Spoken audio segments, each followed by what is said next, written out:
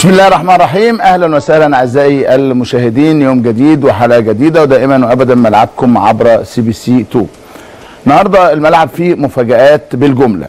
المفاجأة الكبيرة عندي النهارده هي كتائب حلوان وهنشرح تفاصيل إيه موضوع كتائب حلوان وإيه موضوع الأخ أورتيجا. لأنه بقالنا سنين بنهاتي وبنحارب وبنقول وبنصرخ وبنعلي صوتنا ومحدش عايز يسمع ومحدش عايز يعقل ومحدش عايز يفهم. وللأسف الشديد النهارده كده قريت مقال أو اتنين لسه في ناس بتحاول تمسك العصا من النص. يعني إيه؟ أول ما يجي له تليفون بقول لك إيه خلي بالك هنعمل فيك يقوم جاي كاشش وراجع. أو يتكتب له كلمتين على فيسبوك ولا على تويتر ولا رسالة على الموبايل يقوم جاي يترعب ويخاف فيبدا تاني يرجع عشان يمسك العصا من النص. ده مش وقت ماسك العصا من النص. ده وقت إن أنت تواجه كل مشكلاتك وأزماتك. وأنا بتكلم هنا رياضة ما بتكلمش هنا سياسة مش شغلتي. سياسة لها شغلانة تانية ولها ناس تانية ولها برامج تانية. أنا بقدم برنامج الصبح في سياسة في الإذاعة لكن هنا رياضة. فبالتالي عايز أقول للسادة الأفاضل أصحاب الأعمدة وأصحاب المقالات وأصحاب الأقلام كثير منكم أخطأ في البداية كثير منكم أخطأ في البداية. ان الأوان إنه يغسل ذنوبه وإنه يتطهر مما حدث ليه أو مما أحدثه أو مما جعل بعضا من المتطرفين والإرهابيين بناء على كتابات.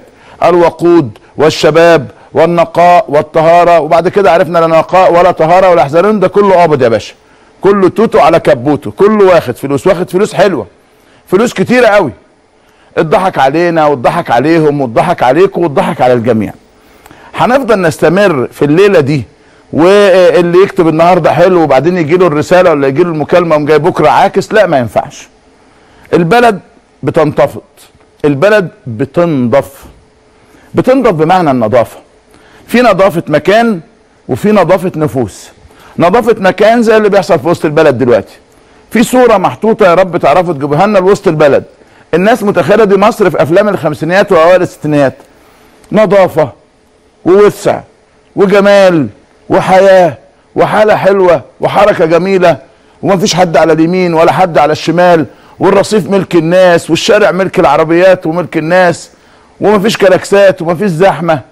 لا إله إلا الله. كان فين من زمان؟ ده عمل سيولة على ميدان التحرير عمل سيولة على ميدان رمسيس عمل سيولة في كل حتة. في نظافة.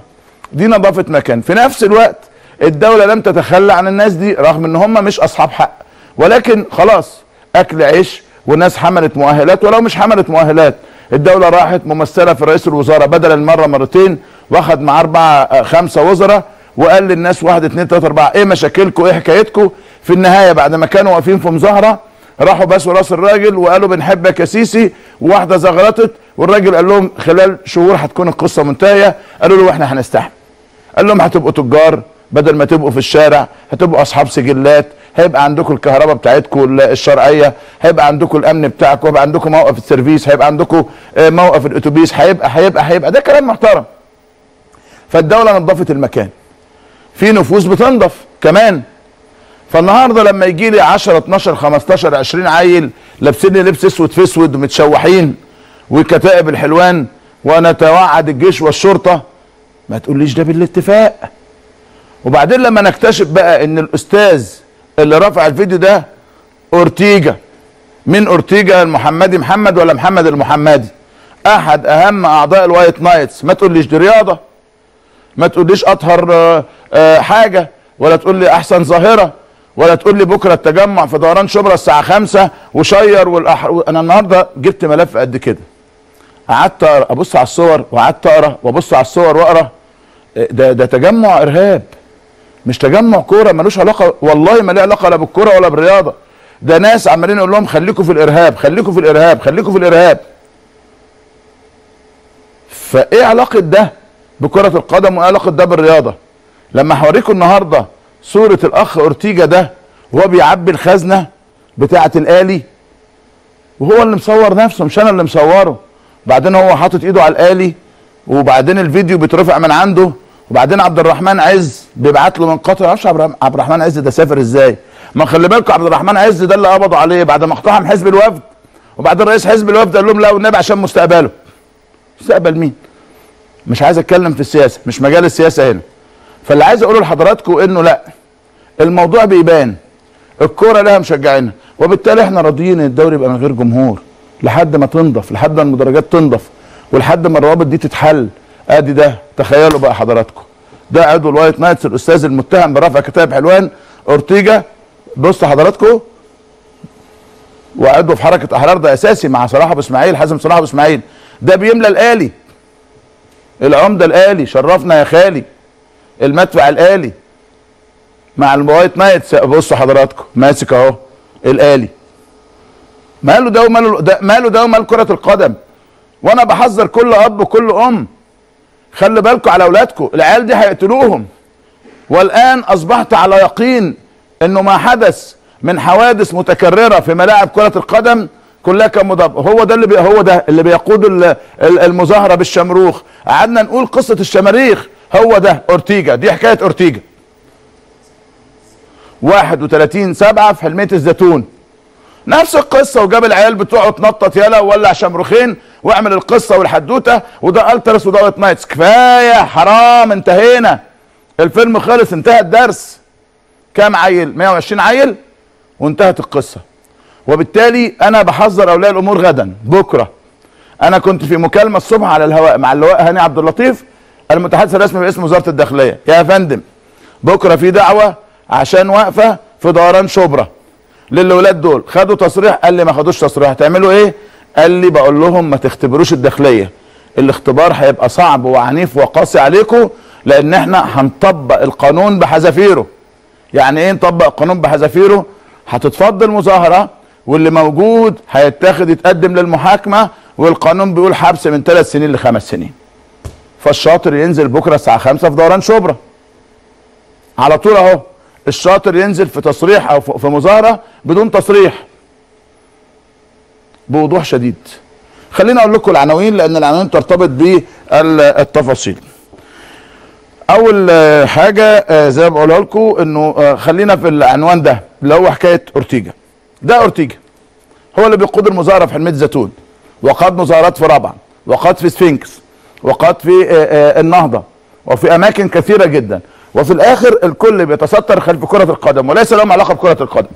يعني أنا أتحدى لو في مشجع في الهلال السوداني كده في الهلال السعودي كده في ريال مدريد كده في بناثينايكوس كده في روما الإيطالي كده في ليل الفرنسي كده في باريس سان جيرمان كده في بوكا جونيورز كده ممكن يكون متهور متعصب لكنه ملوش علاقة بالسياسة.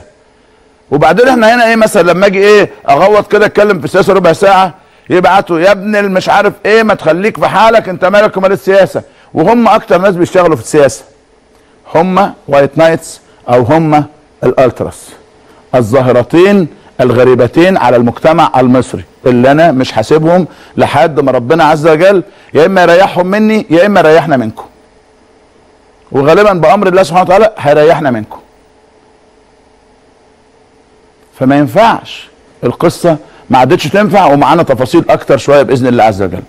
النهارده كمان في الصرح الجديد اللي آه، موجود في آه، آه، شبرا الخيمة. لأنه الحقيقة حاجة تحفة موجودة معمولة رئيس الوزارة المهندس إبراهيم محلب وزير الشباب والرياضة المهندس خالد عبد العزيز حاجة لأهل الحي هناك. أعتقد إنه هم لسه شغالين فيه لحد دلوقتي وما زال ال- يعني التطوير بإذن الله والافتتاح مستمر وزميلنا ماجد غراب هيوفينا أول بأول بما يحدث هناك بإذن الله عز وجل. الحاجة الثالثه اللي مرتبطة بالإخوة بتوع النايتس والوايتس والبايتس والكلام الفارغ ده إنه كان في لقاء قمة ما بين الأهلي والزمالك تم إلغائه. هذا اللقاء ليس لقاء السوبر في الدوري ده لسه في علم الغيب على فكرة، لكن اللقاء ده هو لقاء كرة اليد اللي هيجمع ما بين الأهلي والزمالك كان المفروض في نادي الزمالك أمن الجيزة قال لك لا واهلا وسهلا باللا. هنا اللا أنا وافق عليها جدا بدل ما يخشوا الصيع والبلطجية والخارجين عن القانون يبوظوا لنا ده وحتى في الاستاد بيبوظوا ده اتصور إن بكرة لم يكن وقتا مناسبا واتصور الأمن لديهم هو أكثر وماتش اليد يتاجل ما عندناش مشكلة وبالتالي تم تأجيل اللقاء بناء على طلب من الأمن والأمن هنا موقفه يحترم بل ويحترم جدا. عنواننا الأخير هيكون في ضيفنا النهارده دكتور جمال محمد علي. دكتور جمال محمد علي ولقطات تعرض لأول مرة لمنتخبنا الوطني للشباب من رحلته للكونغو ورحلته آه لتونس وفوزه وصعوده إلى آه المباراة الأخيرة في التصفيات للصعود إلى نهائيات أفريقيا اللي هتقام في النيجر بإذن الله. عز وجل منتخبنا تخطى السودان وتخطى الكونغو وكان في مباراتين وديتين خسر في الأولى من تونس 3 2 وفاز في الثانية بسداسية ومنتخب ماشي بخطوات صحيحة. هنعرف من الدكتور جمال محمد علي إيه اللي هيحصل. بيفكر في إيه؟ منتخبنا عامل إزاي؟ وربنا إن شاء الله يوفقهم ونصعد لنهاية هذه البطولة لأن إحنا ما كناش بنشارك بسبب الامتحانات الثانويه في هذه البطولة الفترة ليست بالقصيره وإن شاء الله عز وجل يوفق منتخبنا الوطني للشباب اللي هيلعب يوم الأحد بإذن الله عز وجل رغم صعوبته المهمة اللي خسرته في لقاء الذهاب بهدفين مقابل لا شيء. حلقة مليانة بالأحداث النهارده. وعندنا كمان أكثر من تليفون مفاجأة. أعتقد إن شاء الله حلقة تستحق المشاهدة. تابعونا دائما وابدا في برنامجكم الملعب. هنروح للنشرة والعناوين بصوت الزميل تامر جابر ثم أعود إليكم من جديد.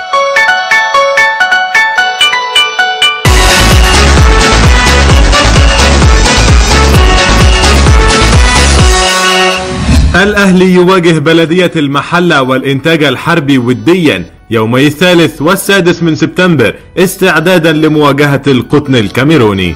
جاريدو يتمسك بالسفر للكاميرون بطائرة خاصة خوفا من الإجهاد. جدو ينتظر قرار الطبيب الألماني شيفرهوف لتحديد موعد عودته للملاعب. الأهلي يتسلم البطاقة الدولية لشريف حازم من سيرناسكا السويدي. حسام حسن يرفض الاستغناء عن حمادة طلبة. إسلام عوض يعبر عن سعادته بالرحيل من الزمالك. صلاح سليمان يتلقى عدة عروض محلية أبرزها الأهلي بعد استغناء الزمالك عنه. إبراهيم حسن يناقش مع مجلس الزمالك بديل معسكر النمسا. اتحاد الكرة يحدد مليون جنيها مكافأة لبطل السوبر و500 ألف جنيها للوصيف. وزير الشباب والرياضة يفتتح غدا الصالة المغطاة بنادي طنطا ومركز شباب حي العجيزي. الأمن يوافق على حضور عدد محدود من الجماهير لمؤازرة الفراعنة أمام تونس. اتحاد الكرة يعلن غلق باب القيد في الحادي عشر من سبتمبر ويقرر هبوط 24 فريق من الممتاز به وصعود 12 الجبلاية تحدد الثامن عشر من سبتمبر لانطلاق القسم الثاني والسابع والعشرين للثالث وترفض تخصيص مجموعة لأندية سيناء في الممتاز به. حسن فريد رئيسا لبعثة المنتخب الوطني في السنغال. الجبلاية تقرر صرف راتبا شهريا للاعبين القدامى. الهاني سليمان يشكو الاتحاد السكندري للجبلاية للحصول على مستحقاته المتأخرة. رئيس انبي ينجح في الصلح بين مرتضى منصور وشريف حبيب. عبد الله حاتم يتوج ببرونزية المصارعة في أولمبياد الصين. مهاب الكردي يحصد فضية زوجي المختلط للغطس بأولمبياد نانجينج رئيس اتحاد اليد يبدي رضاه عن فوز المنتخب بفضية أولمبياد الشباب. محمد يوسف يطيح بالمدافع البرتغالي لوسيو من الشرطة العراقي. أحمد فتحي ينتظر الظهور الثاني مساء اليوم مع أم صلال أمام الجيش في الدوري القطري. محمد صلاح مطلوب في أستون فيلا وصفقة محمد إبراهيم مع ماريتيمو البرتغالي مهددة بالفشل. إقالة خالد القرني مدرب اتحاد جدة بعد الخروج من دوري أبطال آسيا؟ الكولومبي فالكاو مهاجم موناكو الفرنسي يرحب بالإعارة إلى الأرسنال. بالميراس يحتفل بمرور 100 عام على تأسيسه ويتراجع عن التعاقد مع الأسطورة رونالدينيو. لاعبو الكرة في باراغواي يهددون بالإضراب. الإكوادور تستضيف جولة بطولات التنس في أمريكا الجنوبية بدلا من تشيلي. فيدرير يتأهل للدور الثاني في بطولة أمريكا للتنس بسهولة.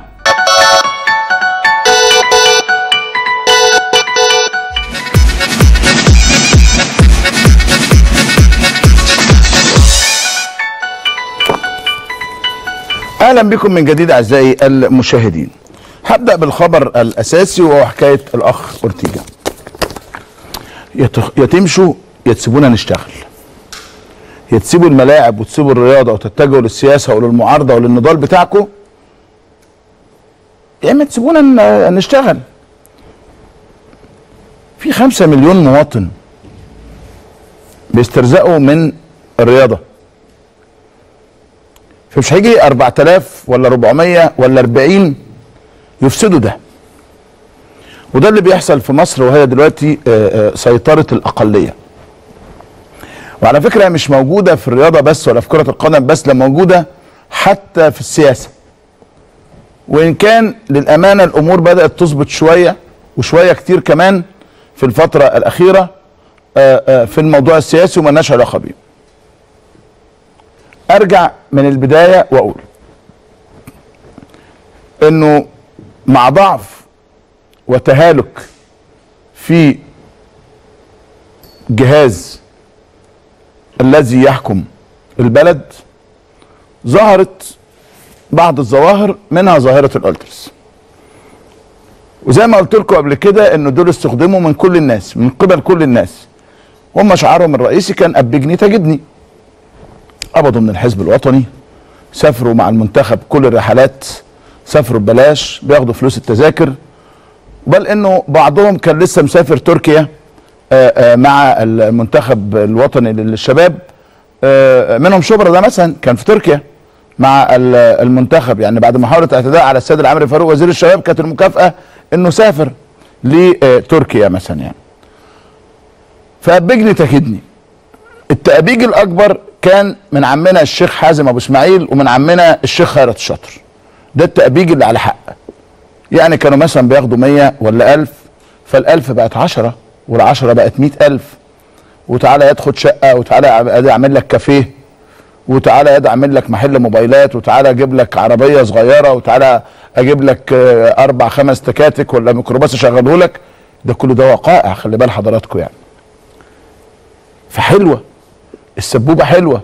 في أجمل من كده. واد عبيط خايب لقى نفسه عنده كافيه. كبير جدا. وشغال زي الفل ومكسر الدنيا. واد تاني لقى نفسه محلات موبايلات بسم الله ما شاء الله. واحد تالت راحوا جايبين له شقة على المريوطية. الله ده ده حاجة حلوة قوي خد يا ابني ميكروباص صغنون أهو كام اتنين تلاتة توك توك أهو اشتغل عليهم وكام موتوسيكل عربية صغيرة كده برضه محندقه ده غير المصاري الكاش. فالسبوبة حلوة وجميلة. وال... والإطار العام أو الشكل العام كان بيوحي إن إحنا هم مستمرين مطولين يعني هيعيشوا شوية أو هيعيشوا كتير. واحد يروح على الحدود مع غزة فيقولوا له يا ابني لازم تدخل بتصريح. يقوم جاي مكلم رئاسة الجمهورية راسا. رئاسة الجمهورية راسا. فرئاسة الجمهورية تكلم سلطات المعبر في رفح يقولوا لهم ده يعدي يقوم جاي معدي بعد خمس دقائق مستشار رئيس الجمهورية وده أنا قلت هو موجود فؤاد جد الله. قلت هو موجود وقلت له لو سمحت يعني إيه انفي الكلام اللي بقول لك عليه ده. اللي استقال آخر 48 ساعة ونفد بجلده. يعزمهم على فطير وسمنة وعسل وقشطة في بيته. مستشار رئيس الجمهورية ها؟ بيعزمهم في بيته على فطير وعسل وسمنة وبسم الله وبالهنا والشفا وبعدين يقول لهم الرئيس طالب منكم كذا واعملوا كذا وخلوا كذا. طب خدوا الرئيس عايز يسلم عليكم. أنا مش بهزر. هذا حدث أيام دكتور مرسي لما كان رئيسا للجمهورية. إيه يا ريس وأخبارك؟ بيكلموا رئيس الجمهورية دايركت. ومستشار رئيس الجمهورية عازمهم في بيته. فمفيش أجمل من كده هنا ولا سعادة ولا فرحة. اعتصامات هم موجودين ومحرضين عليها. ما بياخد له 10000 جنيه فبيجيب العيال بيدي 100 و200 و300 يضرب له هو 8 ولا 7 ولا 6 والباقي متوزعين. بيقسمهم وزعهم دول على على 100 واحد ولا حاجة مفيش مشكلة. مفيش مشكلة مفيش أزمة. وبالتالي تمشي الدنيا وبالتالي يزيد الشغب وبالتالي تزيد الأحداث. لحد ما جينا فوجئنا يا ريت تجيبوا لنا بقى الفيديو بتاع كتاب حلوان دلوقتي. فوجئنا بفيديو كتاب حلوان ناس بتتوعد الشرطة والجيش. وعندهم من الغباء ما يكفي إن هم يعرفونا مين هم وبيتكلموا منين. ملثم وحاطط على وشه مش عارف إيه وعامل إيه ومخلي إيه. لكنه في النهاية في آه، حاجات كتيرة جدا في التكنولوجيا. ده أمريكا ولا بريطانيا عرفت مين اللي ذبح؟ جيمس فولي ال- الضابط اللي اتذبح في آه، آه، آه، سوريا. عرفوه. لهم تقنية بيعرفوا مين اللي ذبح أو مين اللي قتل. فكان الحقيقة الفيديو من السهل جدا إنك تعرف تكتشف مين دول. وبعدين البعيد بغروره يقوم جاي عامل مداخلة كمان مع والي الإبراشي. ويقول له أنا أنا مش إخوان. بس أنا التزمت دلوقتي وأنا كنت مش ملتزم كمان وربنا يغفر لي ويغفر لكم. لكن الظلم والقهر و و و أي ظلم وأي قهر. الظلم والقهر إنه الشوارع تتقطع. الظلم والقهر إن السكك الحديد تتقطع. الظلم والقهر إن المباني تحتل. الظلم والقهر إن أبراج الكهرباء تتدمر. الظلم والقهر إنك تلوث لي المية وتبوظها لي وت- وتقفل لي المنابع دي. الظلم والقهر إنك تاخد أنابيب البوتاجاز وت- وتحملها كلها عندك وبعدين عشان تعمل لي إن في أزمة وتروح تبيعها أنت في السوق السوداء وتكسب فيها قد كده. الظلم والقهر إنك تمنع الجامعات وتمنع الناس من دخول الجامعات وتمنع الناس من أداء الامتحانات. الظلم والقهر إنك تاخد امتحانات الثانويه وتسربها. كل ده ظلم وقهر الظلم والقهر إن الشارع ما يكونش فيه أمن وأمان. الظلم والقهر إن البنت تمشي في الشارع والناس بتتحرش بيها. وكل ده نعرف إن حضرتك اللي وراه ده الظلم والقهر ده الظلم والقهر والعدوان. هو ده الظلم والقهر وده سلاح الضعف. ماشي بقطر لقيت خمسين واحد. هتعمل إيه؟ هتدوسهم؟ هتبقى مجزرة. هتعطل القطورة. اللي في أسوان بيسمع في مرسى مطروح. الظلم والقهر إنك تعمل لي تهريب من على الحدود. الظلم والقهر إنك تعمل لي نوع من أنواع الفوضى في الشارع. الظلم والقهر إنك تعمل لي أزمة مرورية, عنيفة لأن حضرتك قاطع لي كوبري أكتوبر وقاطع لي نفق الأزهر وقاطع لي مش عارف إيه في العباسية وقاطع لي إيه في صلاح سالم وبالتالي كل ده بيسمع. الظلم والقهر إنك ترمي لي زيت على الشوارع وعلى الأرضيات وفي الآخر ده بدعوى إنك مشجع كرة قدم ولا إن أنت معتصم ولا أنت بت بتشارك زملائك اللي كانوا مش عارف فين ولا فين. ده الظلم والقهر. وبعدين بقى الكلام الحرية وما تنسوش وما تعملوش وكلام يا عيني فالعيال الصغيرين ال 14 وال 15 وال 16 لحد 18 20 22 سنة بيسخنوا. فيسخن مع الكلام. الظلم والقهر إن الأم والأب يفقدوا السيطرة على الابن. فالواد يوم جاي عامل شعره قد كده وتلاقيهم كلهم ضاربين شعرهم كده وضار- وضارب شنطة فوق ظهره. ما حدش فيكم فكر الشنطة دي فيها إيه؟ ها؟ شنطة فيها إيه؟ لا ما فيهاش فيل. شنطة فيها شماريخ وفيها طوب وفيها عصيان. دايما هتلاقي كده في مجموعة كبيرة معاهم شنط على ظهرهم. ما فيش واحد فكر الشنطة دي فيها إيه؟ الشنطه دي يوم جاي مولع الشمروخ والباراشوت والتورتاية دي وما فيش ما يمنع من فرد صغير يبقى موجود. متداري يا عيني مع ولد من الولد والولد ده بريء غلبان. لكن هم بيستخدموه الحرية. والولد ده يعرف إيه في الحرية؟ الولد ده المفروض يروح مدرسته ويذاكر ويتعلم ويتفوق ويروح جامعته ويذاكر ويتعلم ويتفوق ثم آه، يتخرج وتصبح للدولة عليه مسؤولية أو تجاهه مسؤولية. دولة عليها مسؤولية تجاه ده لو بتوفر لي مناخ آمن محترم يبقى زي الفل مية مية. الولد ده يطلع تلاقيه 100 فل و14 لكنه هيطلع لا هيلاقي شغل ولا هيلاقي وظيفة ولا هيلاقي آه، آه، بيت آمن ولا مناخ آمن ولا تربة طيبة تحتضنه ليه؟ لأنه الولد عمال مشوش مشوش مشوش مشوش. سامع أبوه كل شوية عمال يشتم الله مش عارف على أبوه إيه النور اللي بيقطع كل يوم. المية اللي مش عارف إيه الزحمة اللي في الشارع ال... آه كل ده موجود لكن أسبابه إيه؟ كلها أسباب متراكمة. أنا ساكن قدام المخبز الآلي. قدامي كده. بقالي سنين على ده الحال طابور يسلم طابور. فجأة بقالي أسبوعين مش شايف واحد. ليه؟ عملوا البطاقة الذكية. سبحانك يا رب الأزمة انتهت. ده بجد مش بهزار.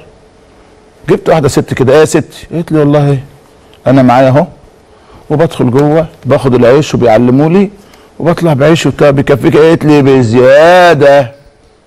قلت لها كنت بتقعدي؟ قالت لي والله كنت واقف بنص ساعة هنا. طب ودلوقتي قالت لي لا ده أنا ليا نقط إن شاء الله هناخد بيها حاجة من بقاله التموين. قلت لها بياخدوا منك البطاقه قالت لي ما رضيتش. ما أنا سمعت في التلفزيون قالوا لي ما تسيبلهمش البطاقة. فما رضيتش.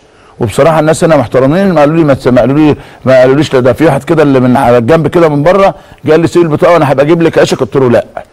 قلت له طب الناس بيعملوا قالت لي محترمين.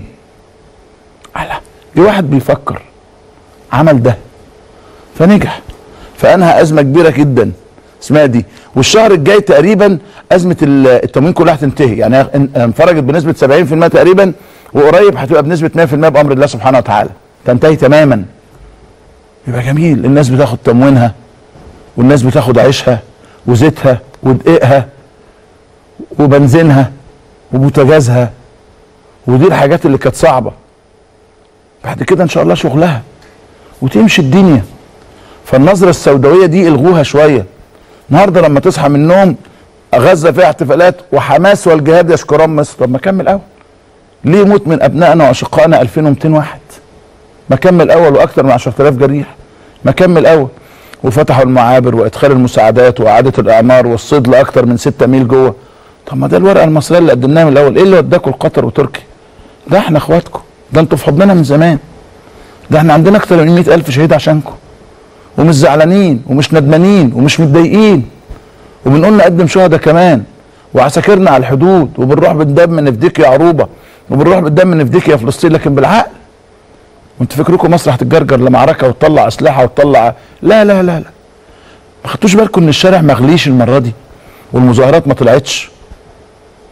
ما خدتوش بالكم انه ما ما حدش قال لك آه، امنع السفير وبتاع؟ لأن أنت عملت المفاوضات وجبت دول وجبت دول وكانوا بيقعدوا على بعض مع بعض. سيبكم من المفاوضات غير المباشرة كانوا بيقعدوا مع بعض وبيتكلموا مع بعض وبيضحكوا مع بعض وبيشربوا الشاي والقهوة مع بعض. لكن في النهاية مصر مصر دايما مصر. ده خبر ما يسعدكوش. ده خبر ما يفرحكوش إن بلدك بتستعيد قدرتها وقوتها مرة تانية. لما رئيس البرلمان الليبي وزير الخارجية الليبي ورئيس الاركان الليبي موجودين امبارح وموجودين النهارده وقاعدين ولابد إن يتصل ادي كتاب حلوان قول لي بقى الله يسترك أنت وهو. دول بقى عايزين إيه بقى؟ دول إيه بقى ال- ال- ال- الحبايبنا الحلوين دول؟ آلي وأسود وملثم لو عندكم صوت زعوه ورابعة وخمسة وستة وسبعة وتسعة. راحوا اشتروا اللبس قال لك من التونسي. ولسموا نفسهم وعرفوا نفسهم. خمسة منهم اتقبض عليهم يقال ستة. والستة التانيين زي ال- الفيران في الجحور مستخبيين. وبعدين يطلع الأستاذ بتاع الوايت نايتس. طب ده بتاع رياضه إيه علاقة ده بالرياضة؟ إيه علاقة ده بالرياضة؟ الشروط بقى على الجيش والشرطة. والتحديات لينا للبلد. طبعا أنا دلوقتي ما بتكلمش سياسة أنا بتكلم رياضة لأن دول آه، آه، بتوع الوايت نايتس وطبعا الألتراس مش عايز الكلام. ورابعه رابعه على نفسك يا عم. أهو الشروط بيملي شروطه. وبعدين يعمل مداخلة في التليفون كمان. هل ده مقبول يا جماعة؟ هل ده معقول؟ إيه علاقة ده؟ إيه علاقة ده بالرياضة؟ إيه علاقة ده بالوايت نايتس؟ من إمتى حضراتكم شفتوا ملاعب الكورة مليانة بال- بالمعاتيه دول. من إمتى دول كانوا موجودين؟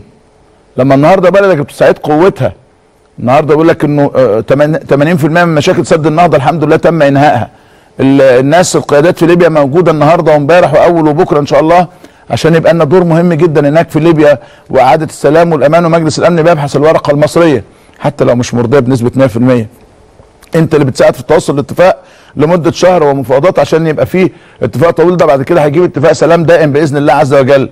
وننتهي من هذا الصداع اللي بيوجع لنا قلبنا كلنا سواء في فلسطين أو في مصر. تجيب لي 15 عيل يقول لك كتاب حلوان كتاب حلوان إيه ابو كتاب بقى انت اكتشف ان هم من المشجعين يدخلوا النادي الأهلي. أنا شفت في النادي الأهلي وشفت حضراتكم تليفونات ناس ناس هتتجنن مش مصدقة. يقول لك ده النادي الأهلي وما هذا الضعف اللي موجود عند النادي الأهلي كمان. سواء في مجلس الإدارة السابق أو الحالي. أول ما بعدين عمل لهم مدير للنادي قبل كده عشان يقول لهم اتفضلوا على الرحب والسعة. ويظهروا ويسهروا ويسه- ويهزروا وبعدين يقول لك ده ظبطهم 100% ظبطهم لكل خدماتهم ليهم 100% قالوا مجلس إدارة عمال كل يوم ينافق لي ليهم ولا واحد سابق واحد حالي. وبعدين يقول لك أنا ما قلتش الألتراس. لا المقصود كان الألتراس. والقصة كده. الأمر بصوا حضراتكم ما بقيناش في الشغب ولا دول. ما بقيش في الشغب ولا الخروج عن النص إلا دول. والشارع ينضف تماما خلاص. ما بقيش حد بيشاغب في الشارع المصري إلا دول. والشارع ينضف والمدرج ينضف والمدرج يعود. أنا وأولادي ما بنعرفش نروح مدرجات وحضرتك واولادك بتحب ما تعرفوش تروحوا مدرجات. ومدام منى واولادها ما بيعرفوش يروحوا مدرجات. و- و- و- واختنا آه، تريزا ما بتعرفش تروح المدرجات. وأخونا مينا ما بيعرفش يروح المدرجات. والحاج محمد مش عارف يروح المدرجات. دول مش كورة. ده أورتيجا ده اللي شغال في النص ده وبعدين يطلع هو اللي رافع الفيديو بتاع كتاب حلوان. ده مش كورة. وأنا تاني مرة أهو بحذرهم وبنبههم خلي بالكم. بكرة هيبقى يوم صعب جدا عليكم. وبحذر أولياء الأمور والأمهات والآباء. وعايز أقول إن أنا رحت أسرة ولد من اللي ماتوا في آه، آه، آه، بورسعيد. فبقول له لوالدته وأنت ليه حضرتك سفرتيه بورسعيد؟ قالت لي والله العظيم قايل أنا رايح دريم بارك. والله العظيم قايل أنا رايح دريم بارك. ومكلماه انت فين يا حبيبي دلوقتي؟ قال لي خلاص أنا داخل دريم بارك. ولما آه، آه، سمعت عن الحادثة قلت الحمد لله ان الواد ما راحش معاهم. وبعدين بعد شوية لقيتهم بيكلموني في التليفون. وقعت ست والله عايز أقول لكم حصل لها آه، مشكلة في عينيها بسبب ابنها. فأولياء الأمور لازم ياخدوا بالهم. أرجع تاني أقول المحمدي محمد ولا محمد المحمدي ولا أورتيجا ده اللي آه، اللي قدامنا أهو. هو ده. سبحان الله. وهم اللي بيعملوا عليه الزوم يا عيني عشان يفضحوه بعد كده. معايا الصحفي الكبير رئيس قسم الحوادث بالمصري اليوم أستاذ يسري البدري اللي كتب النهارده ضبط عضو الوايت نايتس المتهم برفع فيديو كتايب حلوان وكاتب التفاصيل كلها. مساء الخير يا أستاذ يسري. كابتن شوبير. يا فندم. ازيك يا فندم؟ ازي حضرتك؟ الحمد لله. يا فندم. هل تأكد لحضرتك انه آه، أورتيجا ده فعلا عضو في آه، آه، الوايت نايتس يا فندم؟ والله التحريات تحريات الأمن الوطني والتحقيقات اللي بتجرى مع محمد محمد. الآن داخل قطاع الأمن الوطني أشارت إلى أن هذا المتهم هو أحد أعضاء حركة أحرار التابعة لحازم صلاح أبو إسماعيل. آه. هو أحد أح- أعضاء آه، آه، الوايت نايتس زملكاوي. أيضا التحريات أشارت إلى ضلوعه وتورطه في تسع وقائع تتعلق بالتحريض على رجال الشرطة ورجال القوات المسلحة. أيضا التحريات أشارت إلى اشتراكه في اعتصام رابعة وعدد من الوقائع الإرهابية بجانب الصور والتي رفضتها متابعات آه، الوثائق والمعلومات داخل وزارة الداخلية. وجود صلة اتصال بين شبكة رصد الإخوانية أو شبكة رصد الإخبارية التي قامت برفع فيديو كتائب حلوان وهؤلاء المتهمين الذي أعلنت أعلنت عنهم وزارة الداخلية الآن القبض على ثمان متهمين ضمن كتائب حلوان الإخواني أو كتائب حلوان. هذا التنظيم الذي آه، ارتبط باسم خيرة الشاطر تحديدا أيمن أحمد عبد الغني هو زوج ابنة المتهم خيرة الشاطر الذي اختار مكان منطقة عرب غنيم بحلوان ومنطقة عين شمس ومنطقة المط- المطرية. مسرحا لأعمال العنف والتخريب وبؤر لتمركز هذه العناصر المسلحة. آه، أيضا تحريات الأمن الوطني اليوم أظهرت إلى ضلوع هذا المتهم أيمن عبد الغني زوج ابنة خيرة الشاطر في هذا التنظيم. والأجهزة الأمنية ألقت القبض على ثمان متهمين. منهم مجدي محمد إبراهيم الشهير بمجدي فونيا وآخرين. وجميعهم خضعوا إلى استجواب عن طريق قطاع الأمن الوطني وأمام نيابة أمن الدولة العليا اعترفوا على آه، زوج خير آه، زوج آه، ابنة خيرة الشاطر. أيضا الأجهزة الأمنية ضبطت مع بعض المتهمين 12 سلاح آلي وحصلت منهم على اعترافات كاملة. أعتقد أن وزارة الداخلية ستوزع الآن أو بعد قليل فيديوهات لاعترافات هؤلاء المتهمين عن كيفية اشتراكهم في هذا التنظيم المسلح. عن دور أورتيجا الذي آه، أعتقد أن الوزارة ستخفي بعض الشيء عن هذه المعلومات خاصة أن عملية الضبط ضبط صباح اليوم أو فجر اليوم في إحدى الشقق بمنطقة حلمية الزيتون. آه، هذه الشقة التي استأجرها وكانت مسرح للقيام بالتحريض ضد رجال الشرطة ورجال القوات المسلحة. أيضا الأجهزة الأمنية تحفظت على إحدى السيدات التي قام أورتيجا برفع هذا الفيديو من شقتها بمنطقة مدينة نصر. أعتقد أن التحقيقات والمعلومات التي وصلت إلى رجال الأمن في هذه في هذه القضية معلومات موثقة ودقيقة. جاءت عن طريق أدلة فنية تمثلت في التحفظ على الجهاز المستخدم في رفع هذا الفيديو. كيفية وصول هذا الفيديو إلى شبكة رصد الإخبارية؟ علاقة أورتيجا آه، عضو أحرار في حازمون أو الوايت نايت. بالمتهم الهارب إلى قطر عبد الرحمن عز وقضايا كثيرة جدا ستكشف عنها اعترافات هؤلاء المتهمين أمام جهات التحقيق. أستاذ يسري غدا آه، آه، الوايت نايتس دول داعين إلى آه، وقفة في دوران شبرا ثم يتجهوا إلى مكتب النائب العام. اليوم كان لدي مداخلة مع اللواء هاني عبد اللطيف المتحدث الرسمي باسم وزارة الداخلية وقال لي قلت له هل حصلوا على تصريح؟ قال لا. قلت له طب إيه هيكون موقف الداخلية؟ قال لي عليهم ألا يختبروا آه، الداخلية لأن سيندموا كثيرا. ماذا تتوقع يا فندم؟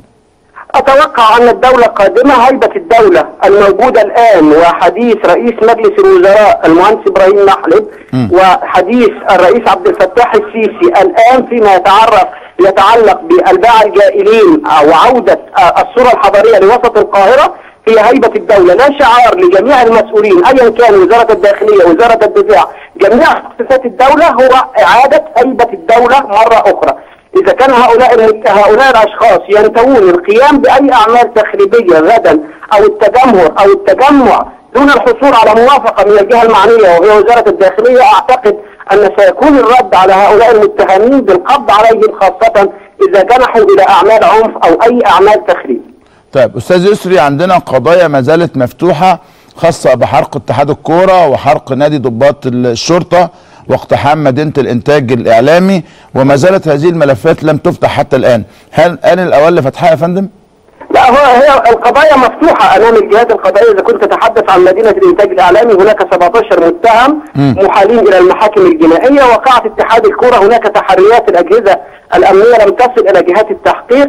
جهات التحقيق أعتقد أن المستشار هشام بركات النائب العام لن يتوانى لحظة في استكمال كافة التحقيقات المفتوحة خاصة أن هناك كل يوم معلومات تصل إلى الأجهزة الأمنية تمد بها الجهات المختصة والنيابات المختلفة لاستكمال التحقيق في هذه الوقائع الهامة.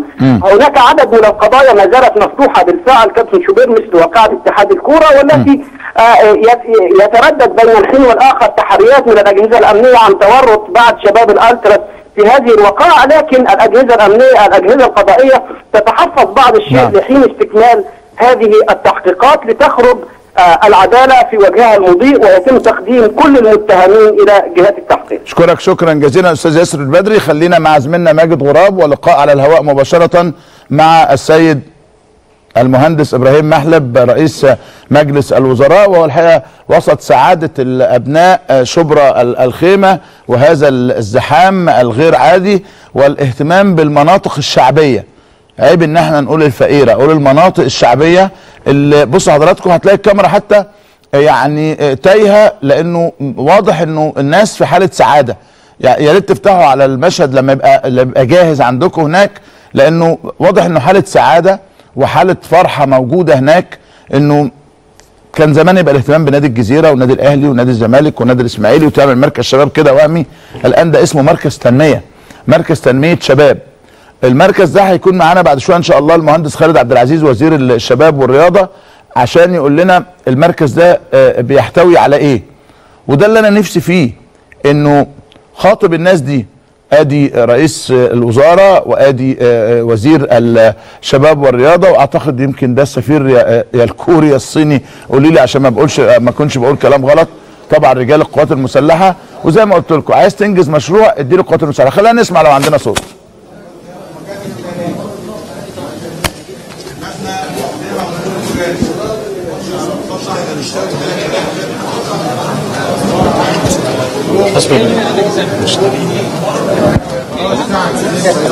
ومخازن محلات في أربعة قاع سينما سعة القاعة حوالي 150 طن محلات تجارية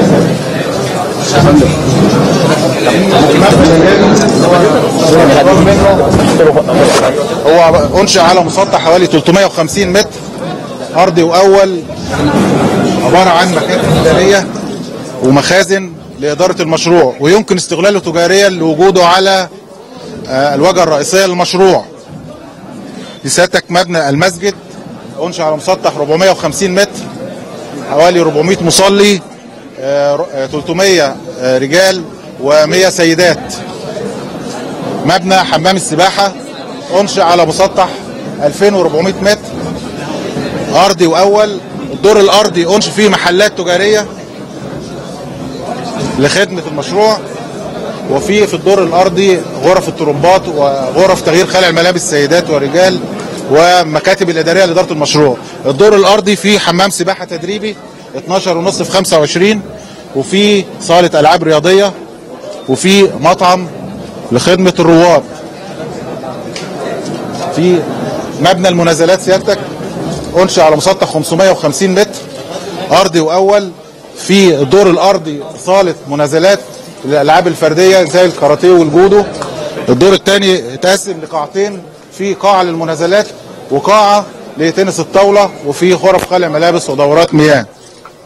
في مبنى الاسكواش اثنين ملعب سكواش وفي مشا... نقطة مشاهدة للملعبين منطقة الملاعب.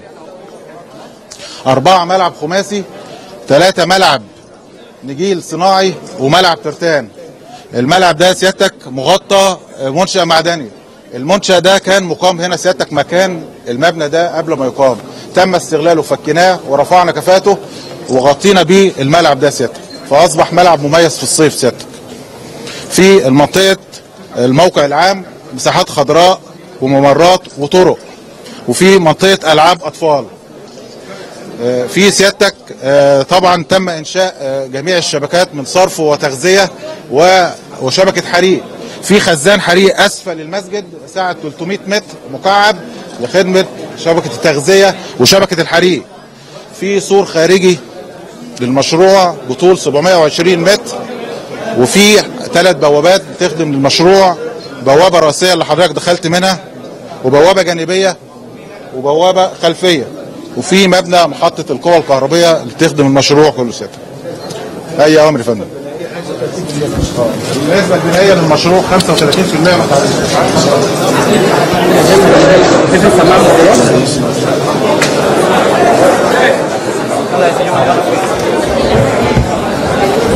خلينا بالصورة هناك ومعانا الصوت. وهرجع لكم كلام سيادة العميد اللي أنا سمعته في حمامات سباحة. ملاعب كرة قدم في ملاعب سكواش أربعة ملعب خماسي في قاعات سينما في مساحات خضراء مناطق ألعاب أطفال في آآ آآ مسجد. ده في شبرا الخيمة ده مش في الزمالك ولا في الدقي ولا في المهندسين ولا في مصر الجديدة ولا في مدينة نصر ولا في التجمع ولا في أكتوبر. ده في شبرا الخيمة. ده بجوار نادي البلاستيك. واحدة من أكثر المناطق الشعبية. يا جماعة الدنيا بتتغير. طب أنا أحط إيدي في إيد الناس دي ولا آخد بكرة مولوتوف وشماريخ وباراشوتات وآلي وأروح أدمر ده؟ ثم أنا بطالب الأهالي اللي موجودين اللي كانوا بيصبوا جام غضبهم على الحكومة وعلى البلد آه مفيش مكان. وأنا ما أقدرش اعمل الاشتراك ب ب ب ب 500 جنيه يا سيدي. بلاش ب 1000 جنيه ولا بلاش 60000 ولا 50000 اهو. مكان حافظ عليه. إحنا المشكلة ان إحنا بنفتتح بشكل رائع ثم الصيانة نو صفر. حمام سباحة العيال طايرين من الفرحة. مش مصدقين. بدل ما كان في النافوره اللي قدام المركز ده النهارده بقى عنده حمام سباحة بجد. لازم يكون له مدرب موجود هناك. ادي الجنينة اللي موجودة جوه. بلاش بقى نجيب الحلل ونجيب المحشي ونجيب المسقعة ونجيب البتاع ونخش جوه نبوظه. لا نلتزم بالتعليمات اللي موجودة نحافظ عليه. ما يجيش الراجل بتاع الأمن يقول لك يا ستي ولا يا أستاذ ده ممنوع الدخول ممنوع ليه؟ هي بتاعتنا. مش ونفضل لا ده انت أول واحد تحافظ عليه. تحافظ على الشمسية اللي موجودة دي تحافظ على الزحليقة اللي موجودة دي تحافظ على المرجحه اللي موجودة دي تحافظ على حمام السباحة اللي موجود ده. إذا كنتوا بقى عايزين بجد بقى ما هي ماما وبابا عملت الحاجة هي خلصتها. أدي ماما وأدي بابا. فاضل عليك بقى يا حبيبي. أنت بقى دورك أنت بقى. المكان أهو. حدث ولا حرج. الملاعب موجودة. واللي عايز يلعب سكواش يلعب. اللي عايز يخش سينما يدخل. اللي عايز يلعب فولي يلعب. اللي عايز يلعب مصارعة يلعب. اللي عايز يخش حمام السباحة يدخل. اللي عايز يلعب على البلاط يلعب. كله تمام. وسايب لك مش عارف ده السور ده كله تبقى بعد كده لما تتزنق قدام تبقى تعمل عليه إن شاء الله محلات. ويا ريت ما يعملوش محلات. يا ريت ما يعملوش محلات. لأنه بجد بتشوه المنظر. يا ريت. خلينا مركز رياضي بجد. بلاش خالص موضوع المحلات ده اللي موجود في كل نادي يقول لك الاستثمار أصلا عايز أعمل محلات. الاستثمار أنا أعمل محلات. فيا ريت. يا ريت العيال تستمتع كده. ويا ريت تبعتوا لهم مدربين يروح لهم مرة ربيع ياسين ويروح لهم مرة جمال عبد الحميد ويروح لهم مرة أيمن يونس ويروح لهم مرة أحمد عبد الحليم يروح لهم مرة حسام البدري ويروح لهم مرة جريد ويروح لهم مرة آه، مش عارف سبل ويروح لهم مرة حسام حسن يروحوا وحسام البدري وشوقي غريب يروحوا ويعلنوا إن شوقي غريب رايح النهارده وحسام حسن رايح النهارده ومحمد يوسف رايح النهارده وحسام البدري رايح النهارده كده ده مهم. ونعمل لهم ندوات ونلعب معاهم كورة ونتبسط معاهم. واللي يروح لهم الأولاد اللي خدوا الميداليات في الأولمبياد في السباحة واللي راحوا وابطال العالم في الاسكواش يروحوا يتمرنوا هناك. خليه مركز تنميه بجد. ما يبقاش مرتبط بوجود خالد عبد العزيز ولا بوجود المهندس إبراهيم محلب لا. أهو العيال بيلعبوا basket أهو. معاهم مدرب أهو. أدي بص حضراتكم والملاعب موجودة والأجوان موجودة. طب وبعدين؟ في أجمل من كده إيه؟ لبس حلو. والعيال موجودين مبسوطين. خد يلا اتعلم. مش مهم تكون لعيب professional أديك بتتعلم وبتجرب. وده معاه مدرب وده معاه مدرب. هو الشباب مش هيتبنى إلا كده. لازم تجيب له مساحات ولازم تجيب له أماكن. الحاجات دي يا جماعة مش موجودة غير بره. فإحنا بدأنا ننقلها في مصر. قد تكون تجربة صينية قد يكون السفير ده السفير الصيني جايز. بس بنعمل أهو بنشتغل. بكرة في صاله مغطاة بتتفتح في طنطا. بكرة في بدء العمل في مركز شباب العجيزي في مدينة طنطا برضو على أعلى مستوى والقوات المسلحة اللي بتنفذه. وأنا سعيد جدا إن كان ليا دور كبير جدا إن أنا أجيب الأرض دي والمركز ده و... وده عشان العجيزه دي لوحدها فيها نص مليون واحد عندنا في طنطا. وأنا بقالي بحارب فيه من ساعة ما كنت عضو مجلس الشعب. وبعدين توقف في الأيام الصعبة وعاد من جديد وبكرة راح المهندس خالد عبد العزيز قال لي راح عشانه مخصوص. قلت له معاك بكرة. بكره صلاة مغطاه الوزير السابق اللي قبل خالد عبد العزيز قال لك لا مش هديكوا تعريفه يا عم الحاج يقول لك لا لا لا لا. ليه؟ لا دي فيها أحمد شبير دي فيها أحمد شبير فيها فايز عربي ما اديلهمش حاجة ما افتتحهاش. يا عم ليه بس؟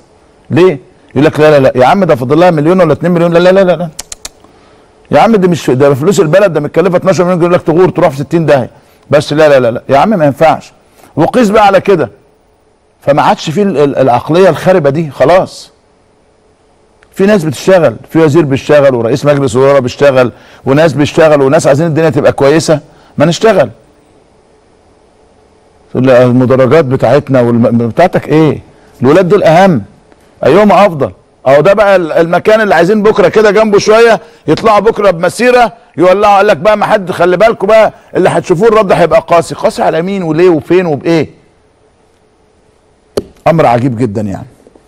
خلينا أقول لكم بعض أخبارنا. أخبار مهمة جدا. آه، غانا وأثيوبيا عايزين ينظموا بطولة الأمم الأفريقية 2017 آه، منافسين للجزائر الجزائر. آه، رئيس الاتحاد الأثيوبي قال إن بلاده هتتنافس مع الجزائر تنظيم البطولة بعد استبعاد ليبيا. الاتحاد الغاني برضو قال كده غانا كانت لسه يعني 2010 وكانت قبلها بكام سنة. فأتصور هيبقى صراع ما بين الجزائر وما بين آه، آه، 2008 كانت آه، ما بين آه، آه، الجزائر وما بين آه، أثيوبيا غالبا يعني. مصر أظن طالبة 2019 أظن يعني. مالي طلبت نقل مباراة أمام الجزائر في تصفيات الأمم الأفريقية؟ طبعا. هيطلبوا كده. وقال لك بقى عدم توافر الأمن ووفاة اللعيب ألبرت ابوسي والمباراة يوم 10 سبتمبر. أنا متأكد إن شاء الله إنها هتتلعب في الجزائر بس اديتهم فرصة اديتهم فرصة. الأهلي خلاص ضم نهائيا شريف حازم دفع له ال 100000 دولار الشرط الجزائي وللنادي سيرونيسكا السويدي والبطاقة الدولية وصلت وانتهى الأمر خلاص. حسام حسن هيضم الكابتن حسن مصطفى آه، لاعب الزمالك السابق بدل من طارق السعيد. قعدوا يحاربوا على طارق وبعدين بعد ما المجلس ده وافق قالوا لا بلاش طارق. امبارح كان في جلسة أنا كان عندي اتصال تليفوني بالفعل مع المهندس ماجد نجاتي والأستاذ والمهندس شريف حبيب مستشار مرتضى منصور والدكتور آه، آه، آه، محمد عبد السلام. وبالفعل تم الصلح ما بين السيد مرتضى منصور والسيد شريف حبيب وكان مرتضى منصور عامل قضايا وشريف حبيب عامل قضايا وانتهى الأمر وخلاص الموضوع انتهى على على خير.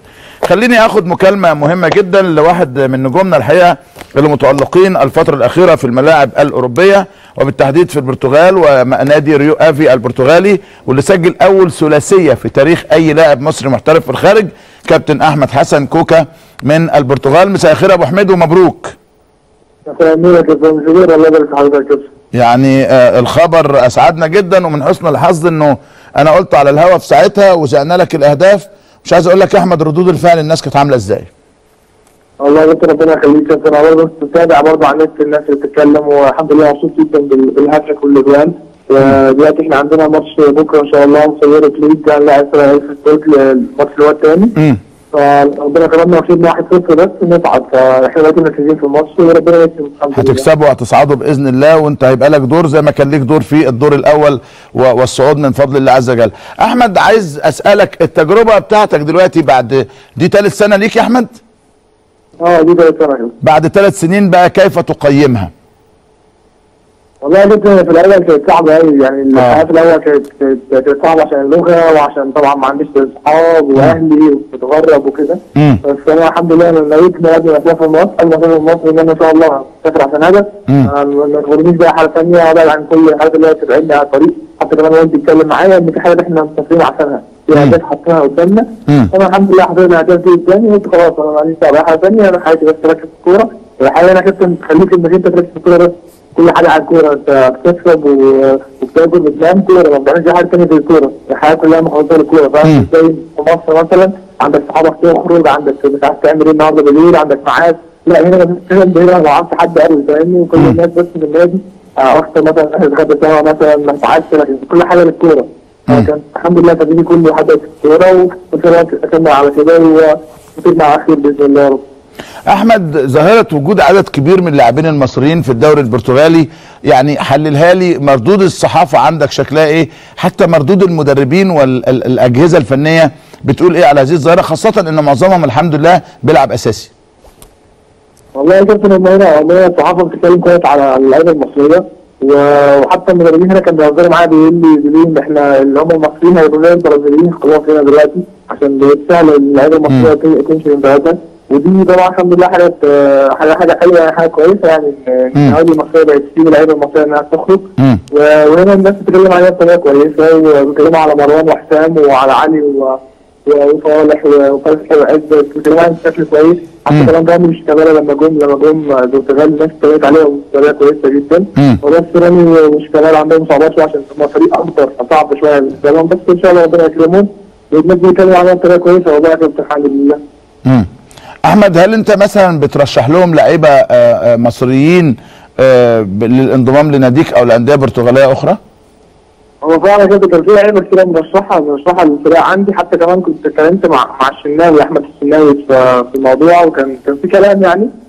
ما حصلش نصيب في الموضوع ما مشيش يعني. كان في كلام في لعيبة كانت مترشحة بس ما ما حصلش نصيب. دلوقتي محمد إبراهيم شفناه إن شاء الله خلاص مليكم فربنا يكرمه يا رب هو كمان و- واللعيبه الثانية أكتر فيه إن شاء الله بالتغير محمد إبراهيم على وشك خلاص الانضمام. أنا قريت النهارده خبر إنه في أزمة. هل في أزمة ولا ال- الأخبار اللي عندك بتقول إنه اقترب تماما من مريتم وخلاص؟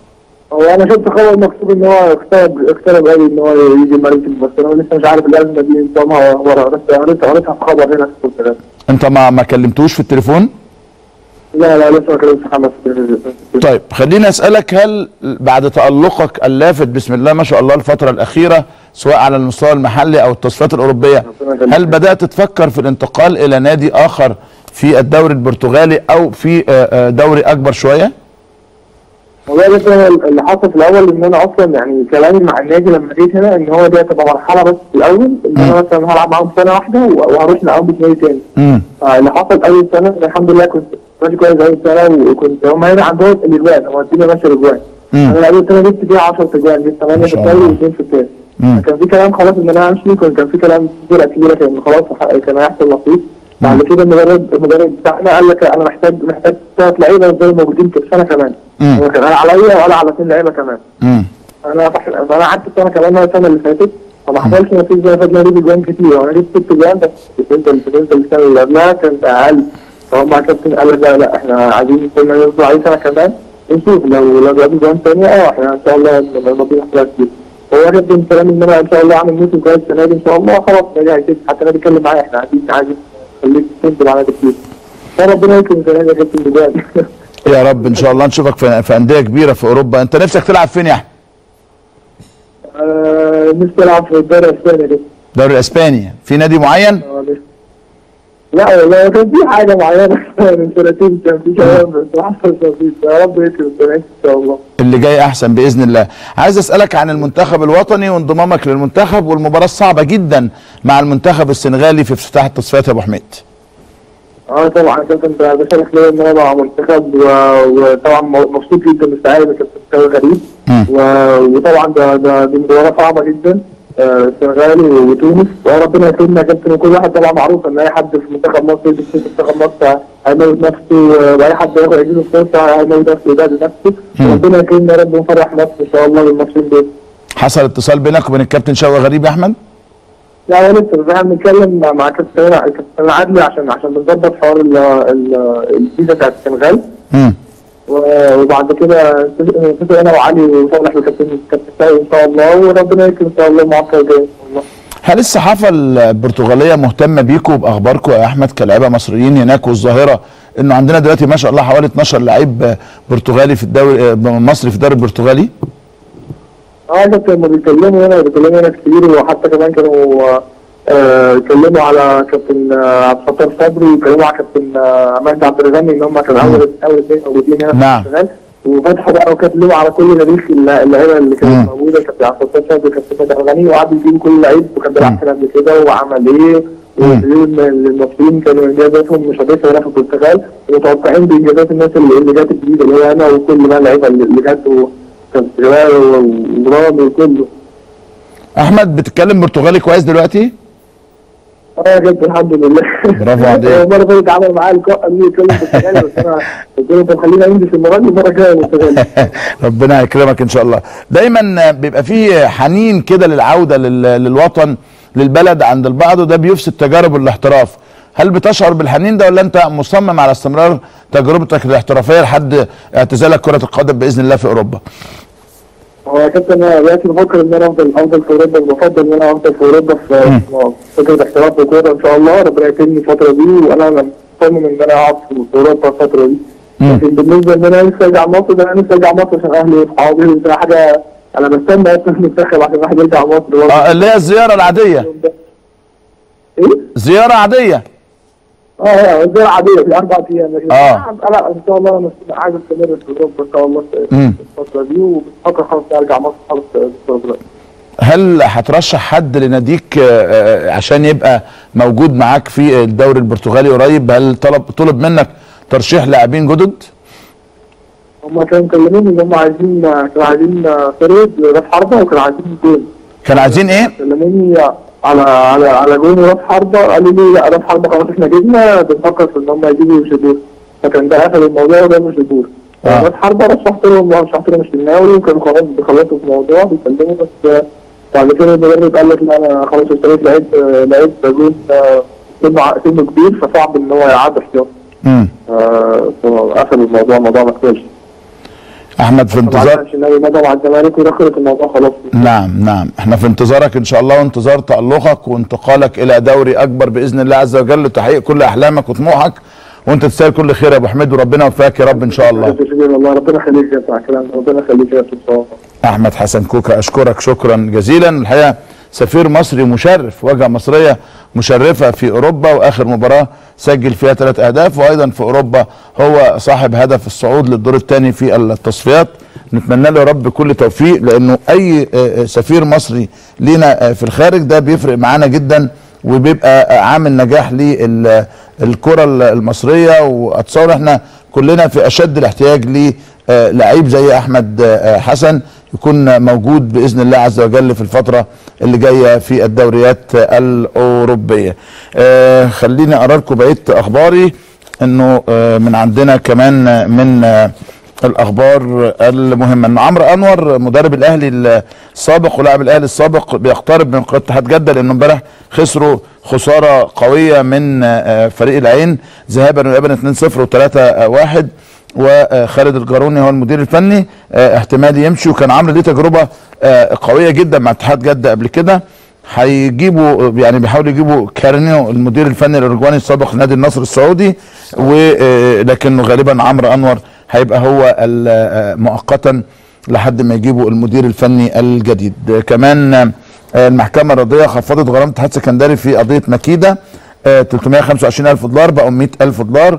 وغرموا آه مساعده أنطونيو 5000 دولار نادي الاتحاد يعني هيبقى 95 ألف دولار. أيمن صلاح قد يعود من جديد لقيادة فريق اليد بنادي الزمالك بعد إقالة ممدوح هاشم بسبب سوء آه، النتائج وأيمن صلاح من أحسن آه، المدربين. زي ما قلت لكم إنه لقاء القمة بين الأهلي والزمالك في كرة اليد تم تأجيله النهارده. عندي أخبار عالمية كتيرة مش عايز أضيعها عليكم.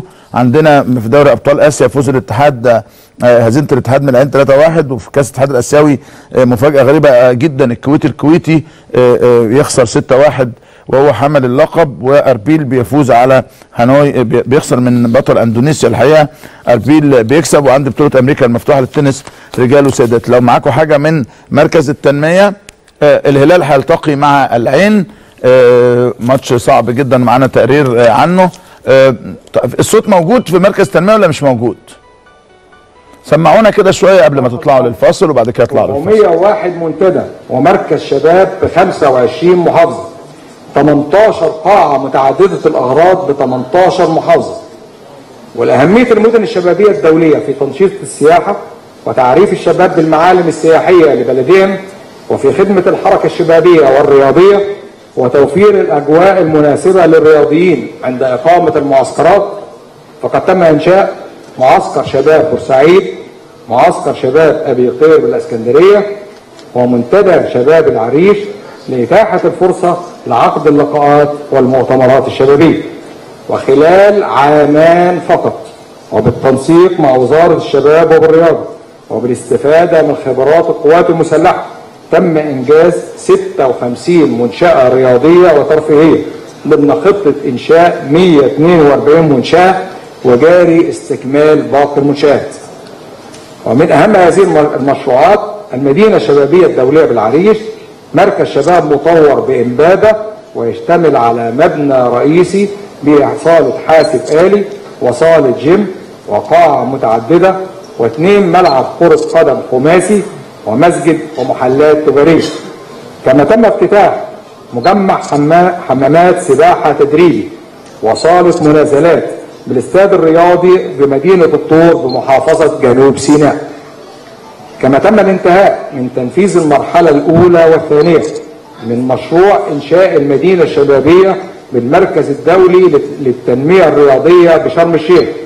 اشتملت المرحلة الأولى على صالة مغطاة على مسطح 8000 متر مربع وتسع 2000 متفرج وتم افتتاحها في أكتوبر 2011 أما المرحلة الثانية والتي شرفت وافتتحها السيد المستشار عدلي منصور رئيس الجمهورية السابق فهي على مساحة 10 فدان وتشتمل على فندق يتكون من أرضي وثلاثة دور متكرر سعة 460 سرير يحتوي على العديد من الخدمات الفندقية قاعة مؤتمرات سعة 400 فرد قاعة كبار زوار سعة 50 فرد مطعم سعة 300 فرد صالة جيمنيزيوم نادي صحي سيدات ورجال حمام سباحة ترفيهي منطقة لعب أطفال ملعب خماسي اثنين ملعب متعدد بالإضافة إلى تنسيق الموقع العام.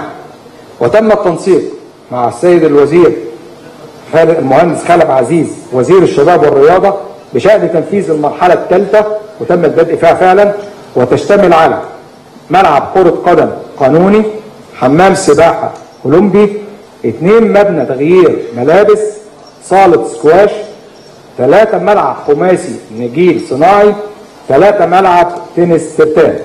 وجاري تطوير مركز شباب الجزيرة بإحلال مباني قديمة بأخرى جديدة وتطوير المنشآت الحالية ورفع كفاءة الملاعب وإنشاء ملاعب جديدة.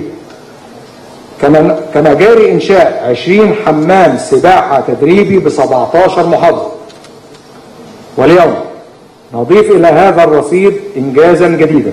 مركز التنمية الرياضية والشبابية بشبرا الخيمة. ويتكون من مبنى منتدى الشباب ويحتوي على قاعة مؤتمرات سعة 250 فرد قاعة كبار زوار فصول تعليمية مكتبة معامل حاسب آلي كافتيريا ومكاتب إدارية. وكما يتكون من مبنى حمام السباحة وهو مكون من حمام سباحة تدريبي 12 ونص ب 25 متر وصالة جيمنيزيوم ومبنى الجودو والكاراتيه ويتكون من ثلاثة صالة جودو والكاراتيه وثلاثة صالة تنس طاولة. كما يتضمن مبنى الاسكواش وبه اثنين صالة سكواش بالإضافة إلى ملاعب متعددة الأغراض شملت ثلاثة ملعب نجيل صناعي منهم ملعب مغطى وملاعب كرة سلة وكرة طائرة وكرة يد. السيد الرئيس مجلس الوزراء نشكر تشريفكم لنا اليوم. افتتاح مشروع يمثل إضافة جديدة للارتقاء بمستوى الرياضة وخلق جيلا جديدا قادرا على النهوض والعطاء للوطن. كما نشكر سيادتكم على ثقتكم الكبيرة بخبرات وقدرات الهيئة الهندسية للقوات المسلحة.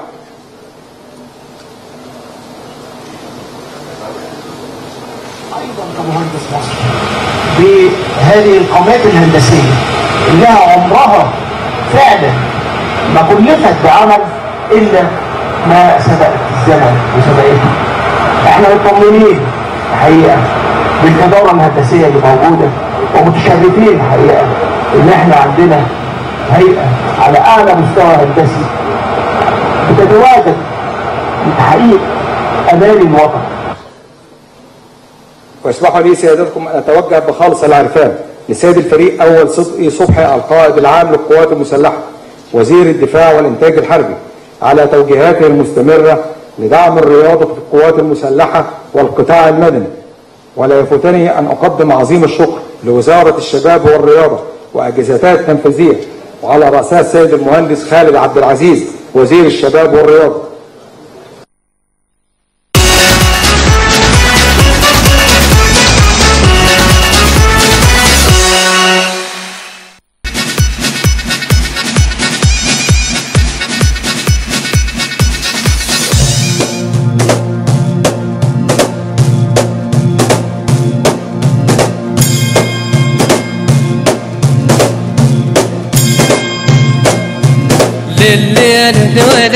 دول دول دول لليل دول دول دول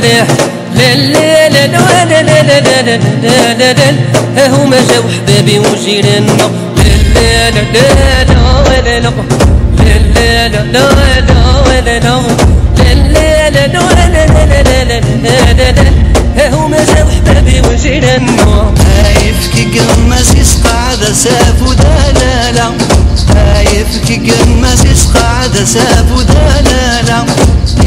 تأهل الهلال السعودي لنصف نهائي دوري أبطال آسيا بعد تعادله سلبيا مع مضيفه السد القطري مساء الثلاثاء وذلك على ملعب جاسم بن حمد بالعاصمة الدوحة في إياب ربع نهائي البطولة. أفضلية أصحاب الدار على مدار شوطي اللقاء الذي أداره الدولي الكوري الجنوبي كيم سانج لم تترجم لأهداف بعد أن أهدر فريق المدرب المغربي الحسين عموتة العديد من الفرص اختارها تصويبة البديل صلاح اليزيدي التي ردها قائم الحارس عبد الله السديري قبل ثلاثة دقائق على النهاية. بهذا التعادل بلغ زعيم الكرة السعودية المربع الذهبي لأول مرة منذ أربع سنوات مستفيدا من فوزه في لقاء الذهاب على ملعب الملك فهد الدولي بالرياض بهدف لعبه سلمان الفرج. وعلى عكس مواطنه الهلال ودع الاتحاد الذي أحرز لقب البطولة عامي 2004 و2005 ودع البطولة بعد خسارته أمام ضيفه العين الإماراتي بهدف لثلاثة على ملعب مدينة الملك عبد العزيز الرياضية في جدة.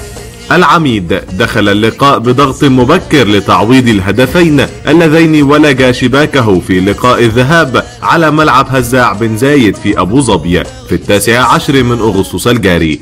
ونجح بالفعل في التقدم قبل عشر دقائق على نهاية الشوط الأول بهدف عكسي سجله مدافع العين محمد إسماعيل. بيد أن الغاني أساموا جيان رفض خروج فريقه خاسرا وتمكن من تسجيل هدف التعادل قبل خمس دقائق على نهاية هذا الشوط. وعزز صدارته لقائمة هداف البطولة برصيد 12 هدفا. في الشوط الثاني تمكن الضيوف من إحراز هدف التقدم في الدقيقة السادسة والستين عبر الموهوب عمر عبد الرحمن عموري.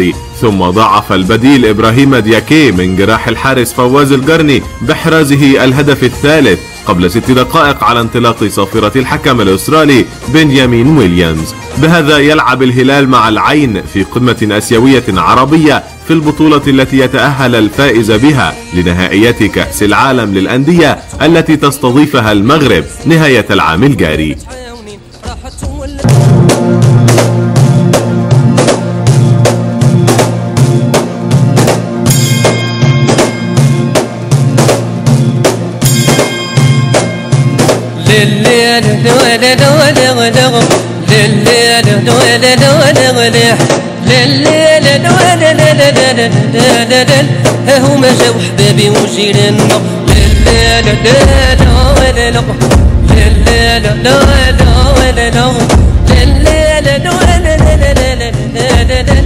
هما جاو حبابي وجيراننا يعني طالما جبنا ده يا ريت يبقى جاهز عندنا تصفيات آسيا لو موجود عند حضراتكم دوري أبطال آسيا. وكاس الاتحاد الأسيوي ما أعرفش موجودة معاكم جاهزة ولا لأ. طيب مهم قوي خليني أقول لكم بعض الأخبار لأنه عندي طبعا مهدي بن عطية انضم ب 30 مليون يورو للبايرن ميونخ من روما. مبروك عليه وبتمنى له يا رب التوفيق بإذن الله آه عز وجل. خليني عايز أقول لكم آه تشكيل أجهزة الناشئين أو مدربي الناشئين في آه نادي الزمالك. بس أنا عندي خبر إنه المهندس حسن الكابتن حسن فريد نائب رئيس الكوره بيقول إن البعثة الصحفية هتسافر مع المنتخب على الطيارة. وعندي خبر تاني انه لا مش هيسافروا على الطيارة فأنا مش عارف أصدق مين ولا أصدق مين. آه قالوا الطيارة خاصه قالوا إنه مش هيسفروهم عشان نوع من أنواع التركيز بالنسبة للاعبين ده, ده اللي أنا قاله لي الصبح المهندس إيهاب الهيطه هل في حاجة من دي اتغيرت؟ مش عارف ما عنديش فكرة. خليني أقول لكم بس آه أسماء مدربي الناشئين اللي أعلنوا الكابتن ميدو رئيس القطاع آه النهارده. منهم الكابتن مثلا محمد كمونة على سبيل المثال معلش عندنا بقالنا يومين كده النت تقيل شوية فبعتذر لحضراتكم عن التأخير في إذاعة الأخبار يعني. عندي كمان بيان من وزارة الداخلية المتحدث الرسمي اللي هو هاني عبد اللطيف وقال بقى عن قصة القبض على كتاب حلوان بالكامل إنه المخطط بيقوم على تنفيذه أيمن أحمد عبد الغني زوج ابنة خيرت الشاطر اختار مناطق حلوان وعين شمس والمطرية مسرح لأعمال العنف والتخريب وبؤر لتمركز عناصرهم المسلحة. آه فريق البحث حدد العناصر المشاركة في مقطع الفيديو الذي تم بثه. ومكان تصويره بأحد مناطق عزبة الوالدة بحلوان. اللي قام بتصويره فتاة بتشتغل في في موقع رصد الإخباري. يعني إحنا هنعمل لكم فجأة هنجاوب الكامل يعني.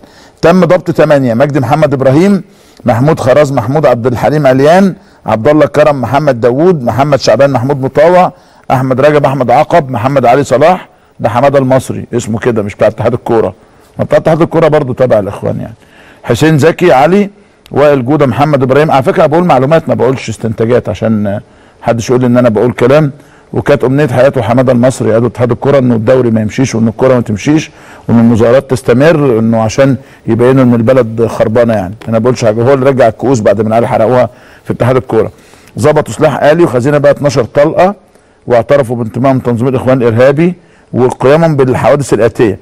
إطلاق الاعيره النارية على نقطة شرطة عرب الوالدة نتج فيها اصابه أمين شرطة استيقاف أتوبيس نقل عام بحلوان في 14 أغسطس وإطلاق الاعيره النارية عليه وإشعال النار فيه. وكمان ظبطوا اثنين من المتورطين في حي في إشعال النار في حي المعادي على حسين سيد حسين اكرام نبيل السيد حسن وده اتقبض عليهم واعترفوا. وكمان قبضوا على الناس من اللي حاولت تحرق أو من اللي حرقوا ابراج الضغط العالي محاولات الكهرباء في الشرقية ومدينة العاشر من رمضان محمد علي توفيق عبد الرحمن محمد فريد سعد الخرباوي عبد الحي أحمد عبد الحي آه وقالوا بقى قالوا اعترافات كتيرة جدا وقالوا إن الوزارة مش مش يعني مش هتسكت لما تخلص على آه كل الإرهابيين اللي بيحاولوا يبوظوا في البلد. بصوا بقى حضراتكم.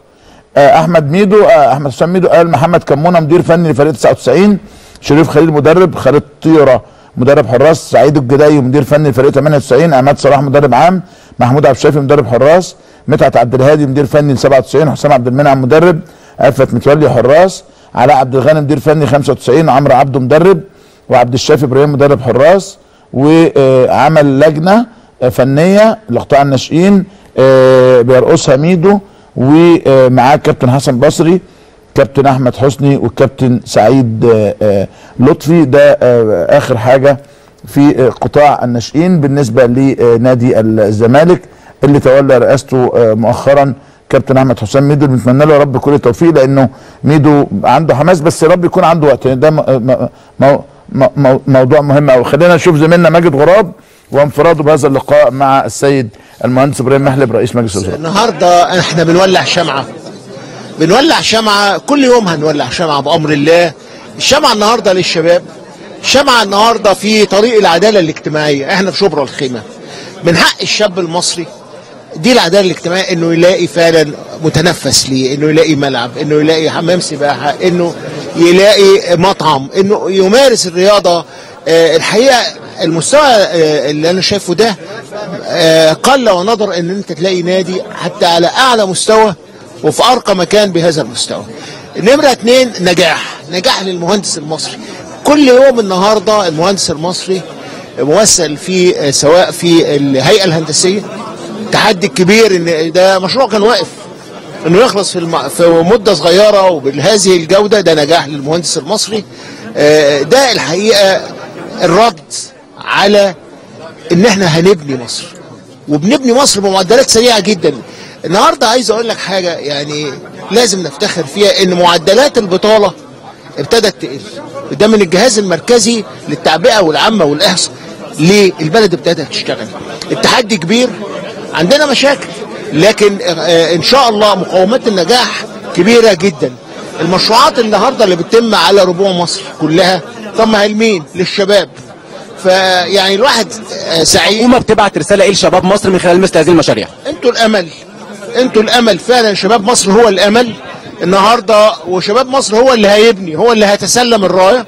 آه، شباب مصر النهارده لازم يصطف ويبقى عنده هدف كبير جدا حماية بلده. انه يبقى فخور ببلده لأن الإمكانيات اللي موجودة في مصر فعلا تجعلنا بإذن الله من أكبر الدول ومن أغنى ومن أغنى الدول في العالم. لما تيجي تبص النهارده لخريطة مصر بتتغير شمالا الساحل الشمالي. جنوبا عندك المثلث الذهبي. شرقا عندك مشروعات قناة السويس. غربا عندك مشروعات آه، كبيرة جدا في الوادي الجديد. الحقيقة مصر بتتغير. مصر آه، في ثلاث أشهر. الحقيقة المنظر اتغير. الأمل كل يوم مش شمعة النهاردة الشمس فعلا ابتدت في أمل كبير. الفجر ابتدى يطلع بالرغم من التحديات.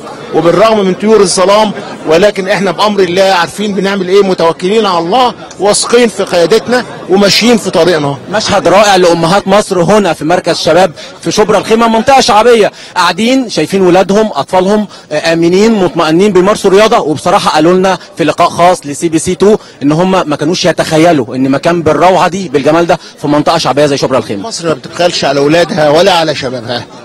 مصر ما بتبخلش ابدا وشبابنا وأولادنا في عينينا. كمان القوات المسلحة المصرية التي لا تبخل ابدا ودائما في المطاف إنجاز كبير جدا للهيئة الهندسية للقوات المسلحة. فخر لكل مصري. مش حضرتك يا فندم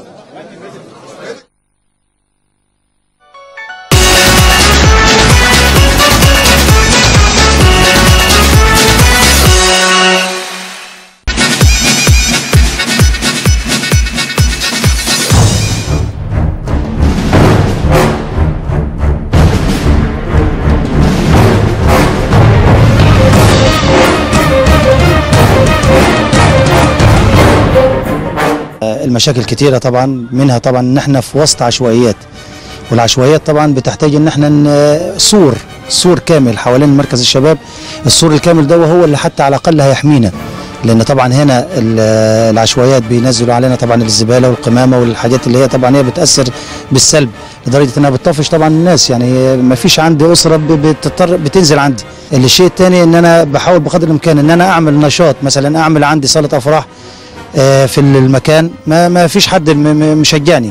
خدنا بيها قرار مجلس إدارة. جاني مستثمر وقال لي معاك لغاية مليون أصرف على المكان وأعمل لك صاله أفراح مغطاة هنا في المساحة الواسعة دي اللي قدام حضرتك في حدود 30 في 30 وخدنا له موافقة من مجلس الإدارة وبعتناها المديريه طبعا لأن طبعا اللائحة بتقول لازم موافقة الجهة الإدارية فبعتنا للجهة الإدارية الجهة الإدارية قالت لك لا. البياعين الجايلين مأثرة بالسلب جدا على المكان الزبالة بيرموها لا مؤاخذه الطماطم والحاجات اللي هي ال- ال- البواقي منهم بيرموها برضه في داخل مركز الشباب. إن أنا عندي في مركز شباب منفلوط سبع فدادين.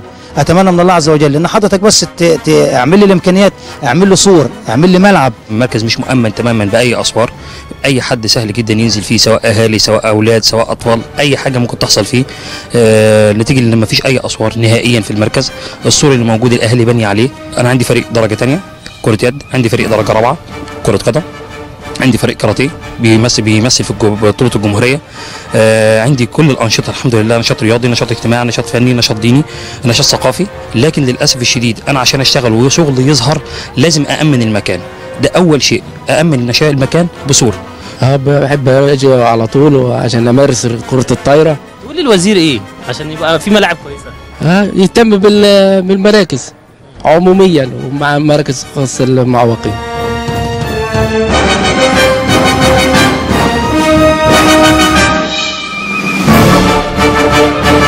جاي اتدرب بنتدرب هنا عشان نلعب كرة طايرة وتنس و... ورفع أثقال. إحنا نفسنا في مكان كويس هيئ لنا الراحة والوقت ما فيش خالص. لو قلت لي خطب سياده الوزير تقولي له. أقول له نفسنا ان يحس بينا يعني يعمل لنا حاجة لينا إحنا خاصة بينا. فإحنا عايزين ملعب يعني لينا كويس ويبقى يعني معمول من كل حاجة. فكل ما نكلم حد يقول بعدين. المرة الجاية. الميزانية مش عارفة إيه. إيه يا جماعة؟ ده كانوا الأول كانوا يقولوا الميزانية كويسة الميزانية كو... يعني عشمونا وفي الآخر يسابونا. إحنا محتاجين من الوزير دعم دعم مادي. وسيادة المحافظ الراجل اللي قبل كده قابلنا ودعمنا برضه يدور علينا لأن في مذكرة على مكتبه اديلها أكتر من شهر ومش مش قادرين نقابله. فاحنا طالبين دعم من سيادة الوزير. أنا رحت لك يا سيادة الوزير قبل كده. وقابلت حضرتك وقابلتني على الباب وقلت لي أنا هاجي هاجي بنفسي أشوف.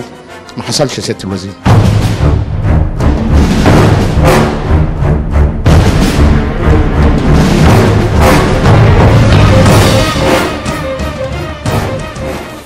طيب أنا الحقيقة عرضنا ال- التقرير ده وبطالب من السيد بطلب من اتنين الحقيقة المهندس خالد عبد العزيز وعارف وطنيته والقوات المسلحة.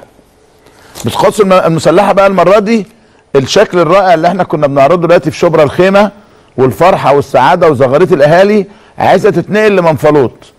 عايز مركز شباب منفلوط اللي على سبع افدنه ده يبقى مركز تنمية زي اللي في شبرا الخيمة. يبقى في ملاعب وحمامات سباحة وسكواش ومصارعة وجودو أو ما يناسب أهالي الصعيد. ما يستاهلوش؟ يستاهلوا. مش الرئيس بيتكلم على الصعيد وبتعيدوا الترسيم و ما يستاهلوا. هيتكلف 4 مليون يتكلف 5 مليون يتكلف 10 مليون يتكلف. بس الأهالي هناك يستاهلوا. على فكرة ولا عايزهم يلعبوا درجة رابعة ولا درجة ثانية ولا درجة ثالثه أنا عايزهم يخشوا يتبسطوا. يحسوا بالسعادة. الناس بتفرق معاها. اعملي كده مقارنة عظيمة بين مركز شباب منفلوط ومركز التنمية اللي موجود في شبرا واللي كان متوقف واللي عين خالد عبد العزيز راحت له. فعملته بالشكل ده. ومنفلوط واللي عينه هتروح له إن شاء الله لما يشوف التقرير ده النهارده وفي قمة سعادته وإحنا معاه ويشوف الشكل ده. ويقرر إنه ينقل منفلوط عشان يبقى زي بتاع شبرا الخيمة وأحسن لأن المساحة أكبر. أنت عندك سبع فدادين وبالتالي من حقهم علينا إن إحنا نعمل لهم ده. من حقهم علينا إن إحنا نساعدهم. من حقهم علينا إن إحنا نصرف. في ناس كتيرة تدفع و و و. والقوات المسلحة سيادة اللواء آه، قائد ال- ال- الهيئة الهندسية.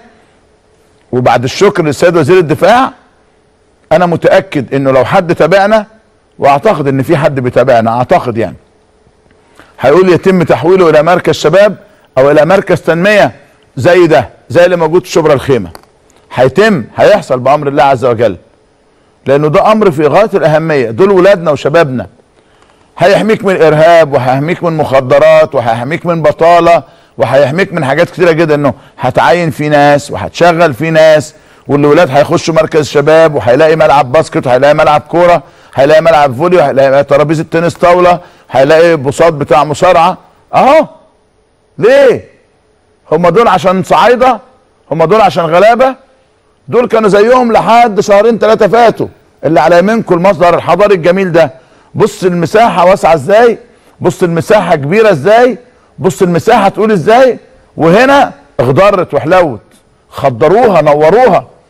رئيس الوزراء قال كلام مهم جدا وعلى فكرة كان مع مين بقى؟ اللي هو عادل لبيب ووزير التنمية المحلية ووزير الإسكان المهندس مصطفى مدبولي وزيره التضامن الاجتماعي الدكتوره غادة والي وطبعا صاحب الفرح المهندس خالد عبد العزيز. الراجل قال لك بنولع شمعة. مصر بترجع مرة تانية. بنطبق العداله الاجتماعية. بن آه، ب- بن آه، انخفاض معدلات ال- ال- البطالة. إحنا بنبني مصر من أول وجديد. إحنا بنقول إن الشباب هو الأمل. بنقول إن بدأنا العمل بجد في البلد. بنقول عندنا إمكانيات نخلينا أغنى الدول. بنقول إن خريطة مصر بتتغير. وأنا موافقه ومصدقه لأن هو بيشتغل. وبالتالي أنا عايز منفلوط. تبقى كده. حقهم. وأنا كل ما بسمع مهندس خالد عبد العزيز بيقول لك إحنا عندنا فلوس. منفلوط أهم من حاجات كتيرة جدا جدا. منفلوط وما جاورها في كل محافظات الصعيد. خدها من أسوان لقنا للأقصر لسوهاج لأسيوط. للمنيا لبني سويف للوادي الجديد للفيوم. خدها وخشوا في النجوع وخشوا في القرى. هتفرق لأنه المناطق والمحافظات دي محتاجاكوا جامد قوي. ومركز شباب زي ده يفرق كتير جدا جدا. يفرق مع البلد ويفرق مع الشباب ويفرق مع الإرهاب ويفرق مع العمل ويفرق مع الفرحة ويفرق مع السعادة. بجد صدقني يا سياده الوزير أرجو إن حضرتك بكرة بإذن الله عز وجل إن لم يكن بكرة يبقى يوم السبت على أكثر تقدير تصدر قرار بتحويله إلى مركز تنمية زي اللي حصل في شبرا الخيمة. وتدي ديدلاين والقوات المسلحة تستلمه. أول ما تستلمه أقول لك مبروك عليك خلص الموضوع. هتدينا ست شهور أو سبع شهور أو ثمان شهور أو أقل هتقول لك اتفضل اتفضل. إيه اتفضل يا فندم؟ اتفضل مركز تنمية. خلينا نروح تاني للبرتغال وناخد نجمنا وابننا علي فتحي لاعب المقاولون الذي انتقل إلى نادي ناسيونال الماديرا البرتغالي. مساء الخير يا علوة. مصر ازي حضرتك ازيك يا علوة؟ وحشني عامل إيه؟ وأنت والله كنت وحشت كتير والله. عامل إيه في البرتغال؟ والله الحمد لله كانت زي الفل. تجربة كويسة؟ آه طبعا تجربة جميلة وإن شاء الله تكون بخير على كل اللعيبة المصرية اللي موجودة طبعا. لعبت كام مباراة يا علي لحد دلوقتي؟ والله كنت بص وأنا أول ما رحنا طبعا رحنا متأخرين أنا ومحمود. ف يا دوب دخلنا ماتشين كده في الماتشات الودية. هم طبعا بادئين بقالهم ثلاث اسابيع عاديين نعم.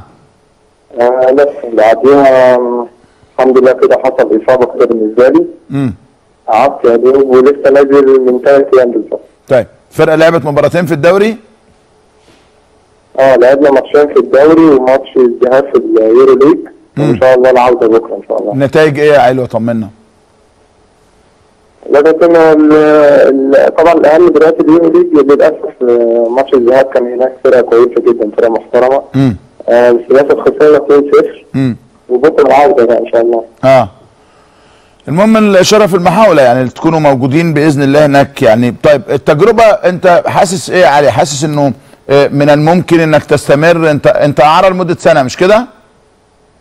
آه تمام. يعني حاسس إنه الاعاره إن شاء الله هتبقى بيع السنة اللي جاية وت- وتكمل أنت محمود عزت التجربة الاحترافية الجميلة دي؟ لا لا إن شاء الله طبعا كابتن لأن هم حتى كل كلامهم معانا هم الناس هنا محترمة بصراحة. ده صحيح. بيعاملوك ان انت آه، في احتراف فعلا. ده واضح إن انت في احتراف. كلامهم إن أهم شيء إن إحنا نأدي السنة دي وإن شاء الله السنة الجاية تكونوا معانا و... ولو بتفكروا هما الناس استثماري قوي يا كابتن يعني هو بيبص إن آه، تقعدوا معانا سنة سنتين وتروحوا نادي أكبر فما عندناش مشكلة بس أهم شيء أنتوا تستفادوا كده فبيتكلموا باحترافية يعني. نعم. علي آه، وجود دلوقتي عدد أكبر من اللاعبين المصريين في البرتغال هيدي حافز إنه آه، يبقى في استعانة باللاعبين المصريين. وحافز ليكم أنتوا كمان إن كل واحد فيكم يثبت وجوده في النادي اللي هو موجود فيه؟ طبعا يا كابتن يعني هي مثلا بدأت بالنسبة لنادي ناسيونال آه، علي غزال ما شاء الله. نعم. دلوقتي ما شاء الله يعني راجل من العناصر الأساسية ما شاء الله مش كويس حتى بعدها صالح. راح بشكل كويس. وإن شاء الله أنا محمود نمشي بشكل كويس. وكمان آه، محمد إبراهيم أهو جاي في ماريتمو. المفروض في نفس الجزيرة اللي إحنا فيها. فدي حاجة طبعا كويسة جدا. يعني طبعا زائد أحمد حسن كوكا وحسام وشيكا وربيعة فما شاء الله يعني مروان. فدي حاجة كويسة يعني بصراحة. هل بتتزاوروا بتتكلموا مع بعض بتلتقوا مع بعض ولا لأ؟ آه طبعا. إحنا متواصلين مع بعض بس هو المشكلة إحنا عندنا إحنا في مدينة إن الجزيره بعيدة شوية عن امم بس اللي, المفروض لو جه بكرة أو بعده أعتقد محمد إبراهيم محمد هنا يبقى ساكن جنبينا كمان. آه. في نفس المنطقة اللي إحنا ساكنين فيها. امم فتبقى حاجة كويسة طبعا نعم. علي آه، بالنسبة للمنتخب وأمالكم وتطلعاتكم في الفترة اللي جاية إيه إن شاء الله؟ يا كابتن والله طبعا آه، كابتن شاوي طبعا اختار ال- المنتخب وربنا رب يكرمهم إن شاء الله. وهنعمل حاجة كله كله متفائل هنا والله. يعني حتى إحنا بنتكلم في حوار المنتخب كابتن يعني إن شاء الله متفائلين إن إحنا هنعمل حاجة. امم دلوقتي المصريين ما شاء الله دلوقتي اسمهم بقى مرتفع طبعا. فدي إن شاء الله تبقى حاجة كويسة لينا الله نعم. نظرة ال- البرتغاليين للكرة المصرية بعد زيادة عدد المصريين هناك بقت عاملة إزاي يا علي؟ لا يا كابتن ما شاء الله طبعا. يعني إحنا دلوقتي أو السنة اللي فاتت في فرقة ناسيونال بالنسبة لفرقتنا كان حوالي آه، سبعه برازيليين أو ثمانية. آه. آه، دلوقتي هم حوالي اثنين دلوقتي الاكثر عدد ما شاء الله المصريين فالنظر طبعا مختلف. حتى الجماهير. أنتوا أربعة دلوقتي مصريين مش كده؟ نظرتهم كويسة لينا قوي يعني. آه. وانتوا وإحنا الأمل عليكم وعايزينكم تعملوا حاجة. الكلام كويس جدا طبعا. نعم. آه، علي آه، حاسس إنه ده هتبقى خطوة بالنسبة لك لانتقال لنادي اكبر بإذن الله عز وجل؟ طبعا يا كابتن وبعدين كمان آه، الحمد لله برضه النادي ده عشان نادي نادي استثماري طبعا. فالواحد بيبص إن هو إن شاء الله تكون خطوة ليا ولكل اللعيبه المصريه إن شاء الله وإن شاء الله كله يكون في احسن نتمنى لك كل توفيق آه، كابتن علي فتحي آه، نجمنا والمنتقل حديثا إلى نادي ناسيونال ماديرا وبالتأكيد الفترة المقبلة هيكون له تواجد مع المنتخب كان لسه رايح وبالتالي كابتن شوقي لما أعلن أسماء ال 11 ما كانش اسم علي أو محمود عزت فيهم وده كان طبيعي لعدم آه، مشاركتهم لكن إن شاء الله اللي جاي يبقى أفضل بإذن الله عز وجل. عندي مباراة هتسعد الزملكاوية النهارده لكنه آه، آه، خلينا نا- ال social media. إسماعيل يوسف فاجئنا بصورة جميلة الحقيقة آه قال نكمل لمتنا. ده الجيل الجميل هشام يكن جمال عبد الحميد أحمد شبير أحمد الكاس إسماعيل يوسف وهاني آه آه رمزي. ودي صورة ابنه على فكرة وحاطط آه، آه ده صورة ابنه عمر وهو صغير ما شاء الله عليك يا أبو السباع. آه الصورة دي جميلة ده الحاج أحمد الصحيفي المشرف على الكورة بنادي آه، آه، آه، الجونة قال لك أحسن طريقة مبتكرة عشان يرتاح من سعد حسني قافل له بقه بال- بالبلاستر. آه، هنا آه، إسلام جمال بعد انضمامه للزمالك بيقول الحمد لله على الانضمام للأبيض وأتمنى مساندة جمهور الزمالك وأتمنى له التوفيق بإذن الله. محمد النني كان ناقص نغني له أغنية آه، وردة السحر في باريس هو في باريس آه، مع فرقته واضح إنه سعيد جدا بالتواجد هناك ونتمنى لك التوفيق يا نني يا ابن الغربيه. آه، آه، صالح آه، جمعة آه، بي بي بعت اللي بيقول بيقول له انت فاكر دي ولا ولا ولا نسيها يعني. طيب آه لا أخفي قلقي على منتخب مصر قبل مواجهة السنغال. قائمة الفريق السنغالي قويه للغايه على جهاز المنتخب الحذر الشديد خاصة من وسط وهجوم السنغال ده عمرو زكي. وزي ما قلت لكم واضح إنه آه، هو في حد بيشتغل له على تويتر بشكل كويس. وده على فكرة مش عيب مش عيب ابدا على الإطلاق يعني. عمر إسماعيل يوسف بيقول يا رب اكرمني يا كريم ربنا هيكرمك يا عمر. بعد ما اتجه إلى نادي الشرطة وإنسان جميل جدا. ميدو آه بيقول آه would be interesting to see how آه دي ماريا. يعني سيكون من مسؤول الاهتمام أن ترى كيف سيلعب دي ماريا بطريقة فان جال مهاجم أم جناح أيسر. وأنا كمان الحقيقة مستني هيعمل إيه دي ماريا مع المان يونايتد. على فكرة امبارح خسروا من فريق درجة ثالثه ولا رابعة 4-0 في الكاس. ودي أسوأ بداية يعني خسر خمس نقاط في الدوري. وتعادل أظن مع ليستر الماتش اللي فات أو مع ساندرلاند وخسر المباراة الأولى آه، في آه، آه، ملعبه. آه، يعني الحقيقة بادي بشكل سيء جدا آه، من سوانزي. أظن خسر من سوانزي في ملعبه وخسر 2-1 من سوانزي وتعادل على ملعبه وتعادل بره ملعبه مع ساندرلاند 1-1 وخسر امبارح من فريق آه، ضعيف جدا 4-0 في الكاس هناك.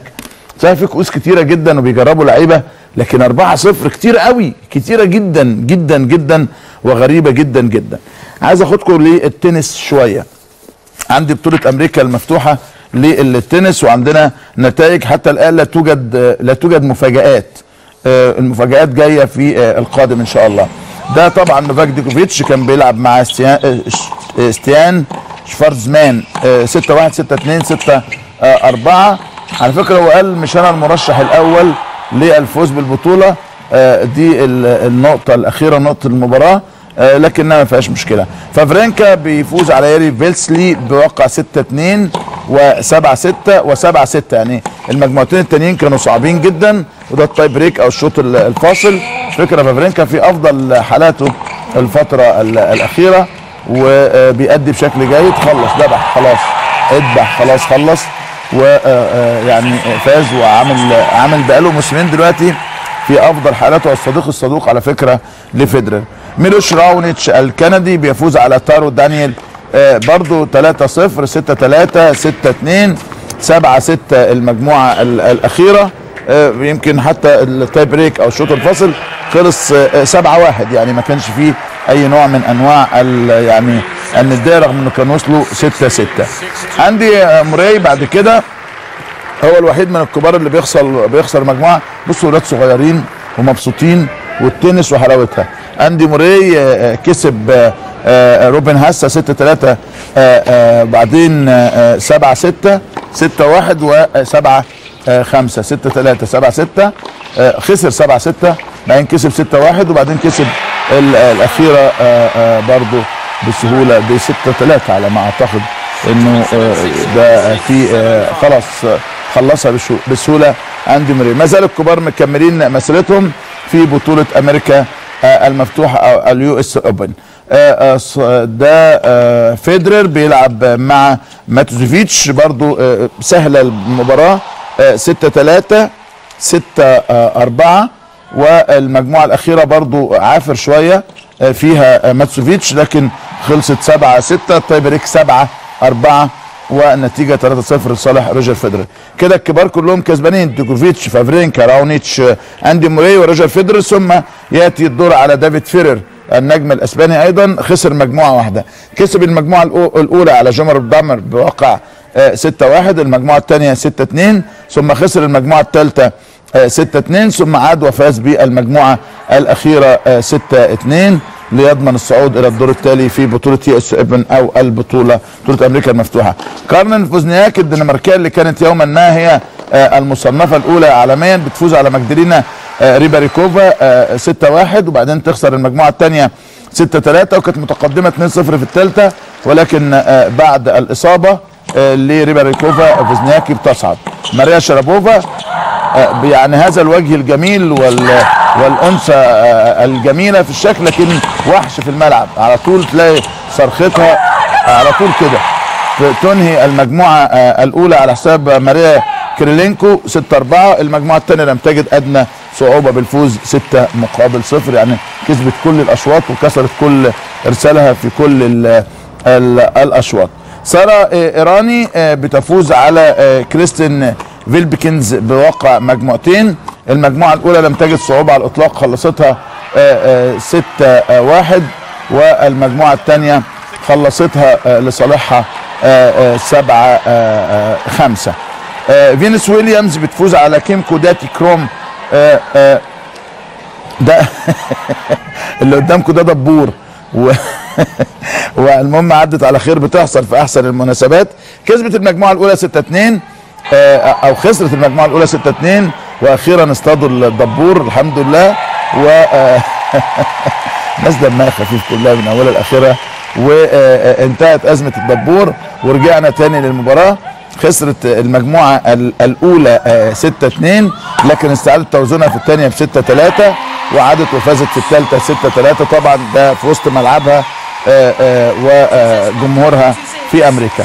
على دربها سارت أختها سيرينا آه، ويليامز. لم تجد آه، صعوبة لكن دون أن تخسر مجموعات أمام آه، آه، تيلور توسنيد بواقع مجموعتين. المجموعة الأولى 6 3 زي الوحش زي 6 3 والمجموعة الثانية كسبتها 6 1 لتضمن الصعود الأخرى بسهولة آه، بالغة. وترافق أختها والصاعدات إلى آه، الدور التالي في بطولة US Open أو البطولة الأمريكية. كاثرين كارتن بتفوز على دومينيكا سيبولوكوفا دي ودي آه، مفاجأة الحقيقة. آه، بواقع 2 1 6 1 و 4 6 و 6 4 برضو آه، حاجة يافعة حاجة جميلة. الناس مش مصدقة لأنها مفاجأة بالنسبة لها. أخيرا فيكتوريا أزارينكا البيلاروسيه كانت بتلعب مع ميساكي دوي. فيكتوريا الحقيقة كانت وصلت انها الأولى على العالم. لكنها آه، تعرضت لمشاكل عدة. خسرت المجموعة الأولى 7 6 استعادت توازنها وكسبت 6 4 ثم عادت واكتسحت المجموعة الأخيرة 6 1 ده آه، بعضا من الحاجات اللي عندنا. في بطولة أمريكا. طبعا هذه البطولة تفتقد النجم الأكبر والمصنف الثاني عالميا نادال لعبة القط والفار شغالة ما بين نادال وما بين ديكوفيتش ديكوفيتش الآن الأول عالميا لكنه ما حبيناش إن نادال يكون غايب عنكم وزي ما جبنا أول امبارح أجمل 10 لقطات لنجمنا الجميل روجر فيدرر. جبنا 10 لقطات جميلة لنادال معشوق ال- ال- الجماهير يعني. نادال مميز في لبسه في طريقته ليه عادات على فكرة. بيدخل ملعب بيمشي مشية معينة من على الخط الشراب بيعمله بشكل معين الشورت ليه آه، طريقة آه، معينة.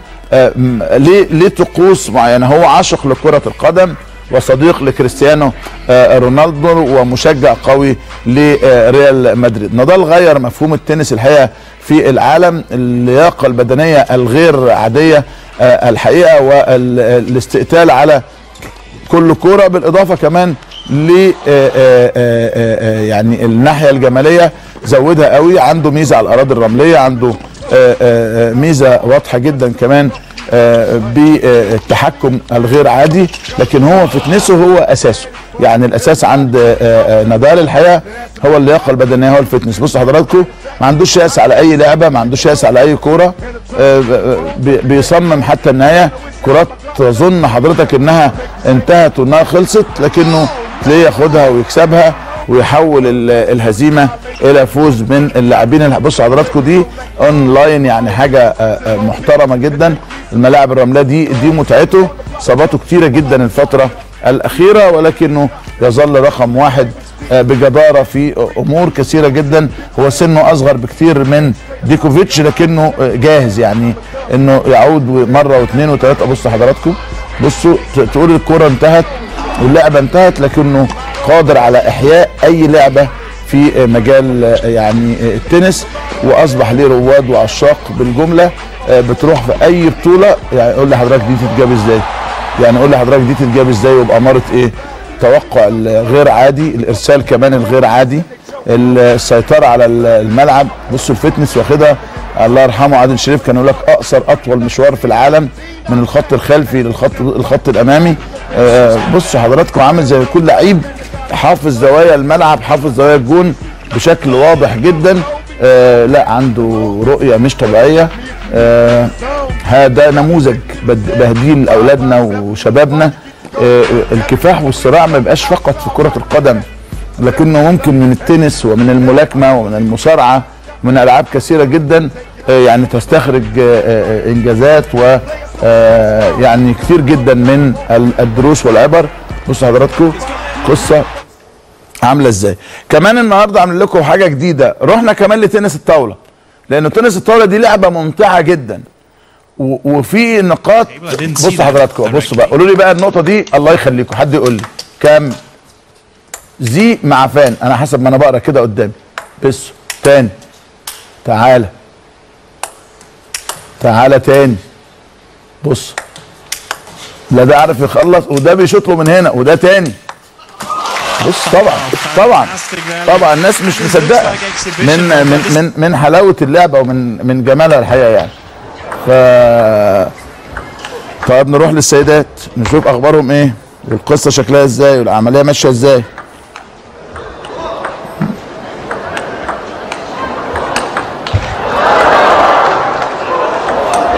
متعة ما بعدها متعة. بص الناس كمان ما- يعني واقفة لازم بص بص بص بص الناس بصوا يعني يعني اتفضلوا كأنها مباراه استعراض دي بطولات كبيرة جدا. ما خلصتش لسه ما خلصتش. لسه بصوا حضراتكم إيه بقى؟ إيه في إيه؟ وكله طبعا صين. كله صين يا باشا الأول والثاني كله صين. معظمه صين يعني. تلاقي كوريا شوية داخلين شوية. بص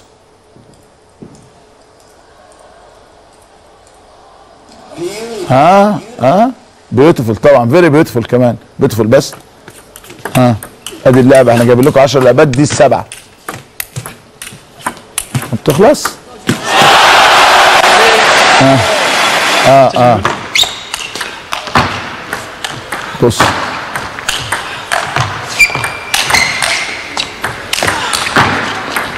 بص والنبي. بص ده وقع. وقام وكمل تاني ولحق. وراح. لا لا لا لا لا لا, لا. طبعا هارلك هارلك هارلك طبعا. آه ال- ال- حتى ال- المعلق نفسه يعني بيقول لك طبعا يعني حرام يعني عمل كل حاجة بصراحة. ننزل اللي بعدها. الخمسة دي. جبنا لكم بتنازلي يعني من 10 لواحد. تخيلوا بقى.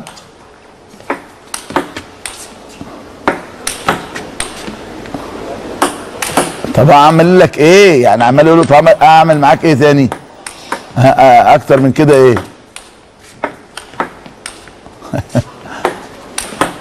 بصوا الدفاع ده دفاع عظيم. وهو اللي خسرها في الآخر. يعني اللي بيدافع هو اللي كسب. اللي بيدافع هو اللي كسب. والناس حابسة أنفاسها. بص المدرجات مش تقول لي White Knights وألتراس وقرف بص الجمال. بص بص بص الذوق هنا عامل إزاي؟ بص بص. لا لا لا. دول بيهزروا. بص الإصرار ده لكل مجتهد نصيب. لكل مجتهد نصيب. طبعا. طبعا. الناس هتتجنن. نفس المباراة بس أو نفس اللاعب. طب نشوف مين اللي بيفوز. اللي بيدافع ولا اللي بيهاجم؟ بس الاثنين بقى يهاجموا آه الاثنين بقى يهاجموا في الآخر. آه ده إيراني وفرنساوي. زوجي تاني يا سلام يا سلام يا سلام. طبعا. بص بص بص. دول من النمسا ودول من الصين. بص بص. يا سئيل طبعا. حتى لو ما خدش غير النقطة دي لكنه يكفيه ده الحقيقة. يعاد الارسال مرة ثانية ها. دي أحسن لاعب. الله عليك ولد الله عليك ولد طبعا. آه. مش مصدق آه بيسقف له. طبعا يسقف له. طبعا يسقف له. حي الناس كده آه طبعا يسقف هو مبسوط. زي السلك كده. آه من فرنسا. على فكرة فرنسا من الدول المصنفة في تنس الطاولة. هو مبسوط. بصوا حضراتكم. عايزين نشوف 10 مرات لمطربنا حسين ها الجداد شوفوا ليه بقى؟ ليه بقى؟ تاني اعمل لك إيه؟ حيرتني. متعة. رياضه الرياضة دي الرياضة يا جماعة ودي حلاوتها. مش البلطجية اللي عايزين يبوظوا لنا الدنيا ويبوظوا لنا الليلة و... هو عملها كده ومشيت يعني. طيب تعالوا كمان نشوف الأطفال. لهم حق ولا ملهمش حق؟ وأولياء الأمور بيعملوا إيه عشان تطلع جيل صالح؟ نخش كمان على السباحة. والناس بتعلم السباحة من سن بصوا حضراتكم بقى ده من سن كام؟ دي من أشهر. من أشهر. من أشهر. 11 شهر 12 شهر. بصوا حضراتكم. تمرين وتعليم و... و... بس هيطلع الولد بيعشق بيعشق المية. تطمن عليه والوالدة تطمن عليه والأب يطمن عليه. ويبقى هيطلع وده كمان خلي بال حضراتكم غير هيطلع بطل مؤكد. ولو ما طلعش بطل مش مهم إن بص حضرتك ويغطس ويمسك بإيده. والأم فرحانة إزاي؟ سعيدة بابنها إزاي؟ وتربي جيل صالح. فرحان جدا على فكرة ما بقاش عايز يطلع من المية. واللعب موجودة كمان ده البريك بتاعه ولا الاستراحة بتاعته؟ يا جماعة لازم لازم لازم لازم نتغير. طيب سنة 84 كانت المباراة الأخيرة في بطولة الدوري العام. ال- آه، آه، الأهلي كان بعيد خالص والزمالك كان سابق جدا. وفضل الأهلي كالعادة يقلل الفارق. وبعدين جه الكابتن جوهري آه، خد قرار عجيب جدا. إنه آه، كان في المنتخب وكانت في لوس أنجلوس فقال لك أنا آه، مستعد ألعب الدوري أستكمل الدوري بدون اللعيبة الدوليين. طبعا كانت مفاجأة عجيبة جدا. إزاي يا كابتن؟ قال لك هو كده. كان هو سابق يعني سابق بكتير يعني. فكان عدد لعيبة الأهلي في الدوري حوالي تسعة في الدوري المنتخب حوالي تسعة. والزمالك كان أقل شوية فالزمالك كان أخف ضررا فالزمالك وافق على الفور. فكان عندنا 10 مباريات. أتوقع أن الأهلي هيخسر نقاط كتيرة جدا لأنه الفرق كان أظن 8 نقاط أو 9 نقاط في الوقت ده. بدأت مجموعة من الشباب بتلعب ودي بقى كانت يعني بدايتي الحقيقية يعني. هو معلش كل مباراة أنا ليا حظ معاها إن أنا أحكي لكم قصة يعني. فلعبنا تسع مباريات قبل لقاء الزمالك كانت الفوز بنقطتين مش بثلاثة زي دلوقتي. كانت المفاجأة إن الأهلي خد في التسع مباريات 18 نقطة. خدنا كل النقاط. وصلنا المباراة الأخيرة مع الزمالك. الزمالك كان التعادل يخليه يفوز ببطولة الدوري العام. ال- الأهلي كان آه كان فرق نقطة لصالح نادي الزمالك. الأهلي يفوز ياخد البطولة. الزمالك يتعادل ياخد البطولة. واتلعبت ال- المباراة الحقيقة وكانت مباراة صعبة جدا. المباراة دي كان حارس الزمالك فيها كان عماد المندوه وعمل مباراة كويسة جدا على فكرة الحقيقة. وأنا الحقيقة مستغرب إن عماد المندوه إزاي ما كملش كورة يعني كان من الحراس كويسين وكان احتياطي لعادل مامور في الوقت ده كان عادل المأمور في أولمبياد لوس أنجلوس بيحرس مرمى مصر. كان آآ آآ ساعتها آآ الأولمبياد وكان كابتن عبد الصالح الوحش عليه رحمة الله حصل إصابات لحراس كتيرة جدا منهم ثابت البطل واكرامي فطلب إن أنا أكون موجود في المنتخب قال إن أنا أخلص ماتشات يعني عدد ال- ال- المباريات ثم آه، أسافر فالكابتن أحمد رفعت كان هو ماسك الزمالك ساعتها قال لك لا الشوبير يمشي من دلوقتي. ما يستناش لأنه كان الراجل خد الاثنين كابتن ثابت وكابتن اكرام الاثنين أصيبوا ثابت أصيب بكسر في الرجل واكرام أصيب بخلع في الكتف. فقال لك لا يمشي دلوقتي. ما, ما, يستناش يلعب وبعدين يمشي بعد كده وبناء عليه ضاعت عليا الأولمبياد. ما رحتش لأنه كابتن أحمد رفعت صمم إما دلوقتي إما هينسحب من بطولة الدوري العام. كانت أزمة ساعتها يعني. وأنا الحقيقة ما فرقتش معايا. أنا فرحان قوي إن أنا بلعب في النادي الأهلي. فالمهم اتلعبت المباراة وأفتكر إنه آه، نصر إبراهيم وكوارشي هم سجلوا أهداف ال- ال- الزمالك. وفاكر جونين الاهلي يمكن خالد جد الله آه، هتفرج هتفرج معاكم وزكريا ناصف إن لم تكن زكريا لكن زكريا الحقيقة آه الاهلي كان ضاغط جدا آخر خمس دقائق وكنا على وشك إن إحنا نسجل هدف لكنه فوجئنا بدون داعي خالص. زكريا بيطرد أظن في لعبة خشنة مع الكابتن عماد المندوب مش فاكر يعني.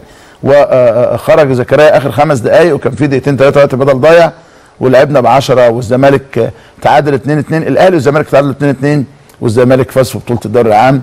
تعالوا النهارده مباراة الذكرى بتقول إيه؟ خط الهجوم مرة تانية من اليمين للشمال. نصر إبراهيم. رقم عشرة. فاروق جعفر. رقم أربعة. طارق يحيى. رقم 19 بدلاء. نادي الزمالك. طارق عبد العليم رقم واحد. إسماعيل يوسف رقم تسعة. أحمد عبد الحليم رقم 12 عادل عبد الواحد رقم سبعة. عادل عبد المعطي رقم 20 أما فريق النادي الأهلي اللي بيمثله في لقاء اليوم فاحمد شوبير لحراسة المرمى خط الظهر من اليمين للشمال حمدي أبو راضي رقم ثلاثة محمود صالح رقم 13 محمد حشيش رقم 16 مدحت رمضان رقم خمسة.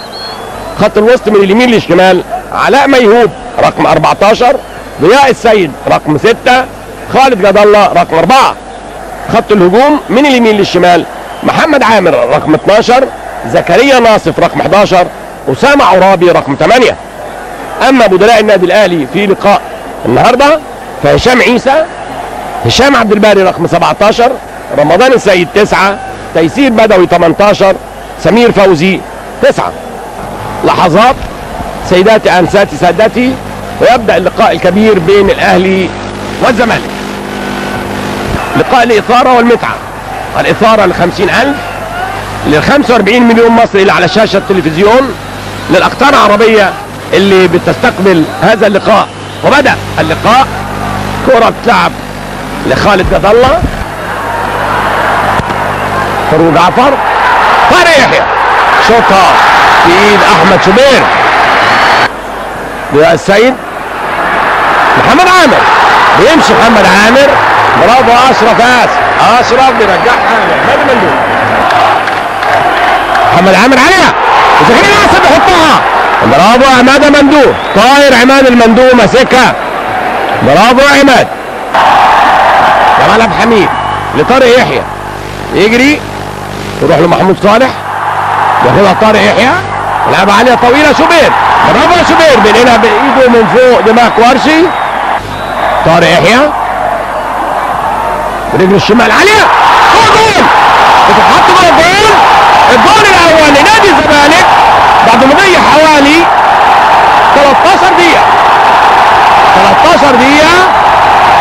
الزمالك بيجيب الجول الأول ضربة حرة مباشرة تتلعب عالية يلعبها نصر إبراهيم بدماغه. هنشوف الجول مرة تانية. عالية. وصل على شمال أحمد شبير تصبح النتيجة الآن. هدف للا شيء لصالح الزمالك. شايفين أبو رجيلة بيكلم لاعبيه في وسط الأرض؟ وأنا شايف أبو رجيلة واحمد رفعت قومهم إسماعيل يوسف عشان يسخن. اسامه عرابي لمحمد عامر. لخالد جد الله. لعلاء ميهوب عاليه محمد عامر. بيلعبها إنما بيمسكها عماد المندوب. لعبها خالد الله عاليه تقع توصل لسام ويحطها في الجول. ترجع تاني مرة تانية. جامده من ضياء عالية. ثلاث أربع نقلات وكرة تطلع من ضياء عالية. سعيد جداي في هجمه وتروح محمد عامر. وعماد مندوب يفوت محمد عامر. وبيمشي تخبط في رجله.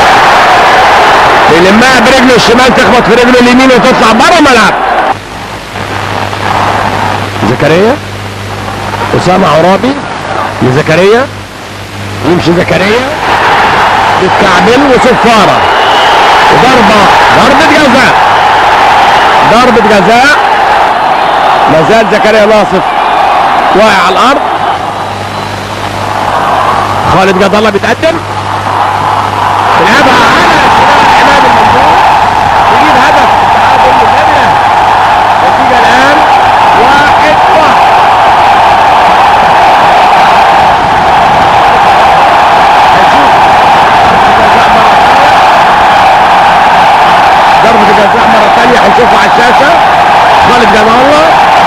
المندوب رايح على الشمال بتحط واحد واحد.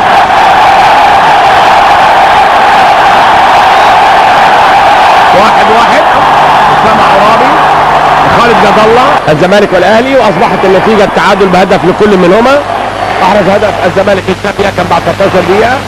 ثم أحرز خالد جد الله هدف التعادل للأهلي بعد خط خالد جد الله. وتجنب من بعيد. برافو يا عماد. طلع بره الملعب رمي التماس. بيلعبها محمد عامر لاسامه عرابي لزكريا ناصف وممدوح ويفوت. بيلعبها بالعرض. تطلع هشام يكن برافو يا هشام عالية وصفارة انتهى الشوط الأول من لقاء الزمالك والأهلي. هشام يكن رمي التماس طويلة عالية جمال عبد الحميد بيلعبها إنما توصل إلى علاء ميهوب لعب عالية لكرسي غير معقول الفرصة اللي راحت. علاء ميهوب محمد عامر زكريا ناصف عالية تتلعب. وتوصل لعماد المندوب. كرة خطيرة لأن عماد المندوب استقبلها متأخرة.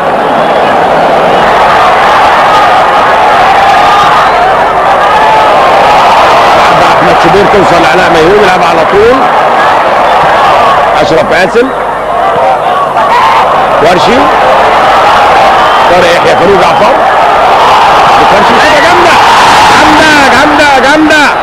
يا دوبك بره القايم الشمال بيردة بره الملعب. هنشوفها مرة تانية. فاروق جعفر عندنا كوارشي كوارشي بيشوطها قوية جامدة. نصر. نصر إبراهيم هو اللي طالع. وأحمد حليم نزل. عمارة محمد صلاح. رجل شمال شوطها جامدة. الشبكة من بره. الشبكة من بره القايم الشمال. كورة قوية جدا من محمد صلاح برجله الشمال. مضى. تقريبا حوالي نصف الشوط الثاني من لقاء الزمالك والأهلي. أنا شايف دلوقتي تيسير بدوي هو اللي بيطلب تغييره.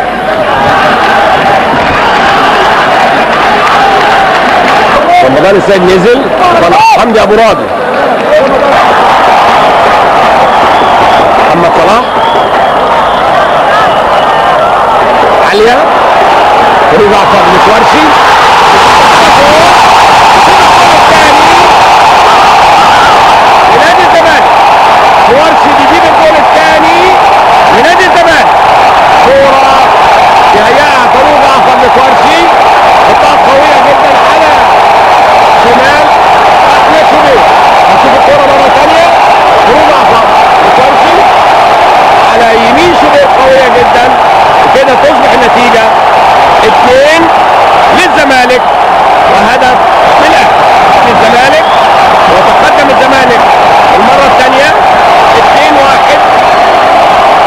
على الأرض.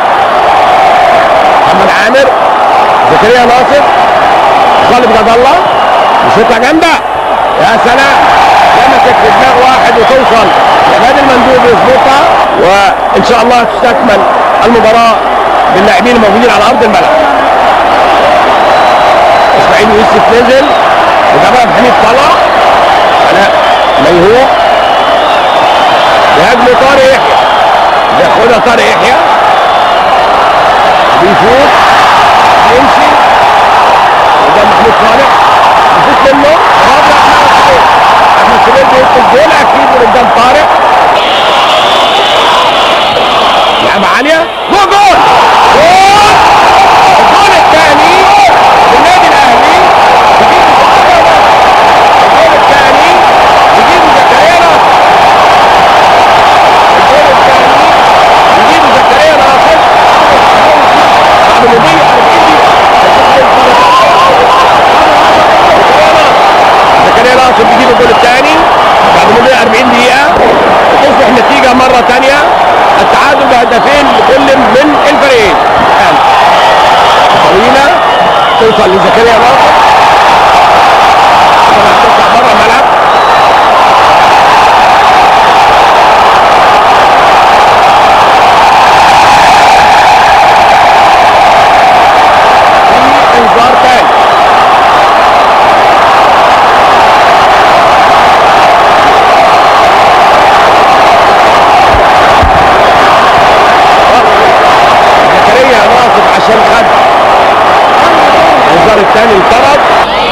عالية. محمود صالح. علاء موهوب.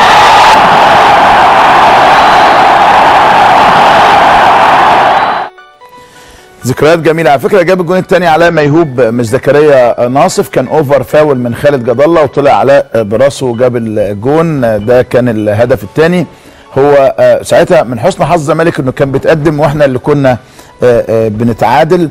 وأسماء بقى جميلة. بس الحقيقة أنا عايز أتوقف عند خالد جد الله لأنه خالد جد الله من اللعيبة اللي ما خدتش حظها في الكرة المصرية. ده من أحسن لعيبة خط الوسط في تاريخ مصر.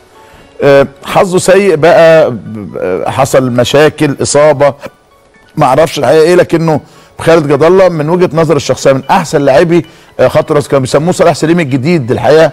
وكان لعيب كانت رجليه تقيلة قوي وكانت رؤيته عالية قوي وكانت الضربات الثابتة بالنسبة له وكانت الركنيات من أهم الناس الحقيقة في تاريخ كرة القدم. بس هي الكرة برضو فيها حظوظ شوية. لو جت الكاميرا على الدكة هت هقول لكم شوية أسماء لأنها مهمة جدا. طبعا مدير الفني للزمالك كان الكابتن القدير محمود أبو رجيلة كان معاه مدير الكوره الكابتن أحمد رفعت وهم فازوا بالدوري للزمالك. والغريب إن الزمالك معظم بطولات الدوري اللي فاز بيها كانت مدربين مصريين. هتلاقي مثلا كابتن زكي عثمان ربنا يديله الصحة. الكابتن أبو رجيلة ربنا يديله الصحة. يمكن ديف ماكاي آه، لما مسك الزمالك سنتين دي كان استثناء. في نجاحات الزمالك بالمدربين آه، الأجانب على الأقل في العصر ال- الحديث يعني.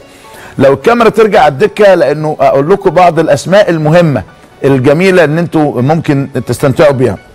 طبعا في أسماء أنتوا شفتوها زي آه، طارق يحيى وزي آه، آه، كوارشي وزي جمال عبد الحميد. آه، آه، آه، مهم قوي إن إحنا آه، نفكر الناس بيها وبأدائها. بس الحقيقة عندي دهشة غريبة جدا إن التصوير زمان فيه كاميرات ورا الجون. وتجيب لك ورا- ده الكابتن عزيز مبروك عليه رحمة الله كان مدير إداري للفريق. آه وربنا يرحمه كان دؤوب جدا. اللي على شماله اللي بيحط إيده على وشه ده ربنا يديله الصحة واحد من أهم المدربين في تاريخ مدربي حراس المرمى في مصر كابتن حسن كرم. اللي على شماله ده الطبيب العظيم دكتور سيد سالم ربنا يديله الصحة واحد من المنتمين للنادي الأهلي آه، بعنف وبقوة. اللي على شماله ده سمير فوزي كان أحد المهاجمين في النادي الأهلي بالإضافة للأسماء اللي أنتوا آه، سمعتوها من آه، الكابتن الجويني معلقنا العظيم معلقنا ال- الكبير. ربنا كمان يديله الصحة وطولة العمر. هنا بقى كابتن أحمد رفعت مدير الكره بالزمالك وكابتن محمود ابو رجيله المدير الفني اتصور اللي على يمينه كابتن فاروق السيد. آه، ده بقى حكمنا الدولي السابق كابتن عوض السعدي. ده كان حكم دولي كبير جدا وده كان مراقب المباراة وكان موجود في آه، المباراة كمراقب للحكام. بصوا بقى الزمن والتاريخ كابتن ابو رجيله بشبابه وحيويته وكابتن أحمد رفعت على الجانب الآخر كان مدير فني النادي الأهلي الكابتن محمود الجاري على فكرة يوميها في أوضة اللبس الكابتن جاري بارك لنا ما قالناش هارد لك. وكان عندنا بعد ثلاث أيام مباراة مع ال- المقاولين في الكاس. وأنا كمان الحقيقة من الحاجات اللي زعلتني جدا في المباراة دي إن أنا التسع ماتشات اللي قبل كده ما دخلش فيها جول كان أول هدف كان يسجله نصر إبراهيم آه، في آه، مرمايا ده أمر آه، أحزنني جدا. وكرة كوارش الهدف الثاني جت في إيدي كانت هتبقى من الصدات ال- العظيمة في حياتي لكنه كانت تقيلة قوي فخدت إيدي ودخلت. كانت المسافة آه، صعبة جدا. آه، هقول لكم أفكركم بس بتشكيل الفرقتين. الزمالك كان عماد المندوه وأشرف قاسم وأيمن يونس وسعيد الجداي وهشام يكن وطارق يحيى وفاروق جعفر ونصر إبراهيم وكوارش وجمال عبد الحميد محمد صلاح. وشفت أنا كان آه، آه، أحمد إسماعيل يوسف نزل وأحمد عبد الحليم نزل. آه، الأهلي كان شوبير وكان حمدي أبو راضي وكان محمود صالح كان محمد حشيش وكان مدحت رمضان وكان علاء ميهوب كان خالد جد الله كان ضياء السيد وكان محمد عامر وزكريا ناصف وكان أسامة آه، عرابي وكان موجود كابتن رمضان السيد نجم الجميل في عالم كرة القدم. دايما وابدا الحقيقة الواحد لأنه عنده ذكريات عن المباريات دي فبعرف أحكي لكم بعرف أقول لكم لأن أنا عاشرت معظمها وعايشت معظمها. شايفين الجمهور الجميل كان عامل إزاي؟ يوميها لما خسرنا الجمهور ندلنا عشان يحيينا لأنه كان مجموعة معظمنا ما كانش بيلعب. آه، آه، فأدينا بشكل جيد. وبعديها كسبنا المقاولين بقى في الكاس 3 2 كان بيل أنطوان آه، عملت أسوأ مبارياتي ثم فزنا في دور الأربعة افتكر لكم على مين ثم كانت مباراة النهائي ال- آه، الشهيرة جدا أمام النادي المصري اللي عرضناها لكم من كام يوم. آه، ذكريات دايما بتبقى جميلة وأنا مبسوط إن أنتم متفاعلين لأنه وبعتوا لنا نفسكم تتفرجوا على مباريات إيه. أنا بتجيلي عبر رسائلي على التليفون آه، وبعض الأصدقاء يقولوا لنا فرجنا فرجنا قول لنا ومعجبين قوي بالفقرة.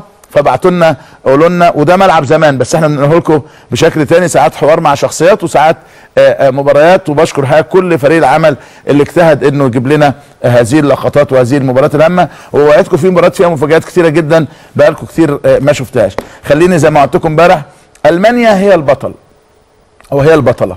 أبطال العالم للكبار أبطال العالم للشباب وسابوش كمان لا الكبار ولا الشباب قال لك كمان والسيدات مش هنخلي حد يقرب من كرة القدم.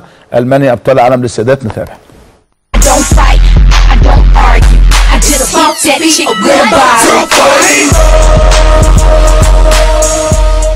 توج منتخب ألمانيا للسيدات بكأس العالم تحت عشرين عاما بعد فوزه على نظيره النيجيري بهدف دون رد. في المباراة النهائية التي جمعت المنتخبين أول أمس الأحد على الملعب الأولمبي في مدينة مونتريال الكندية. ورغم سيطرة النيجيريات على مجريات المباراة وإضاعتهن العديد من الفرص السهلة بواسطة نجمة البطولة وهدافتها الأولى أسيسات أوشوالا نجح منتخب الماكينات في الصمود بقيادة الحارسة المتألقة ميكي كامبر التي استحقت الفوز بجائزة أفضل لاعبة في المباراة. بعد انتهاء اللقاء بالتعادل السلبي لجأت حكمة اللقاء الكندية كارول أنشينارد لشوطين إضافيين لتحديد هوية المنتخب الفائز بلقب النسخة السابعة للبطولة. نجحت لاعبة المنتخب الألماني لينا بيترمان من تقمص دور ماريو جوتس في نهائي مونديال البرازيل وتضع بلادها على منصة التتويج. بإحرازها هدف اللقاء الوحيد في الدقيقة الثامنة من الشوط الإضافي الأول. بهذا الفوز توجت سيدات ألمانيا بلقبهن الثالث وتساوين مع المنتخب الأمريكي على رأس أكثر المنتخبات التي أحرزت لقب البطولة التي انطلقت عام 91 فوز زميلات القائدة لينا ماجويل بهذا الكأس أكد هيمنة الكرة الألمانية على كرة القدم خلال هذه الفترة.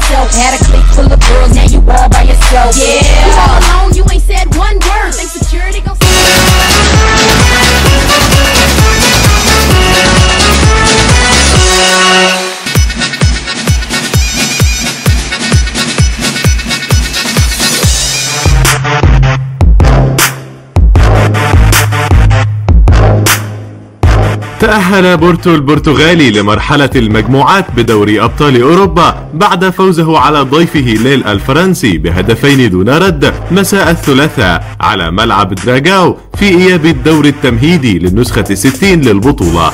بورتو الذي تفوق في لقاء الذهاب بهدف دون رد تمكن من إحراز هدف السبق عبر نجمه الجزائري ياسين الإبراهيمي في الدقيقة التاسعة والأربعين. من مخالفة مباشرة وضعها بمهارة في شباك الحارس النيجيري إنياما. ثم ضاعف أبطال أوروبا في مناسبتين النتيجة بهدف آخر. سجله الكولومبي جاكسون مارتينيز في الدقيقة التاسعة والستين من عمر اللقاء.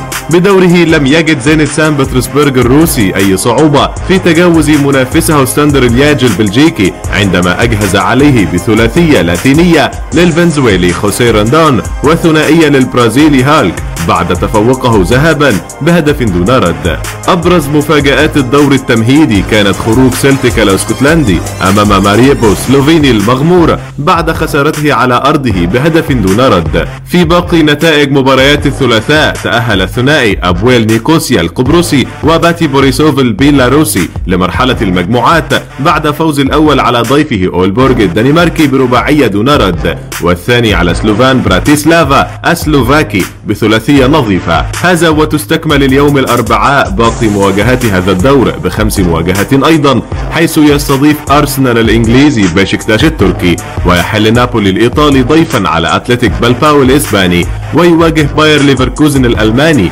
إف سي كوبنهاجن الدنماركي ويلعب مالمو السويدي مع ريد بول سالزبورغ النمساوي ولودوغوريتس البرتغالي مع ستيوا بوخارست الروماني.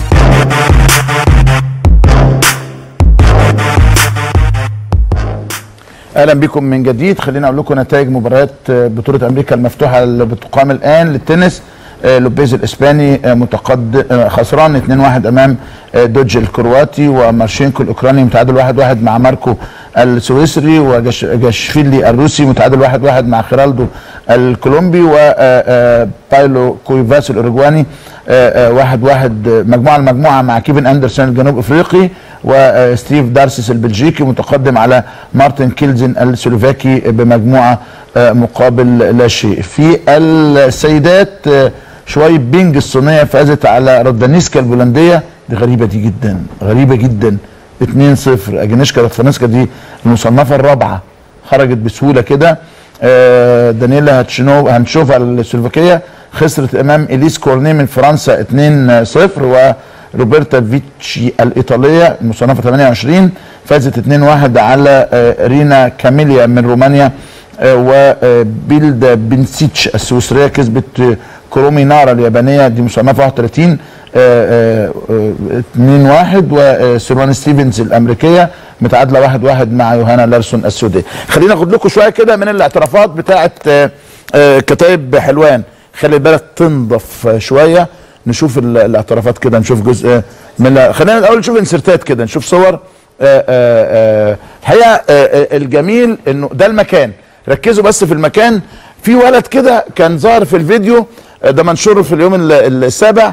ولد صغير كده بتيشيرت أزرق. ده ده هو اللي دل يعني الشرطة شارت فيه. الشرطة بصوا حضراتكم سيبوا بقى الصورة. الشرطة راحت في نفس المكان. اللي كانوا آه، موجودين آه، فيه عشان يعرفوهم لا إحنا موجودين وعايشين ومصحصحين الحمد لله والشكر لله. فراحت في نفس ال- المكان هناك نفس المكان اللي كانوا بيهددونا وبتوعدونا فيه آه، من أسبوع. الشرطة راحت بعد أسبوع بالتمام والكمال وجابتهم من جحورهم لهم زي الفيران يعني. جابتهم من جحورهم وقبضت على ثمانيه منهم. في أربعة ولا خمسة مستخبيين. لكنه هيجوا هيجوا بأمر الله سبحانه آه، وتعالى واللي عايز تعمل بطل خليك بطل للنهاية. وعايز أشوف اللي هيعملوا أبطال لبكره الحقيقة تحية للشرطة. يعني يستحقوا التحية والتقدير على هذا الدور. أدي الرقم وأدي المكان وأدي البيت وده مجهود جميل الحقيقة يعني و و و وأنا مبسوط كمان من الشرطة إنها بدأت توثق كل عملياتها. ده أمر محترم في غاية الاحترام إنك توثق عملياتك. ده جهد. خلي بالكم رايحين على فيض الكريم. ممكن حد منهم آه، آه، يموت يعني. بصوا يا سيدي بقى كتائب حلوان. بصوا كتائب حلوان. بصوا يا جماعة الأسلحة عاملة إزاي. بصوا الملابس اللي شارينه بتاع القوات المسلحة. مين اللي بيلعب بروس العيال دي يا جماعة؟ مين اللي بيلعب في عقول الولاد دي يا جماعة؟ مين يا جماعة؟ العيال غلابة عيال غلابة. حرام والله العظيم ثلاثة يعني آه عشان كده بقول ربنا إن شاء الله كده يكرم ويبقى في فرص عمل كتير. طول ما في شغل أصل الإيد البطالة نكسة. طول ما في شغل طول ما الناس بتشتغل طول ما هتلاقي الناس بتنسى الكلام الفارغ ده. طول في أماكن طول ما في أماكن لممارسة الرياضة وطول ما في محاربة لتجارة المخدرات ده أمر محترم جدا يعني. مرة تانية الشرطة كتر خيركم وبيشتغلوا. يعني بيحاولوا على قد ما يقدروا إن هم يشتغلوا. آه، ناخد كده جزء بسرعة كده من الاعترافات ونشوفوا إيه رأيكم شوفوا العيال قد إيه والناس قد إيه وقالوا إيه.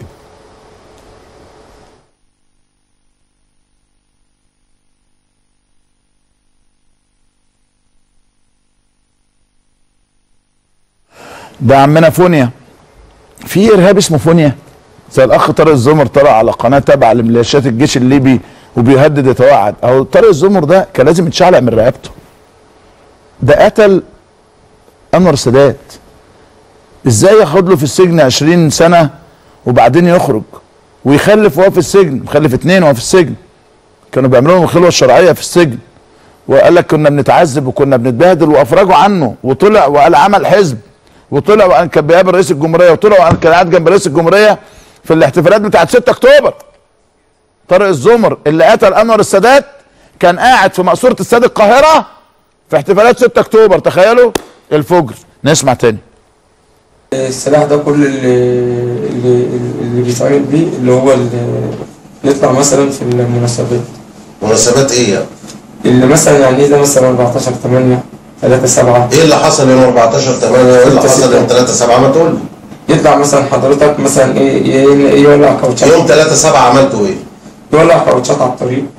إيه عملتوا إيه يوم 3 7 أنا بقول لحضرتك. يقطع طريق يولع آه، كاوتشات على الطريق يجي مثلا أيوه السلاح بي يعني بيجي كام حتة سلاح والسلاح نوعه إيه؟ هو كان حضرتك كان هو ست بنادق روسي وبعد كده بقى 14 يعني شفته يعني يوم النادي الروسي دي اللي هي 14 النادي الليلي آه اللي هي الليلي آه.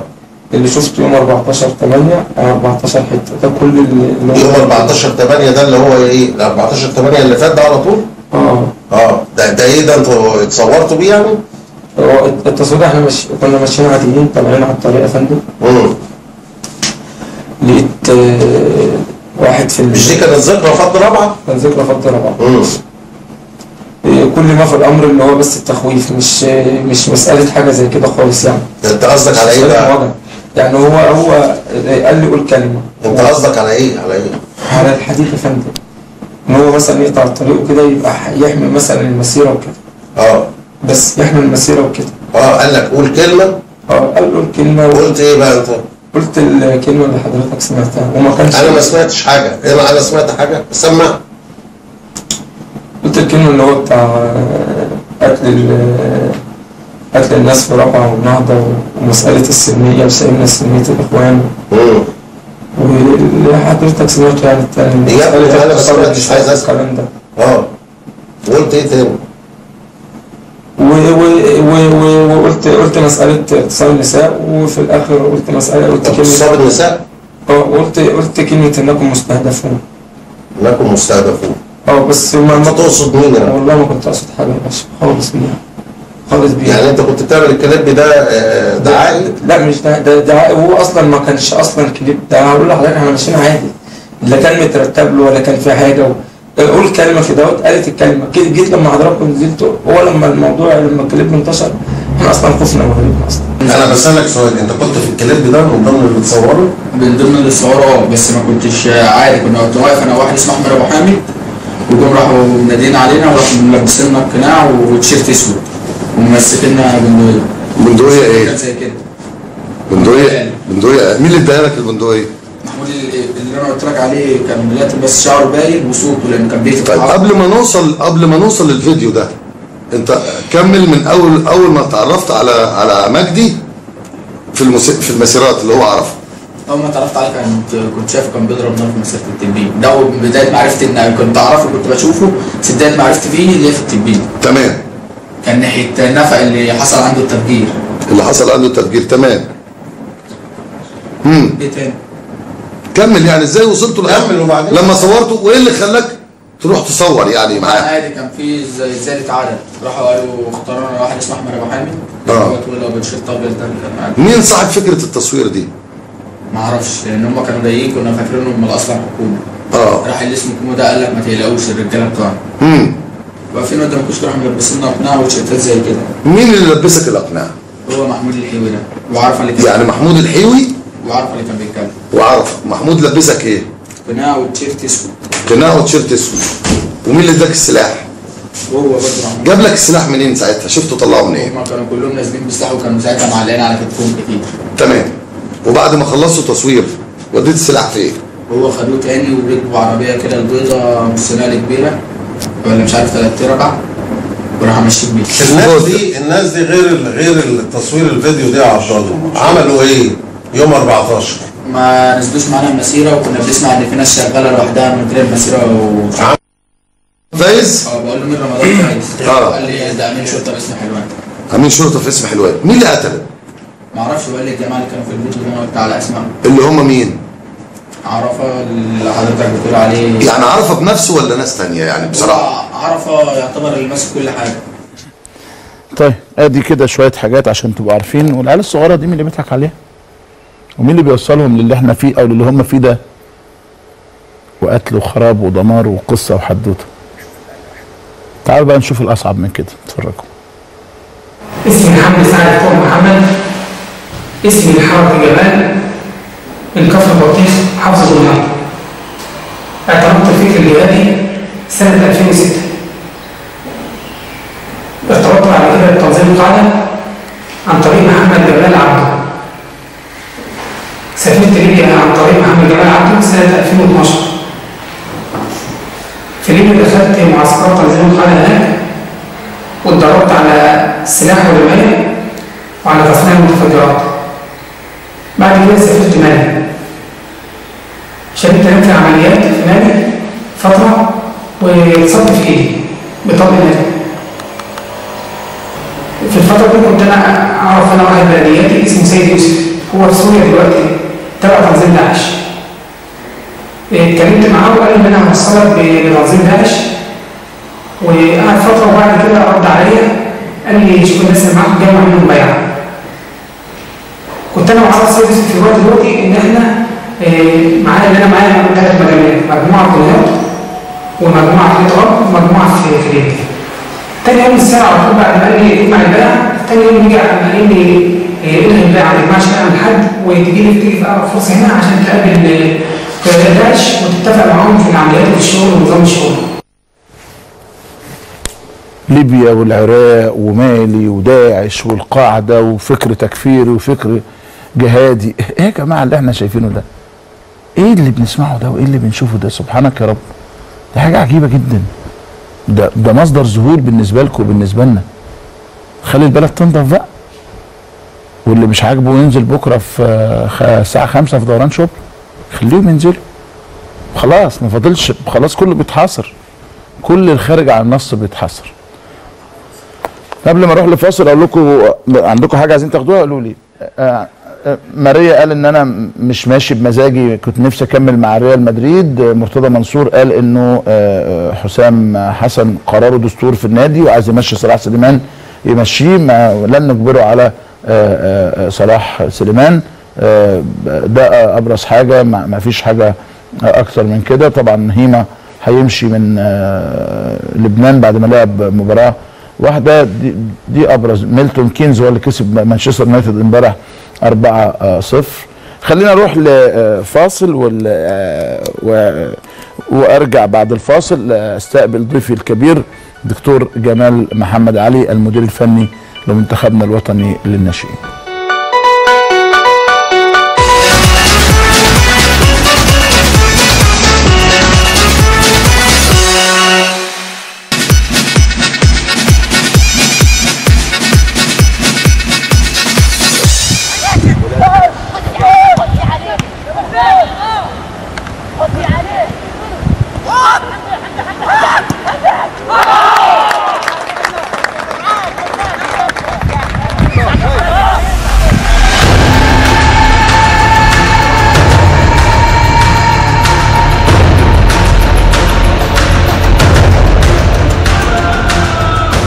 يستعد منتخب مصر للناشئين لخوض لقاء الذهاب أمام نظيره الجنوب إفريقي في الثالث عشر من سبتمبر القادم في المرحلة الثالثة والأخيرة من تصفيات كأس الأمم الإفريقية تحت 17 عاما والتي تستضيفها النيجر في الفترة من الخامس عشر من فبراير وحتى الأول من مارس العام المقبل. كان أبناء المدرب جمال محمد علي قد تجاوزوا المرحلة الأولى لهذه التصفيات على حساب المنتخب السوداني بعد فوزهم ذهابا في الإسكندرية بأربعة أهداف لهدفين وإيابا في الخرطوم بثلاثة أهداف مقابل هدف. ثم واصلوا مسيرتهم نحو الدور الحاسم على حساب المنتخب الكونغولي بعد أن حسموا لقاء الذهاب بالقاهرة بهدف وليد عطية. ثم خسروا إيابا بنفس النتيجة قبل أن يتفوقوا بفارق ركلات الترجيح. الجدير بالذكر أن نتائج منتخبات مصر في هذه المرحلة السنية شهدت تراجعا كبيرا عالميا وقاريا بعكس منتخبات الشباب حيث شاركت مصر في كأس العالم للناشئين مرتين فقط. في كندا 87 ومصر 97 مع الراحلين الكبيرين طه بصري ومحمد علي. كما غابت عن المشاركة في نهائيات أمم إفريقيا المؤهلة للمونديال في البطولات الأخيرة باستثناء نسخة رواندا 2011 التي ودع خلالها منتخبنا المنافسات منذ الدور الأول. بعد أن حل رابعا في المجموعة الأولى خلف الثلاثي بوركينا فاسو ورواندا والسنغال. هل منتخبنا قادر على تجاوز عقبة المنتخب الجنوبي إفريقي الذي تفوق على تنزانيا بسهولة في المرحلة الثانية للتصفيات بعد فوزه برباعية نظيفة على أرضه وتعادله سلبيا في دار السلام وحال نجاحه في تخطي عقبة البافانا بافانا. هل يستطيع هذا الجيل من اللاعبين بلوغ نصف نهائي البطولة وحجز أحد المقاعد الأربعة في نهائيات كأس العالم للناشئين التي تستضيفها تشيلي صيف العام المقبل. جمال محمد علي المدير الفني لمنتخب الناشئين يجيب على هذين السؤالين ويتحدث عن إيجابيات وسلبيات المرحلة الماضية وآماله وطموحاته خلال الفترة المقبلة. كل هذا في حواره بالملعب.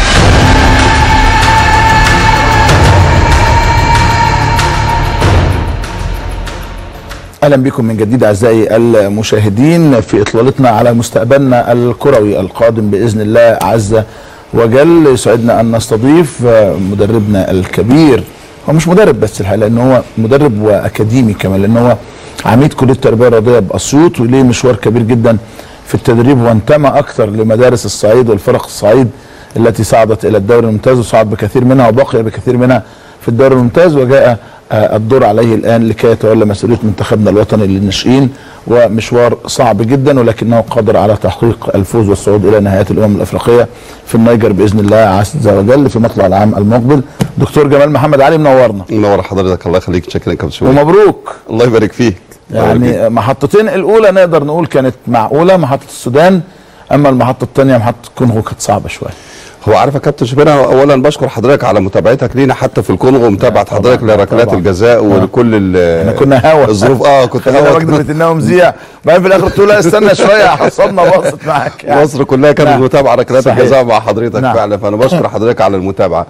هو يمكن حضرتك المباراة السودان الأولى برضو كانت المباراة صعبة حضرتك لأنه فريق السودان كان في عدد كبير من اللاعبين آه، متجاوزين ال- السن القانونية. فإحنا يمكن احتجينا ولكن للأسف الشديد الاحتجاج ما جابش نتيجة. يمكن واجهتنا ظروف صعبة في ماتش السودان الثاني لما لعبونا الساعة 3 العصر وكانت درجة الحرارة بتعدي ال 3 40 العصر. درجة على نجيل صناعي. آه، ونجيل. صناعي كمان من الجيل الأولاني مش مم، الجيل الثامن والتاسع آه، اللي هو اللي سيء آه. آه عامل درجة حرارة عالية. نعم. وسخونة لدرجة اللعيبة كانت آه، عاملين لها أسفنجة حاطين لها مية لأنه جزمة الكورة بت بتسخن بشكل كبير. بتولع في رجلهم يعني. بتولع في رجلهم مم. ويحطوا رجلهم في الأسفنجة ويرجعوا تاني عشان نعرف نتمرن.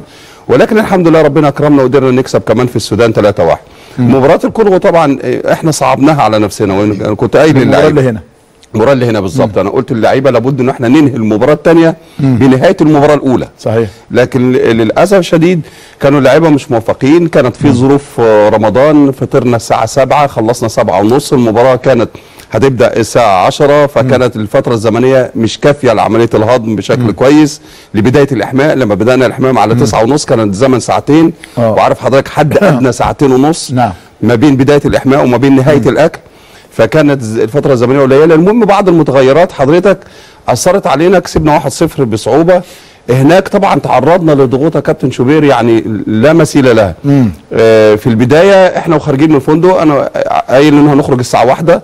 عشان نكون آه، قبل المباراة بساعتين على الأقل كويس. عشان السلام الجمهوري وعشان ال- بتأمن نفسك لا التفتيش على الباسبورات والحاجات دي نعم. بتاخد وقت والإحماء ومحاضرة المباراة فوجئت بالمرافق بيقول ممنوع الخروج من الفندق إلا الساعة 2 قلت له الساعة 2 معناها لغاية ما أوصل للاستاد يبقى 2 ونص يبقى باقي ساعة واحدة للإحماء. وللمحاضرة وللسلام من آه. ولمراجعه التشيك آه. بتاع الجوازات له استحاله ده لازم يكون حد أدنى ساعتين داخل دي الإستاد. تعليمات الاتحاد الأفريقي على فكرة. تعليمات الاتحاد نعم. الأفريقي. حاولنا نتصل وكان معانا القنصل يعني بشكره جدا حاول اتصل برئيس الاتحاد ال- ال- رئيس الاتحاد الكونغولي فوافق إنه إحنا نتحرك. آه. اتحركنا ورحنا الإستاد. طبعا هناك راحوا منعينا من دخول الاستاد. ياه. وفضلنا قاعدين الجماهير طبعا محاطه محيطة بالأتوبيس. بس طيبين ما بيعملوش مشاكل. جدا آه, آه، طيبين آه، فوق ما. تتخيل يا كابتن نعم، آه نعم، فعلا. نعم. يعني في بونت نوار. الجماهير محيطة بالأتوبيس. قلت للعيبة اقفلوا الستاير. آه. لأنه الجماهير قاعدة تشدوش تغني وتخبط آه، ما تشدوش آه. اعصابهم على اقروا قران آه. لغاية ما نتصرف. نزلنا حاولنا نتصرف فضلنا قاعدين لغاية ما جه المراقب من بنين. لغاية ما سمحوا لنا بدخول ال- الاستاد. آه، طبعا ده عمل توتر طبعا طبعا حر آه، والجماهير آه، ده عمل توتر للعيبة عشان كده دخل فينا هدف في الدقيقة 6 آه 6 6 في الشوط الأول. فأنا كنت قايل لهم إحنا لو لو اتقدموا علينا بهدف بدل ما بنلعب 3 4 3 هيحدث تغيير داخل الملعب وهنبدأ نغير ل 4 3 3 بحيث ان إحنا ندفع بحد من خط الدفاع لنص ال- الملعب بحيث نزود الناحية الهجومية. وفعلا ده حدث يعني إحنا كنا عاملين سيناريو لكل النتائج المتوقعة. طبعا. والحمد لله قدرنا يعني آه، يعني نحافظ على مرمانا ويمكن كانت في كورة ردت من القائم من لعبها أحمد حمدي كانت كفيلة ان إحنا نتعادل.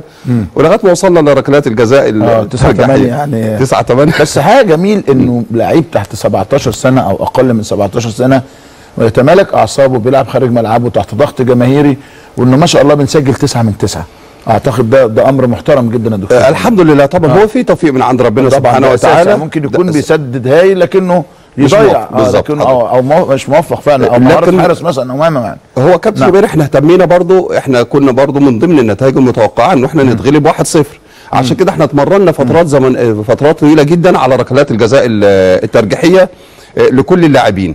ودي حتى لغاية آخر تمرين إحنا اتمرناها في استاد البونتنوار برضو اتمرنا على ركلات الجزاء ال- الترجيحية. فهيأنا اللعيبة نفسيا إنه يلعبوا إزاي. وفي نفس الوقت يمكن طبعا حضرتك ليك خبرتك العالية جدا في حراس المرمى. يمكن أنا قلت لمحمود جاد آه، الخمس ركلات ال- الجزاء بتوع الكونغو هتتجه ناحية اليمين في الخمسة.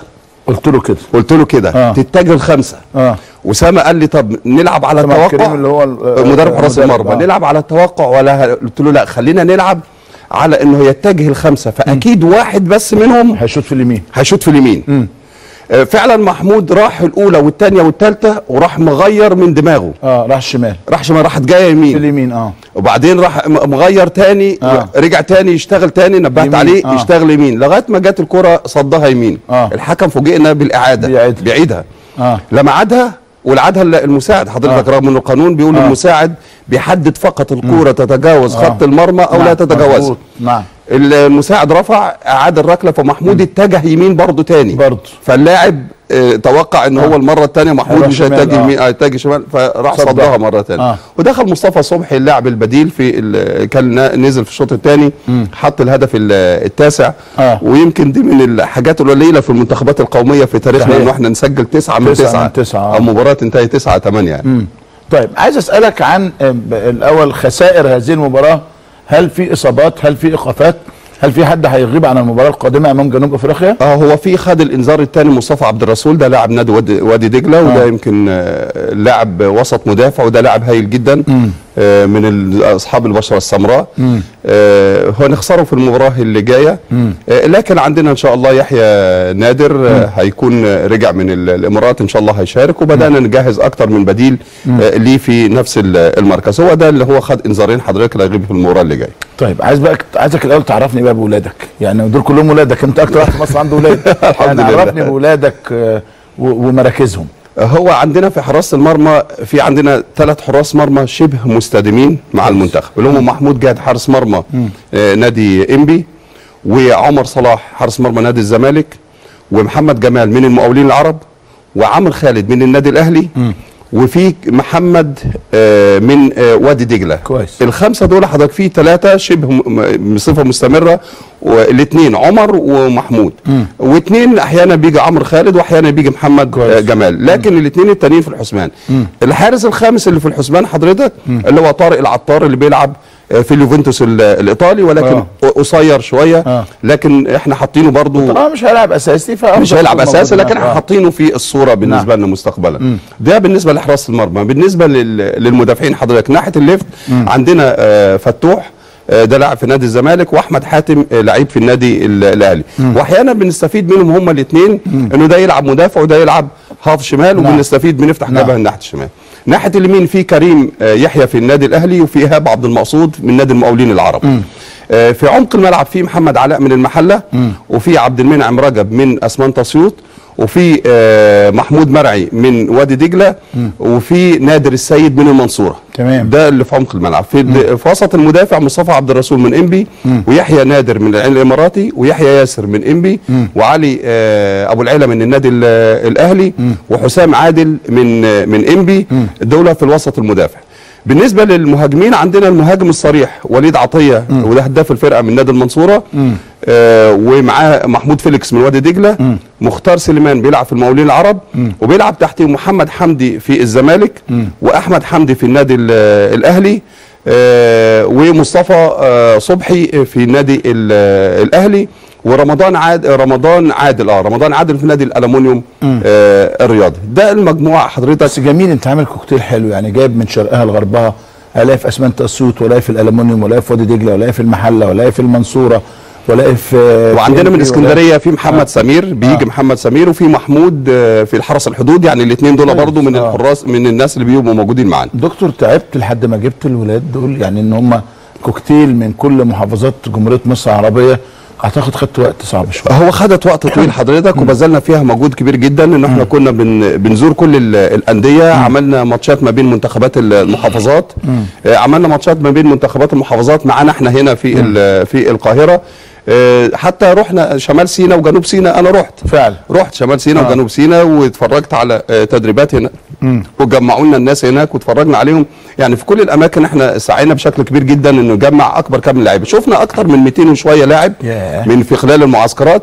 رسينا دلوقتي عندنا 25 قوام أساسي وفي 25 stand by آه. في أي لحظة. يعني عندنا في كل مركز تقريبا أربع لعيبة أو خمس آه، لاعبين موجودين. آه، رقم واحد واثنين وثلاثة وأربعة بحيث لما بنعوز أي حد آه، بنجيبه على طول بيبقى آه، حاطين مجموعة في الصورة. فيها كابتن شوبير برضو بعض اللعيبة كويسين جدا زي محمد محمود في آه، نادي آه، إنبي.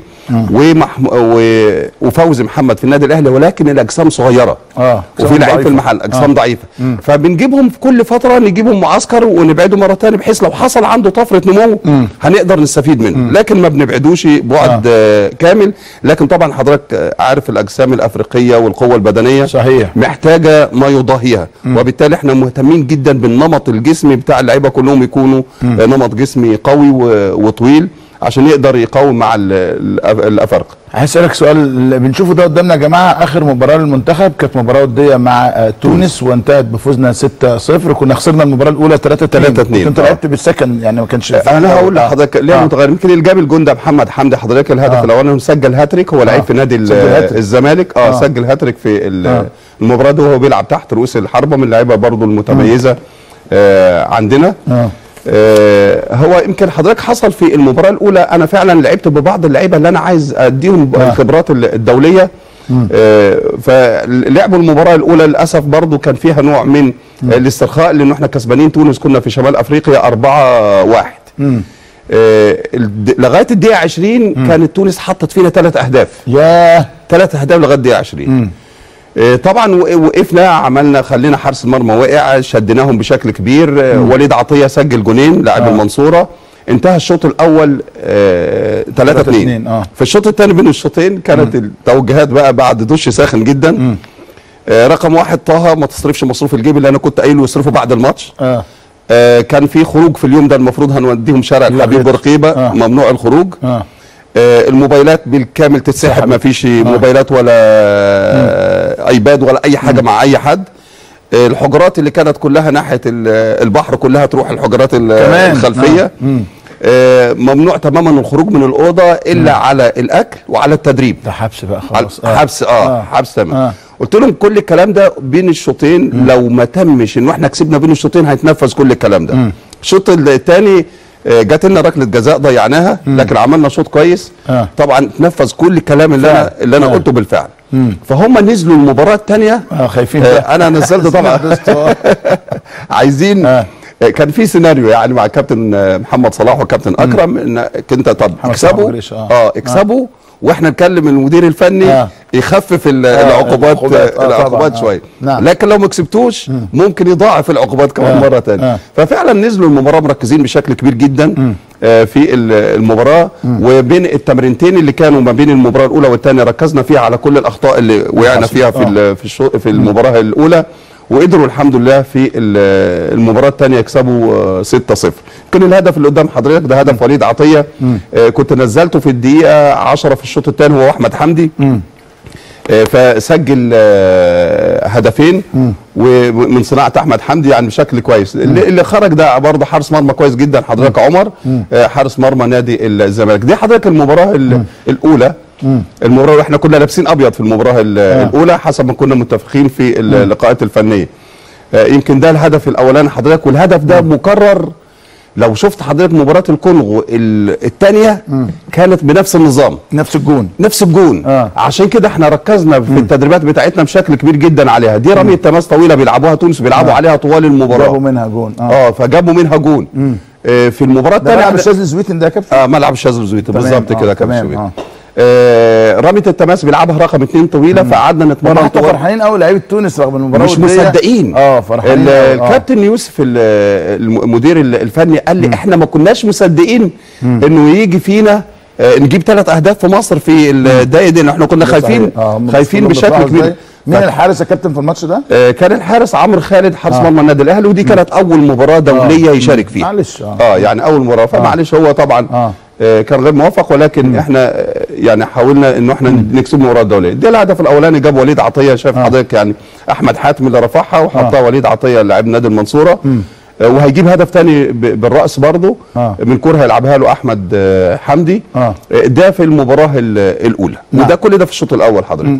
خمس أهداف في الشوط الأول. آه خمس آه. أهداف في الشوط الأول. آه. آه، في تونس برضو فيها فرقة كويسة بس حضرتك مش زي الأفارقة لأنه مش مسننين يعني فريق آه. تونس ملتزمين زي ميزة. الحقيقة آه آه، ده اللاعب ده حضرتك آه، اللي هو انضم مع فرقة 95 هما الاثنين اللي لعب آه. الكرة أحمد حمدي آه. ووليد عطية ضمهم كابتن ياسر آه. آه، صعدهم من عندنا آه واخدهم اللي. واخدهم مع آه. في مباراة ال- الكونغو صعب قوي ربنا يوفقه يا رب. ربنا يوفقهم إن شاء الله آه. ويكسبوا إن شاء الله طب بمناسبه بقى ال- السن وما تزعلش من سؤالي يعني آه ب- انت عارف انه في النهائيات بتتعمل آه، اختبار ال MRI. ال MRI ده وده مشكلة يعني هل حضرتك عملت اختبارات على أولادك وتأكدت من موضوع السن ومش قلقان من ده عملت ل 50 لاعب 50 لاعب اللي هم بندور فيهم آه، أو بنحاول نختار. من آه. بينهم آه 50 لاعب وتأكدت تماما إن هم grade 1 يا 2 يا 3 لغاية grade 5 المجموعة آه. اللي عندنا مطمئنين تماما ال ليها. 50. وبعت كل الكلام ده للاتحاد الأفريقي وعملت سلام. آه وبعت آه. تحليل بس في عملت البعض بيقول إيه بقى حضرتك؟ اتفضل. أنت عملت ده وأنت عرفت الكبار في السن ومستني لما تعدي التصفيات تمشي الكبار في السن دول. هو اللي حصل حضرتك؟ أنا آه. أقول لحضرتك أنا قعدت مع الدكتور حسني عبد الرحمن. كويس. آه، الدكتور حسني عبد الرحمن قال لي كل ما هيكون عندك grade 1 و grade 2 و grade 3 ده هتضمن إن هو يكمل معاك حتى لو وصلت كأس عالم. تمام. اللي grade 5 ده وارد ان هو حضرتك عارف ما هياش هي- بتدي لك بتقول 100% ال range ما بين آه. شهر لستة نعم، اشهر نعم. فالدكتور حسني قال لي اللي هيبقى grade 5 لو كانت في العائلة بتاعته العوامل الوراثية فيها طفرة نمو كبيرة جدا يبقى ممكن يكتمل. خلاص آه. فتخسره في النهائيات.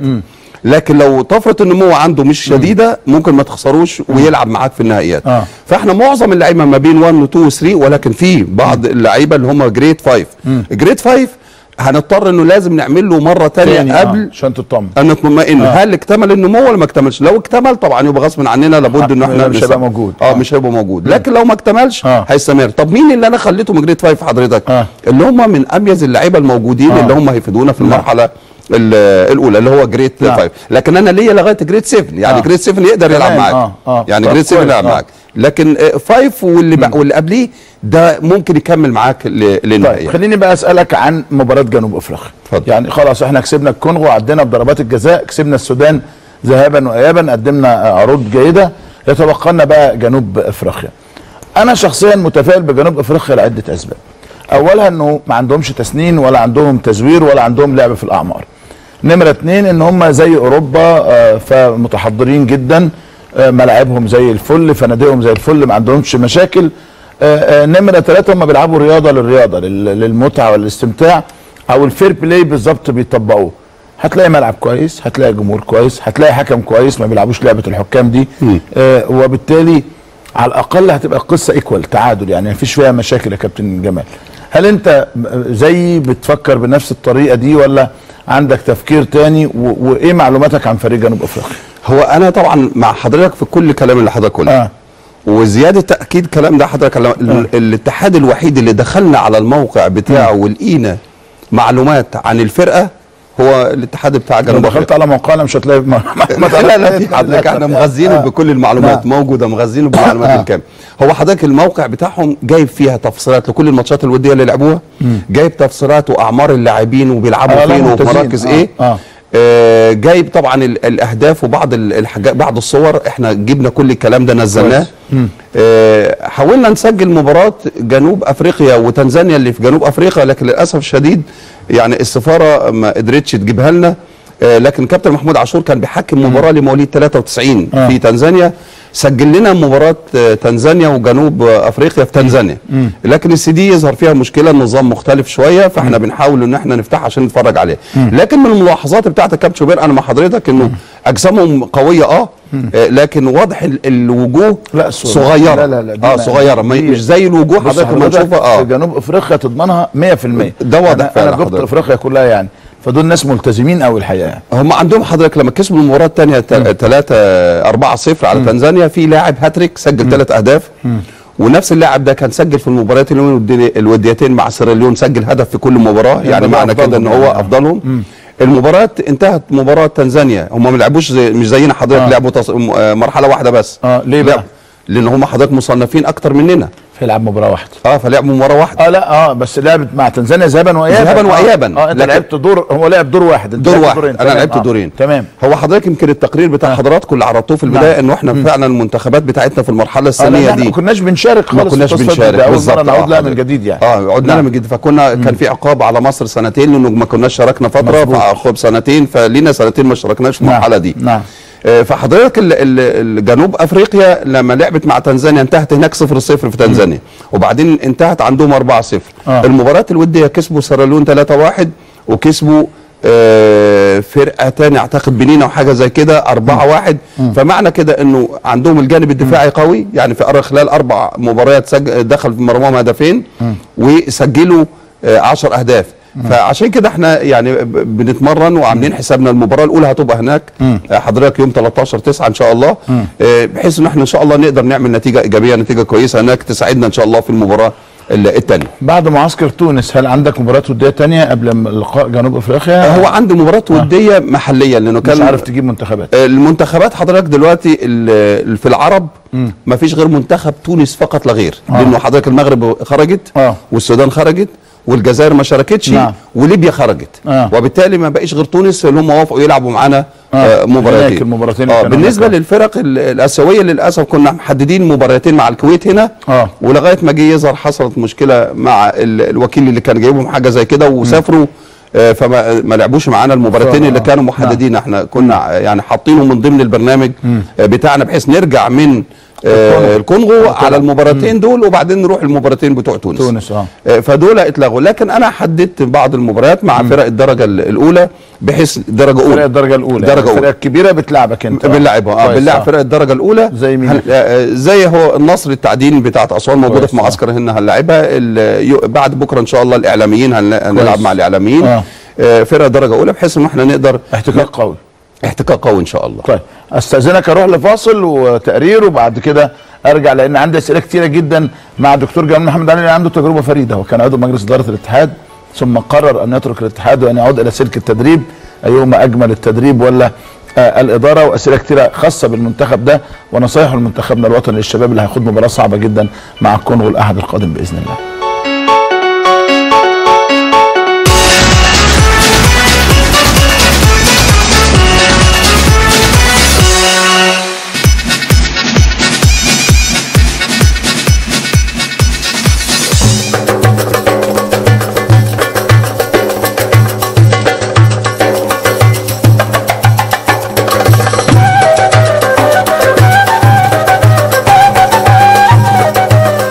في الحقيقة حضرتك النهارده اللي إحنا واضعين خطة اللي, نتفاعل معاها مع مدير المركز بشكل مباشر. الخطة ديت بتشمل حضرتك اللي إحنا بننزل آه، مراكز الشباب في لقاء مجمع مع مدير إدارات المراكز. آه، كل ثلاث إدارات فرعية بنلتقي معاهم في إدارة فرعية.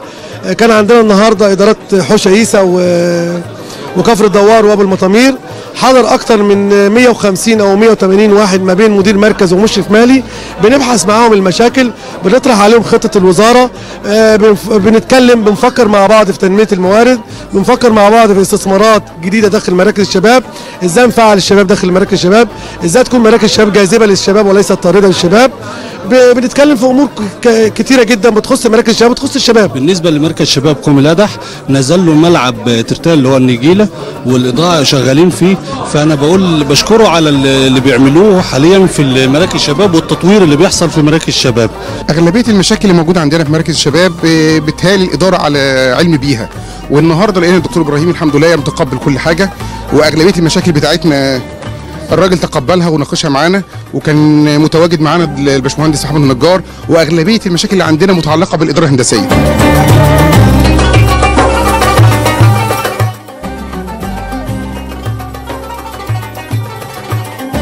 السنة دي في البحيرة عندنا طفرة كبيرة في مراكز الشباب بالنسبة بخصوص الملاعب اللي هي النجيل الصناعي. وافق لنا السيد الوزير على إنشاء عدد 60 ملعب للعام المالي الحالي. وبالفعل تم التنفيذ في حدود 60 ملعب منهم آه، بخلاف 20 ملعب مسندين إلى شركة آه، آه، اللي هي جهاز التعمير الساحلي الشمالي وجاري التنفيذ فيهم بالفعل. وعلى 30 6 الجاي هيكون اتمينا المنظومة اللي هم ال 80 ملعب على مستوى المحافظة. ده غير طبعا خطة الإنشاءات اللي موجودة في حدود 4 مليون جنيه والاعتمادات تقريبا شبه وصلت وهيتم تنفيذ تطوير المراكز دي أقصى حاجة 30 6 الجاي إن شاء الله. المهندس خالد عبد العزيز بإن هو لازم مراكز الشباب تنمي الموارد بتاعتها. فبدأ مركز الشباب بالشكل ده طبعا و و و و والوزارة مثلا مشكوره عملت لنا الملعب اللي إحنا موجودين فيه دلوقتي بيدير برضو دخل على مركز الشباب فبيزود بإيه انشطه وأنت عارف أنت بس مركز الشباب حوش عيسى طالع منه لعيبة كتير يعني يعني طالع منه يعني أنت دلوقتي عندنا 58 لعيب بيلعبوا في أندية ابرز محمد ناجي جده آه. الوزارة. والمديرية لا تألو جهدا في تنمية موارد المركز المساعده اللي عايز يعمل محلات بنساعده عايز بيعمل صالة الانشطه بيه ويأجر ويأجرها بحيث ان لا تؤثر على نشاط المركز. إحنا ما بنمنعش اللي عايز يعمل استثمار في مراكز الشباب إحنا لا نمانع. وهضرب لك مثال حي. إحنا واقفين فين؟ في مركز شب- شباب مدينة عيسى لو أنت جيت مركز شباب مدينة عيسى من 10 سنين لا كنت شفت المبنى اللي, اللي على شمالنا ده ولا كنت شفت المنشآت الحديثة دي ده استثمارات مجلس اداره الشباب المديرية وافقت وساعدت بس هو عمل هذه الاستثمارات بجهد خاص منه وتعاون مجلس الإدارة مع الأهالي واقفين على مركز الشباب على أعلى مستوى ومن أفضل مراكز الشباب على مستوى المحافظة.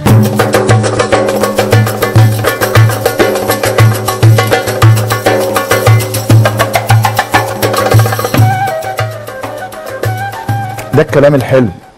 حوش عيسى دي كانت مرتع لل أنتوا عارفين حبايبنا يعني. فالنهارده ده كلام جميل وملعب وجو ده الإيجابي. أنا عرضت السلبي بعرض الإيجابي وده أمر في غاية الأهمية. مش عايز بس أنسى إن أنا ابارك للسيد آه، العزيز أسامة هيكل باختياره رئيسا لمدينة الإنتاج الإعلامي. وعندنا أمل كبير جدا لأن الراجل ده كان عنده فكر محترم في وزارة الإعلام لكن سوء حظه دفعه في وقت صعب جدا لتولي آه، الوزارة. إن شاء الله يطبق ال- الحاجة المحترمة في أثناء إدارته لمدينة الإنتاج الاعلامي عايزك برضو تعرفنا على جهازك الفني يا كابتن جمال. هو الجهاز الفني الكابتن محمد صلاح أبو جريشه طبعا غني عن التعريف. هو لعيب نادي الإسماعيلي ومنتخب مصر السابق ولاعب نادي حرس ال- الحدود.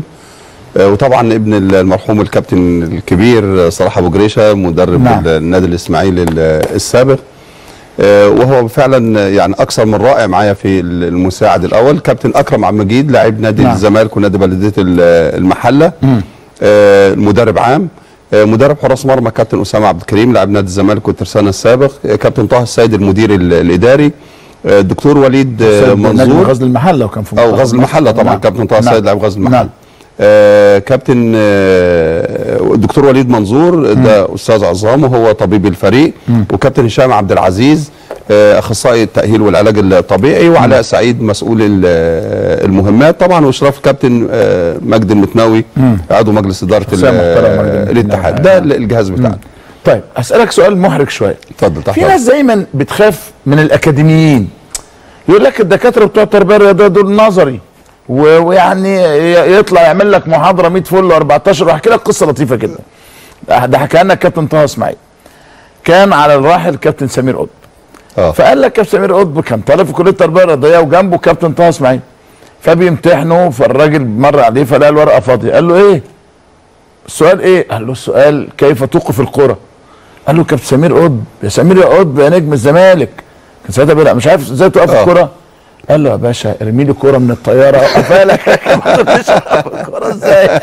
دي من النوادر دايما كان الكابتن طه يحكي لنا القصص دي. فالناس دايما ما بتر- بتربط ما بين الأكاديمي وما بين النظري في كرة القدم. حضرتك يمكن آه، يعني ألغيت الفكرة دي شوية. أقول لحضرتك كابتن شوبير هو في يمكن حاجة إدارية أو مثل إداري دايما بيقولوا التجربه دون تطبيق فهي تجربة عمياء والنظريه دون آه، تجربة هي تجربة عرجاء يعني نعم. لا دي لوحدها تنجح آه. ولا دي لوحدها تنجح. تمام. فأنت محتاج حضرتك العلم والخبرة. كويس. الخبرة هتيجي من الممارسة من الممارسة تمام. كلاعب الممارسة كمدرب لغاية ما تكتسب خبرات الملعب.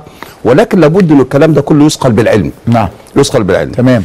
ممكن يكون لعيب على مستوى عالي جدا ويكون مدرب ناجح ويستغل نجوميته بعد اعتزاله حضرتك وينجح. بس هينجح لفترة معينة ولفترة زمنية معينة ويتوقف. وممكن واحد تاني يكون عالم ويقدر ينجح ولكن هينجح برضه ل- لجزء معين. ولكن حضرتك لو جبنا واحد جمع ما بين الخبرة وما بين العلم يبقى اذا هنتقدم بشكل كبير جدا. وكل دول العالم في كل المجالات دون استثناء. الرياضة زيها زي السياسة زي التجارة زي الصناعة زي التعليم زي أي حاجة. لابد إنك تجمع ما بين الاثنين العلم والخبرة. في خبرات والخبرات هي تكرار مواقف بيمر بها الإنسان. تمام. والعلم هو اللي بيثقل هذه الخبرات. فحضرتك بالنسبة لينا كأكاديميين أنا مع حضرتك. لو واحد أكاديمي أكاديمي بمعنى كلمة أكاديمي دون خبرات عملية أقول لا ما ينفعش. أنت خدت خبرات من بدري يا. دكتور جمال. الخبرات خدتها حضرتك من سنين طويلة سواء من الممارسة على مستوى ال- ال- نادي المراغة على مستوى نادي طحطا على مستوى الأندية اللي أنا لعبت فيها في الصعيد. نادي نعم. سيبرسس إيجل في أمريكا أنا بدرس لعبت في سيبرسس إيجل آه، في الانديه ال- اللي هو الأمريكية كممارسة. وبعد كده بدأت بدري جدا أنا ومعيد من مجرد ما تعينت معيد بدأت تدريب. فبدأت بنادي الصدفة الرياضي يمكن حضرتك زرت آه، زرت طبعاً، النادي. جمال. وكانت أول سنة أدرب فيها وأصعد. على طول على طول. السنة آه. فده كان عندي 23 سنة. فعشان كده بدأت الصعود بالفرق مبكرا. بعد كده انتقلت حضرتك لنادي الولديه وصعدت بيه آه. وانتقلت لأسمنت اسيوط وصعدت بيه أربع سنوات من سنة لسنة من درجة لغاية لدرجة لدرجة آه. لدرجة لغاية الدوري الممتاز. فمريت بخبرات متعددة مع منتخب جامعة أسيوط. كنت بدرب منتخب الجامعة وخدت بطولات الجامعات وأول فريق كرة قدم نسائي كمان عملته في الصعيد. آه، جبت من لاعبات ألعاب القوة وكرة الطايرة وخدنا ببطولة الجامعات المصرية. الكلام ده 1999 1999 كانت أول كرة قدم نسائي تتعمل في الصعيد من عندنا في جامعة أسيوط. فحضرتك خدت خبرات متعددة سواء في تدريب الأندية سواء تدريب منتخبات منتخب محافظة سوهاج منتخب محافظة أسيوط منتخبات الجامعات. أنا وفي أمريكا دربت منتخب جامعة ويتير. آه،. يعني كنت بلعب آه. في سيبرسيز ود- ودرب جامعة كنت ويتير. بتدرس في أمريكا يا فندم؟ كنت آه درست سنتين في أمريكا استكمال آه. الدكتوراه. آه. آه بعد كده حضرتك برضو التحكيم. حضرتك خدت الدكتوراه من أمريكا ولا من هنا؟ آه، الدكتوراه منحت من هنا من كلية التربية آه. هنا. ولكن استكمال دكتوراه اللي هي آه. خدت بعثة علمية لمدة سنتين. آه. استكملت فيها الدكتوراه هناك. كويس. آه. آه، حضرتك برضو التحكيم اشتغلت في التحكيم لغاية ما وصلت لحكمت دوري ممتاز مم. ولكن ما ترشحتش في القائمه الدوليه فاعتزلت آه. اعتزلت التحكيم وتفرغت تماما للتدريب فحضرتك كل دي خبرات سواء تعليم فبقى أنا درست كرة القدم في الكلية أنا أستاذ اداره رياضيه درست كرة القدم في الكلية تمام. وليا 22 بحث علمي منهم في حدود 10 أبحاث علمية في كرة القدم نشروا في آه، في في آه، في أوروبا كويس. وخصوصا في ألمانيا وفرنسا آه، الحاجات دي كلها بقت في خبرة علمية وفي خبرة عملية. نعم. وفي خبرة عملية. يمكن كنت أجي حضرتك كابتن شوبير أنا و... ولسه معيد. أجي اتفرج على مستر فايس في ال- في النادي الأهلي آه. واقعد ماسك الورق واقعد اتفرج على التدريبات بتاعت بتاعت حضراتكم واقعد اتفرج على التدريبات واسجلها واقعد أروح اجربها على الطلبة قبل ما أروح اجربها فعلا. على الأندية فعلا آه واقعد أتف... آه, آه. أنا مش متاح لي إن أنا أتدرب تحت إيده آه. ولكن كنت أجي أتفرج أتفرج وأتابع. وأتابع آه. وأكتب وأسجل وأدخل على مواقع الفيفا وأدخل على مواقع ال ال الإنترنت وأدخل آه، وآخد دورات على مستوى كبير خرجت بره في أوروبا كتير آه، كمعايش لفريق ماجدبورج في ألمانيا قعدت معاهم شهر. كل الحاجات دي خبرات تراكمت مع الحمد لله مع الواحد. فبعد كده ما خرجت بره الصعيد بقى ودربت الكروم ودربت دمياط والمقصه والأندية دي وعملت الحمد لله نتائج طيبة معاها. كلها ادتني خبرات عملية قبل ما أخوض تجربة التدريب في المنتخب القومي. رحت الإدارة. بقيت عضو مجلس اداره ونجحت آه. بشكل كويس في معركة شرسة. وبعدين فوجئنا بيك بتتخلى عن الإدارة. وتعود تاني للتدريب. إيه اللي حصل؟ اللي حصل كابتن شوبير إنه أندية الصعيد آه، كانت في الفترة اللي هي كان حصل استقالة الكابتن أيمن يونس والكابتن محمود طاهر واعتقد الاستاذ محمود ال- الشامي وكان فضي ثلاث أماكن. وبعدين عايزين حد من الصعيد يمثل أندية الصعيد تنطبق عليه الشروط يكون نعم. لعيب أو مدرب أو حكم درجة أولى. فأنا كانت تنطبق عليها الشروط. فأندية الصعيد هي اللي فعلا ضغطت عليا. أنا أنا صحيح ال- الإدارة في دم إن أنا أشتغلها ولكن ما كنتش حاططها في الفترة دي. يعني حاططها في فترة إن أنا لما أعتزل التدريب آه. وخلاص أنت مش قادر تشتغل في آه. مجال التدريب فتتجه للمجال ال- الإداري.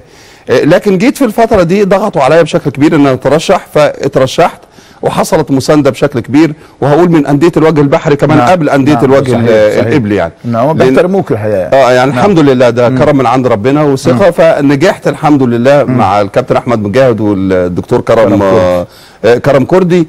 ولكن في خلال وجودي في في العملية الإدارية لقيت إن أنا لو استمريت في الإدارة هتنسى التدريب هنسى التدريب تماما مش هينفع. آه. عشان كده فعلا آه، رجعت مرة تانية خدت القرار بعد مباراة آه، الأهلي والمصري وأنا كنت في تونس رئيس لبعثة منتخب مصر وقدمت الاستقالة أنا وفي وفي تونس وخدت القرار إن أنا مش هخوض التدريب آه. ال- الإدارة آه. آه، وهرجع للتدريب. مرة آه. تانية فرجعت دربت نادي سوهاج يعني الح- في- دورة ال- التصفية ودربت بترول أسيوط وبعد كده رجعت مرة تاني لمنتخب آه، مصر إزاي بتجد المعاونة من الاتحاد الكوره؟ آه، أنا الحمد لله يمكن من أول ما اتوليت وأنا عملت خطة أول مدرب صعيدي يمسك منتخبات أول مدير فني آه, في الصعيد آه، في يعني. تاريخ نعم، الكورة نعم. اتحاد الكورة نفسه نعم. آه. هو حضرتك من أول ما اتوليت أنا حطيت خطة كاملة آه، مدروسة لمدة سنة وسلمتها لل- لمجلس إدارة ال- الاتحاد متضمنة المباريات الودية متضمنة كل البرنامج بتاعي لغاية آه، أول مباراة اللي هي مباراة ال- السودان. آه، صنفت الدول الأفريقية حضرتك في البداية لثلاث مستويات. قلت في البداية عايزين نلعب مع المستوى الأول المستوى الثالث المستوى الثالث زي فرق البداية، بيرين آه. وال- والسودان والفرق دي. الص- التصنيف الثاني وبعد كده التصنيف الأخير اللي هو غانا ونيجيريا والكاميرون اللي هو ممكن نلعب معاهم التصنيف الأخير. رصلنا كل الدول دي. جات لنا بعض ال- الردود وفرق كتيرة ما ردتش علينا وبرضه راسلنا الدول العربية دول شمال أفريقيا والحمد لله قدرنا نصل لعدد وصلنا ل 14 مباراة دولية ودية. يعني في خلال سنة واحدة لعبنا 14 مباراة دولية آه ودية. قدرت أكسب اللعيبة فيها خبرات الدولية عشان لما ندخل المباريات الرسمية آه، ما يكونش عندهم الخوف والرهبة طبعا من الطقوس الأفريقية وخصوصا رحنا لعبنا في نيجيريا حضرتك. نعم. ولعبنا في يعني في في في كادونيا. ودي يمكن حصلت فيها بعد كده بعض ال- المشاكل وكان البوليس محيط بينا بشكل غير عادي وإحنا هناك.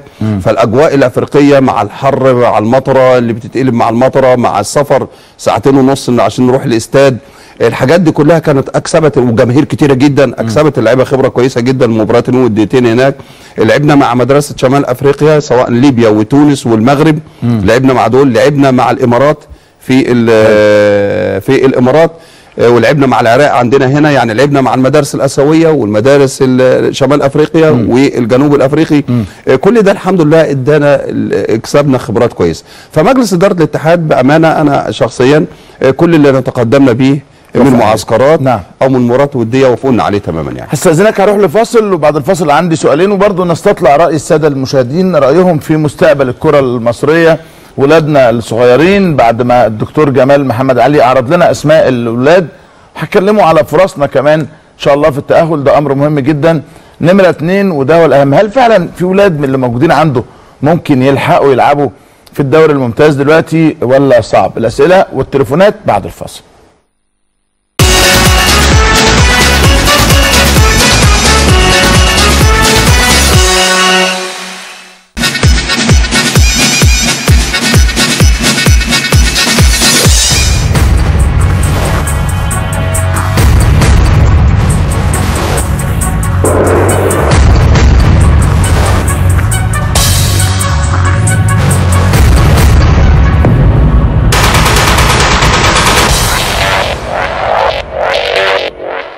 والله إحنا عايز أقول لحضرتك ان إحنا في مجال تنشيط الاستثمار في مجال الرياضة وان الناس تشتغل في المجال ده. كان لازم آه، ندعو كل الشركات آه، اللي قدرنا نوصل ليها آه، في مجال الرياضة. مش كل الشركات اللي بتشتغل في السوق المصري قدرنا نوصل ليها النهارده انما ده الملتقى الأول. دعينا أكبر عدد من الشركات قدرنا نوصل ليها عشان نستمع ليهم. هم عندهم مشكلات عشان النهارده نقدر نقول إن أنت عايز تعمل استثمار رياضي لازم يكون عندك بيئة تشريعية مناسبة وعندك حوافز وضمانات يقدروا يشتغلوا فيها. ده اللي إحنا شغالين آه، عليه النهارده ان إحنا بنستمع للشركات وبعد ما استمعنا ليهم أكيد هينطبع ده على سياساتنا وإجراءاتنا. قانون الرياضة الجديد إن شاء الله بي- بيشتمل على باب مستقل للاستثمار الرياضي. مفتوح فيه كم كبير جدا من المجالات اللي تقدر من خلالها تجذب رؤوس الأموال من الخارج للاستثمار في مجال الرياضة. حجم الرعاية الرياضية في مصر حجم كبير جدا والسوق الرياضي في مصر سوق رحب إن هو يستقبل كافة ال- ال- الرؤوس الأموال ديت. إحنا المشكلة عندنا إن أنت ما عندكش معايير وضوابط لتقييم المنتج الرياضي بصورة جيدة ما عندكش يعني الدوري المصري مثلا انت ما عندكش الضوابط اللي تقدر من خلالها تقول إيه هي المعايير اللي أقدر أحدد السعر وسعر البيع والقيمة السوقية بتاعه هذا الدوري وهكذا. بنشوف دوريات عربية كثيرة من حوالينا بتتباع بأرقام كبيرة. أنت محتاج هذه الضوابط. والله وزارة الشباب والرياضة وعلى رأسها المهندس خالد عبد العزيز ليها نهج جديد. إزاي إن إحنا نطور السوق الرياضي كويس جدا؟ إزاي إن إحنا ندخل القطاع الخاص؟ وإزاي إن إحنا نضخ أفكار جديدة وأحداث آه، كتيرة في السوق. إزاي نعمل تجميع لكل ال- الناس اللي بتشتغل في المجالات الرياضية استثمارها أو تسويقها؟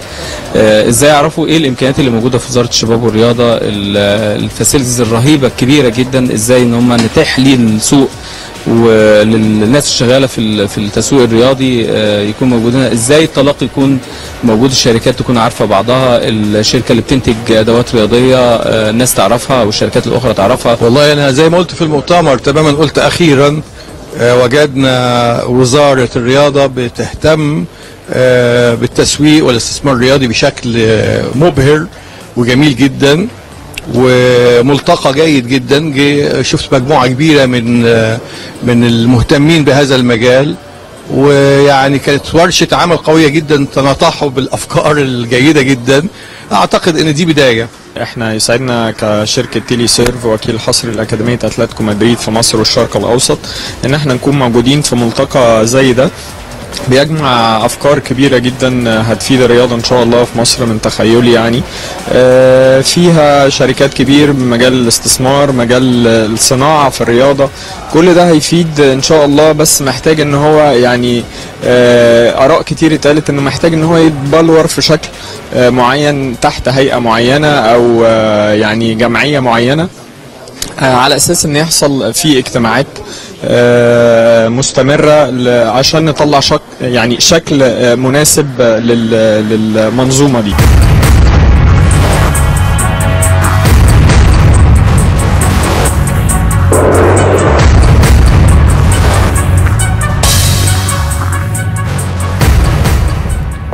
أهلا بكم من جديد. أحمد فتحي في مباراة الثانية في الدوري القطري. آه، أم صلال يفوز على الجيش 2-1 بعدما كان متاخرا بهدف آه، آه، نظيف. وادي الزمالك بيتعاقد مع وائل فهيم لتدعيمه لمدة سنتين. والجهاز الفني الأهلي بيعود من شرم الشيخ وشؤون القناة في الزمالك بتحقق مع أحمد توفيق. الحقيقة في ال- في الفاصل حضرتك قلت لي خبر جميل قوي. أول مرة أسمعه. إحنا بنسمع التعليم المفتوح في الإعلام في الحقوق في. التجارة لكن أول مرة تقول لي أسيوط جامعة أسيوط تربية رياضية أسيوط اللي حضرتك العميد بتاعها بتعملوا تعليم مفتوح في التربية الرياضية. أظن دي أول مرة أول تجربة. دي أول تجربة في الشرق الأوسط. آه الله برافو عليك. وفي فكرتك يا دكتور جمال؟ آه كانت الفكرة حضرتك من معاشرتي في المجال زي ما حضرتك بنتكلم إن أنا شفت عدد كبير جدا من نجوم مصر. آه. آه، البطولات والتدريب والأندية ب- بتشغلهم عن عن التعليم عن. استكمال تعليم الجامعي بدبلوم نعم معظمهم مكتفي بالدبلوم متوسط، آه. ومعظم الناس اللي لعبوا حضرتك أولمبياد أو لعبوا كأس عالم في الألعاب الفردية كلهم للأسف الشديد نعم. واخدين مؤهلات متوسطة صحيح. فما بنقدرش نستفيد منهم حتى في المجال الإداري إنه يقدر يدخل في. مجلس إدارة الاتحاد آه. أو يرأس متوسط، آه، آه. لجان لأنه مؤهله مؤهل متوسط فجاتني الفكرة حضرتك إذا كانوا الرياضيين بيدخلوا حقوق أو تجارة طب ليه يدخل حقوق أو تجارة ما يدخل ويكمل الحته العلميه اللي وهو تمام. عنده اوريدي خبره الملعب. أكيد أكيد. ممتازة جدا ليه 20 30 لعيب، سنة لعيب. آه، نعم نعم. فحضرتك قدمت ال- المشروع لمجلس كلية التربية الرياضية خدت بيه موافقة. بعد كده مجلس جامعة أسيوط خدت بيه موافقة. آه، واجهتنا مشكلة كبيرة مع ال- كان لجنة قطاع التربية الرياضية إن نقنع عمداء التربية الرياضية على مستوى مصر عشان آه، يوافقوا عليه. لازم كلهم. لا آه لازم كلهم آه. في لجنة قطاع التربية آه. الرياضية. الدكتور صبحي حسنين رئيس اللجنة وساعدني بشكل كبير هو الدكتور كمال درويش. آه. الدكتور كمال درويش ذكر بالاسم بعض الأسماء نجوم مصر اللي بيدربوا منتخبات في نادي الزمالك وقال كلهم واخدين دبلوم زراعة وصناعة. طب لما يثقل وياخد مؤهل عالي يبقى اذا هنستفيد منه بشكل أكبر. ففعلا قدرنا نقنع العمداء وخدنا الموافقة وخدنا موافقة مجلس أعلى الجامعات. كنت بقدم ثلاث برامج برنامج إدارة رياضية وبرنامج تدريب رياضي وبرنامج في علوم الصحة الرياضية. كويس. فقالوا نبدأ ببرنامج الإدارة الرياضية ونشوفه كتجربة. إذا نجح نعمل البرنامج بتاع التدريب الرياضي وعلوم الصحة الرياضية. بدأنا بالبرنامج لأول سنة ما كانش البرنامج مسمع بشكل كويس. آه. السنة اللي بعديها حضرتك بدأت يدخل عدد من النجوم اللي سمعوا بشكل كبير جدا آه. زي مثلا في النادي الأهلي محمود أبو الدهب آه. دالاس آه. إبراهيم نور الدين آه. آه. أحمد آه. معاذ آه. فبدأ يدخل عدد من الناس اللي هم مميزين في المجال ال- الرياضي السنة اللي بعديها بدأت تسمع بشكل أكتر ففوجئت بأنه الاختبارات القدرات حضرتك عارف بيدخل اختبارات قدرات نعم.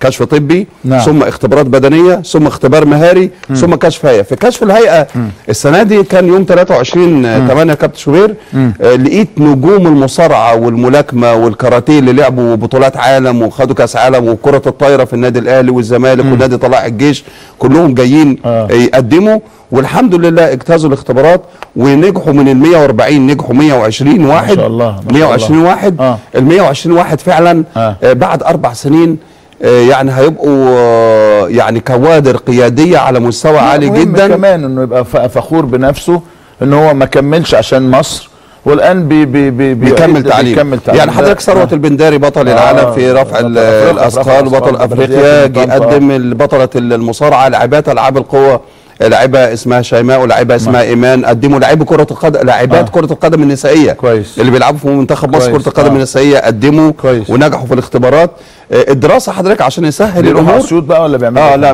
بيروحوا اسيوط يوم الاختبارات آه. ويروحوا في أيام أسبوع الامتحانات آه باقي ال- الأيام حضرتك بنعمل الدراسة بتاعتهم في آه، المركز الاولمبي في في المعادي كويس. بنستخدم القاعات لتدريس. المحاضرات النظرية والملاعب لتدريس المحاضرات ال- العملية والدراسة بتبقى خميس وجمعة خميس وجمعة على أساس لو هو آه، حضرتك مشغول أو موظف. آه. آه، يدخل.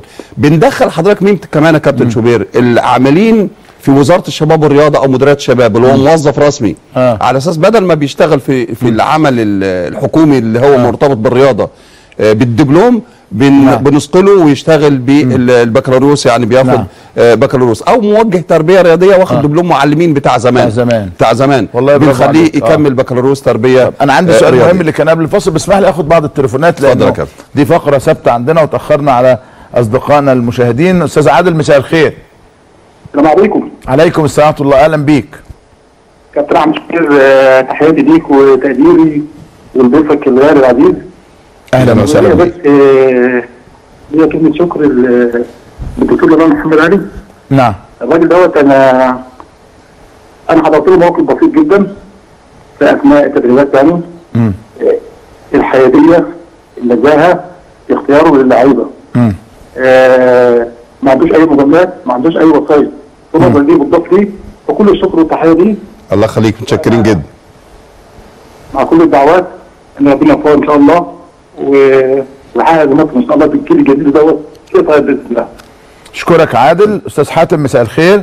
مساء الخير يا كابتن شوبير. أهلا بيك يا فندم اتفضل. الله يخليك يا كابتن. اولا آه، أنا بحيي حضرتك على الإدارة الجميلة لقنوات السي بي سي في الرياضة. أشكرك. وحلقات ناجحة وربنا يوفقك كمان وكمان كده كابتن. أشكرك يا أستاذ حاتم كتر خيرك الله يخليك. وبمسي على الدكتور جمال محمد علي طبعا. الله يخليك متشكرين. وأنا على فكرة يا كابتن شوبير آه، نفسي نقابل السنغال بالمنتخب بتاع الكابتن آه، محمد علي. مستقبلا إن شاء الله, إن شاء الله بعد أربع سنين كده إن بإذن شاء الله. إن إن هم عندهم خبرة في المواجهات الأفريقية بصراحة أكتر من المنتخب الأول. ربنا بصراحة يا كابتن يعني الواحد قلقان طبعا ماتش السنغال يعني ربنا يوفقهم إن شاء الله كابتن شوقي وكلهم بس نعم. يعني بصراحة الواحد ماتش السنغال وتونس قلقان جدا. وبصراحة الكابتن جمال ربنا يوفقه طبعا أنا متأكد إن شاء الله هيعدوا جنوب أفريقيا بإذن الله. إن شاء الله. لأن ال 14 ماتش طبعا اللي لعبوهم طبعا والخبرة العلمية والعملية بتاعت الكابتن جمال إن شاء الله صحيح. تتقيهم كمان وكمان يعني. الله يخليك. ونحب إن نمسي عليكم كل سنة وأنتم طيبين. صحة وسلامة. ان شاء الله ربنا يطمنا على مصر آه، في كل مجالات يا رب. منها الرياضة وكره القدم إن شاء الله. بشكرك شكرا جزيلا. أستاذ حاتم كتر ألف خيرك. خليني لحد ما اخد تليفونات تاني اسألك هل في ولاد من اللي عندك شايف إن هم رايحين لقدام طالعين م- فريق أول؟ هل في حد لعب بالفعل فريق أول؟ في حد بترشحه يلعب فريق أول في المستقبل القريب بإذن الله؟ هو حضرتك بالنسبة للي لعبوا فريق أول وليد عطية آه, آه لعب فعلا المنصورة. المنصورة اللي مشارك بالفعل في مع الممتاز بيه مع المنصورة السنة اللي- السنة اللي فاتت. ويمكن كان في اتصال مع سيادة اللي هو إبراهيم مجاهد وإن أنا طلبت منه إنه ما يتمرنش مع الناشئين تاني فعلا. وإن هو يستمر مع الفريق الأول إلا إذا كانوا عايزينه في بعض المباريات ال- الهامة لأن هو قوي البنيان وهداف بشكل كويس. وفعلا آه، إدارة نادي المنصورة أنا بشكرهم استجابوا للطلب ده فورا في آه، اللاعب محمد جمال اتمرن مع المقاولين العرب كحارس مرمى في الفريق الأول عمرو خالد اتمرن مع النادي الأهلي آه، كحارس مرمى في الفريق الأول. آه، في أنا برشح بعض اللعيبة بقول للزمالك آه، يعني بيبحثوا عن حراس مرمى عندهم عمر صلاح يقدر يلعب مع الفريق الأول مستريح جدا آه. ومحمد حمدي وأحمد فتوح ال back left النادي الأهلي. آه، أبو تريكة أنا بقول رمضان صبحي لعيب كويس جدا. أحمد ح... أحمد حمدي لا يقل ابدا عن رمضان والله. صبحي. فهيكون يعني هنفتكر الأسماء دي مستقبلا. وادي دجلة طبعا آه، عندهم محمود مرعي وأ- وفيليكس ومصطفى عبد الرسول لابد من دلوقتي يتم ضمهم للفريق الأول ويتمرنوا مع الفريق الأول. مختار سليمان في المقاولين العرب وأنا عارف المقاولين بتهتم بالناشئين آه، جداً. بالناشئين جدا بشكل كبير جدا. عندهم مختار سليمان آه، بيلعب تحت رؤوس الحربه وبيلعب رأس حربة لعيب برضه مميز ممكن يكون له مستقبل آه، كويس لو لعب مع ال- الفريق ال- الأول إن شاء الله. آه، في المحلة في محمد علاء برضه ممكن الاستفادة منه آه، بشكل كبير في نادي ال- المحلة. يعني اللعيبة دي حضرتك آه، كريم يحيى في النادي الأهلي back right في النادي الأهلي وبيجي يلعب third back وبيلعب back right. آه، فإحنا بنستفيد منه في ال back right. آه، برضه لعيب مميز قوي وسريع وهداف وبيعرف نعم. يجيب اجوان آه، فأتمنى طبعا إنه ال- المديرين الفنيين للفريق الفرق الأول يبصوا للعيبة دول بحيث إن هم يقدروا يشاركوا معاهم في التدريبات ويشاركوا نعم. معاهم في المباريات بحيث يثقلوا مبكر نعم. ونقدر نستفيد منهم كمحترفين أو يلعبوا في المنتخبات الأعلى إن شاء الله. طيب نرجع التليفونات تاني مصطفى مساء الخير. النور ازيك يا ازيك انت؟ تمام الحمد لله حضرتك إيه؟ اتفضل يا مصطفى. معانا أستاذ كابتن كمال بقى مش عارف أقول الاستاذ جمال. ده دكتور جمال جمال. من غير أي ألقاب حضرتك. اتفضل يا درس تمام. هو بس آه، أول حاجة أنا عايز أتكلم ناشئين لازم يعني يبقى من دوره كلنا شايفين محمد صلاح وموهبته الفظيعة بس مع الأسف هو لما بينزل يلعب أي مطوشة بيبقى خايف بيبقى خايف يرقص بيبقى خايف يشوط بيبقى خايف عشان هو متلبي إن هو لأ ما ينفعش أنا نفس اللعيبة العالمية دي أو أنا مش فلازم يبقى في برامج تتحط للناشئين كلها. لا انت زيك زيه يعني انت ليه ما تطلعش تلعب بره. وكلنا شفنا آه، آه، منير آه، بتاع برشلونة. شفنا مستواه. ما هو ده لعيب عربي زي زيك. محمد صلاح مستواه وأحمد حمودي والناس دي كلها. بس لازم مستوى وانت صغير تعرف إن أنت مش من اللعيبة دي. عشان تطلع بره تعرف تدي معاك. آه وكمان بقى بالنسبة نخش على موضوع السياسة مع حضرتك بالنسبة لكتائب حلوان اللي اتمسكوا دول يعني. باعتبارك من حلوان. آه. آه يعني أنت عامل فيها راجل قوي و... والجيش مش هيقدر يحميك وتتمسك تعيط وما كانش قصدي ومش ما كانش قصدي. وكلنا يعني شايفين برضو من كام يوم لسه ماسكين متفكرات في بيت هنا جنبينا فرقع فيهم. بيت ويطلعوا يجروا. نعم. مش عارف إيه يعني أنا مش عارف انت. بشكرك يا مصطفى لأن ما عنديش وقت وعندي تليفون. عندي عبد الرحمن مساء الخير عبد الرحمن. والله يا كابتن شوبير. اتفضل يا فندم أهلا بيك. معاك الدكتور عبد الرحمن جامعة أسيوط كلية التربية الرياضية أهلا يا دكتور اتفضل. زميلك دفعتي. دفعة الدكتور جمال اتفضل يا دكتور اتفضل يا فندم. يعني والله دلوقتي إحنا حبيب قلبي جمال. الله يخليك السلام يا عليكم يا الله يخليك السلام عليكم وبركاته ازيك يا والله أنا فخور وبتشرف طبعا ان أنا شايف اخويا زميلي ومشاهد شيء قصة كفاح الدكتور جمال من أيام ما في الكلية لغاية ما وصل لهذا المكان. وبتمنى ليه التوفيق دائما ودائما في نقاش. إحنا عايزين ان شاء الله ربنا يوفقنا. ونعمم التجربة بتاعت الدكتور جمال كنموذج لل- للعلم وللرياضة. أنا بندمجوا مع بعض والتوفيق من ربنا اولا وأخيرا إن نوصل لمثل هذا ويشرف مصر كلها. إحنا بنسعد بيه. نسعد بسواء لأبناء الصعيد قدامكم وما شاء الله يعني ال- العطاء العطاء بلا حدود. ال- الإمكانيات العلمية الرائعة. عبد الرحمن مدرب نادي درونكا يعني والله آه، مدرب نادي آه، درونكا آه، في كرة ما شاء طايرة الله. مدرب كرة آه، طايرة في نادي درونكا. نتائج هايله في آه، الطايره درونكا، مدرب آه، ممتاز يعني. والله ما شاء الله. بشكرك دكتور عبد الرحمن. أستاذ سيد مساء الخير. سيد مساء اتفضل يا حبيبي اتفضل.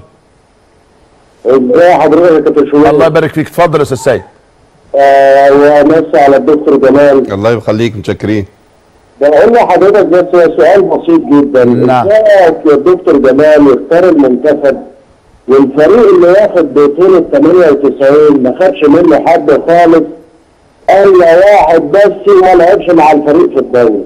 اللي هو مين حضرتك؟ نادي إيه إيه؟ الكلام ده حضرتك. نادي إيه حضرتك؟ نادي نادي إنبي 98 لا عندنا خمس لعيبة منهم ثلاثة أساسيين في الملعب بصفة مستمرة. محمود جاد نادي إنبي حسام عادل نادي إنبي آه وعندنا آه بيلعب برضو معانا يحيى ياسر من نادي إنبي وعندنا حمادة وصلاح من الناس اللي بيروحوا بيجوا برضو كل ده من نادي انبي حضرتك لعيبة أساسيين كمان مش لعيبة احتياطي أساسيين في المنتخب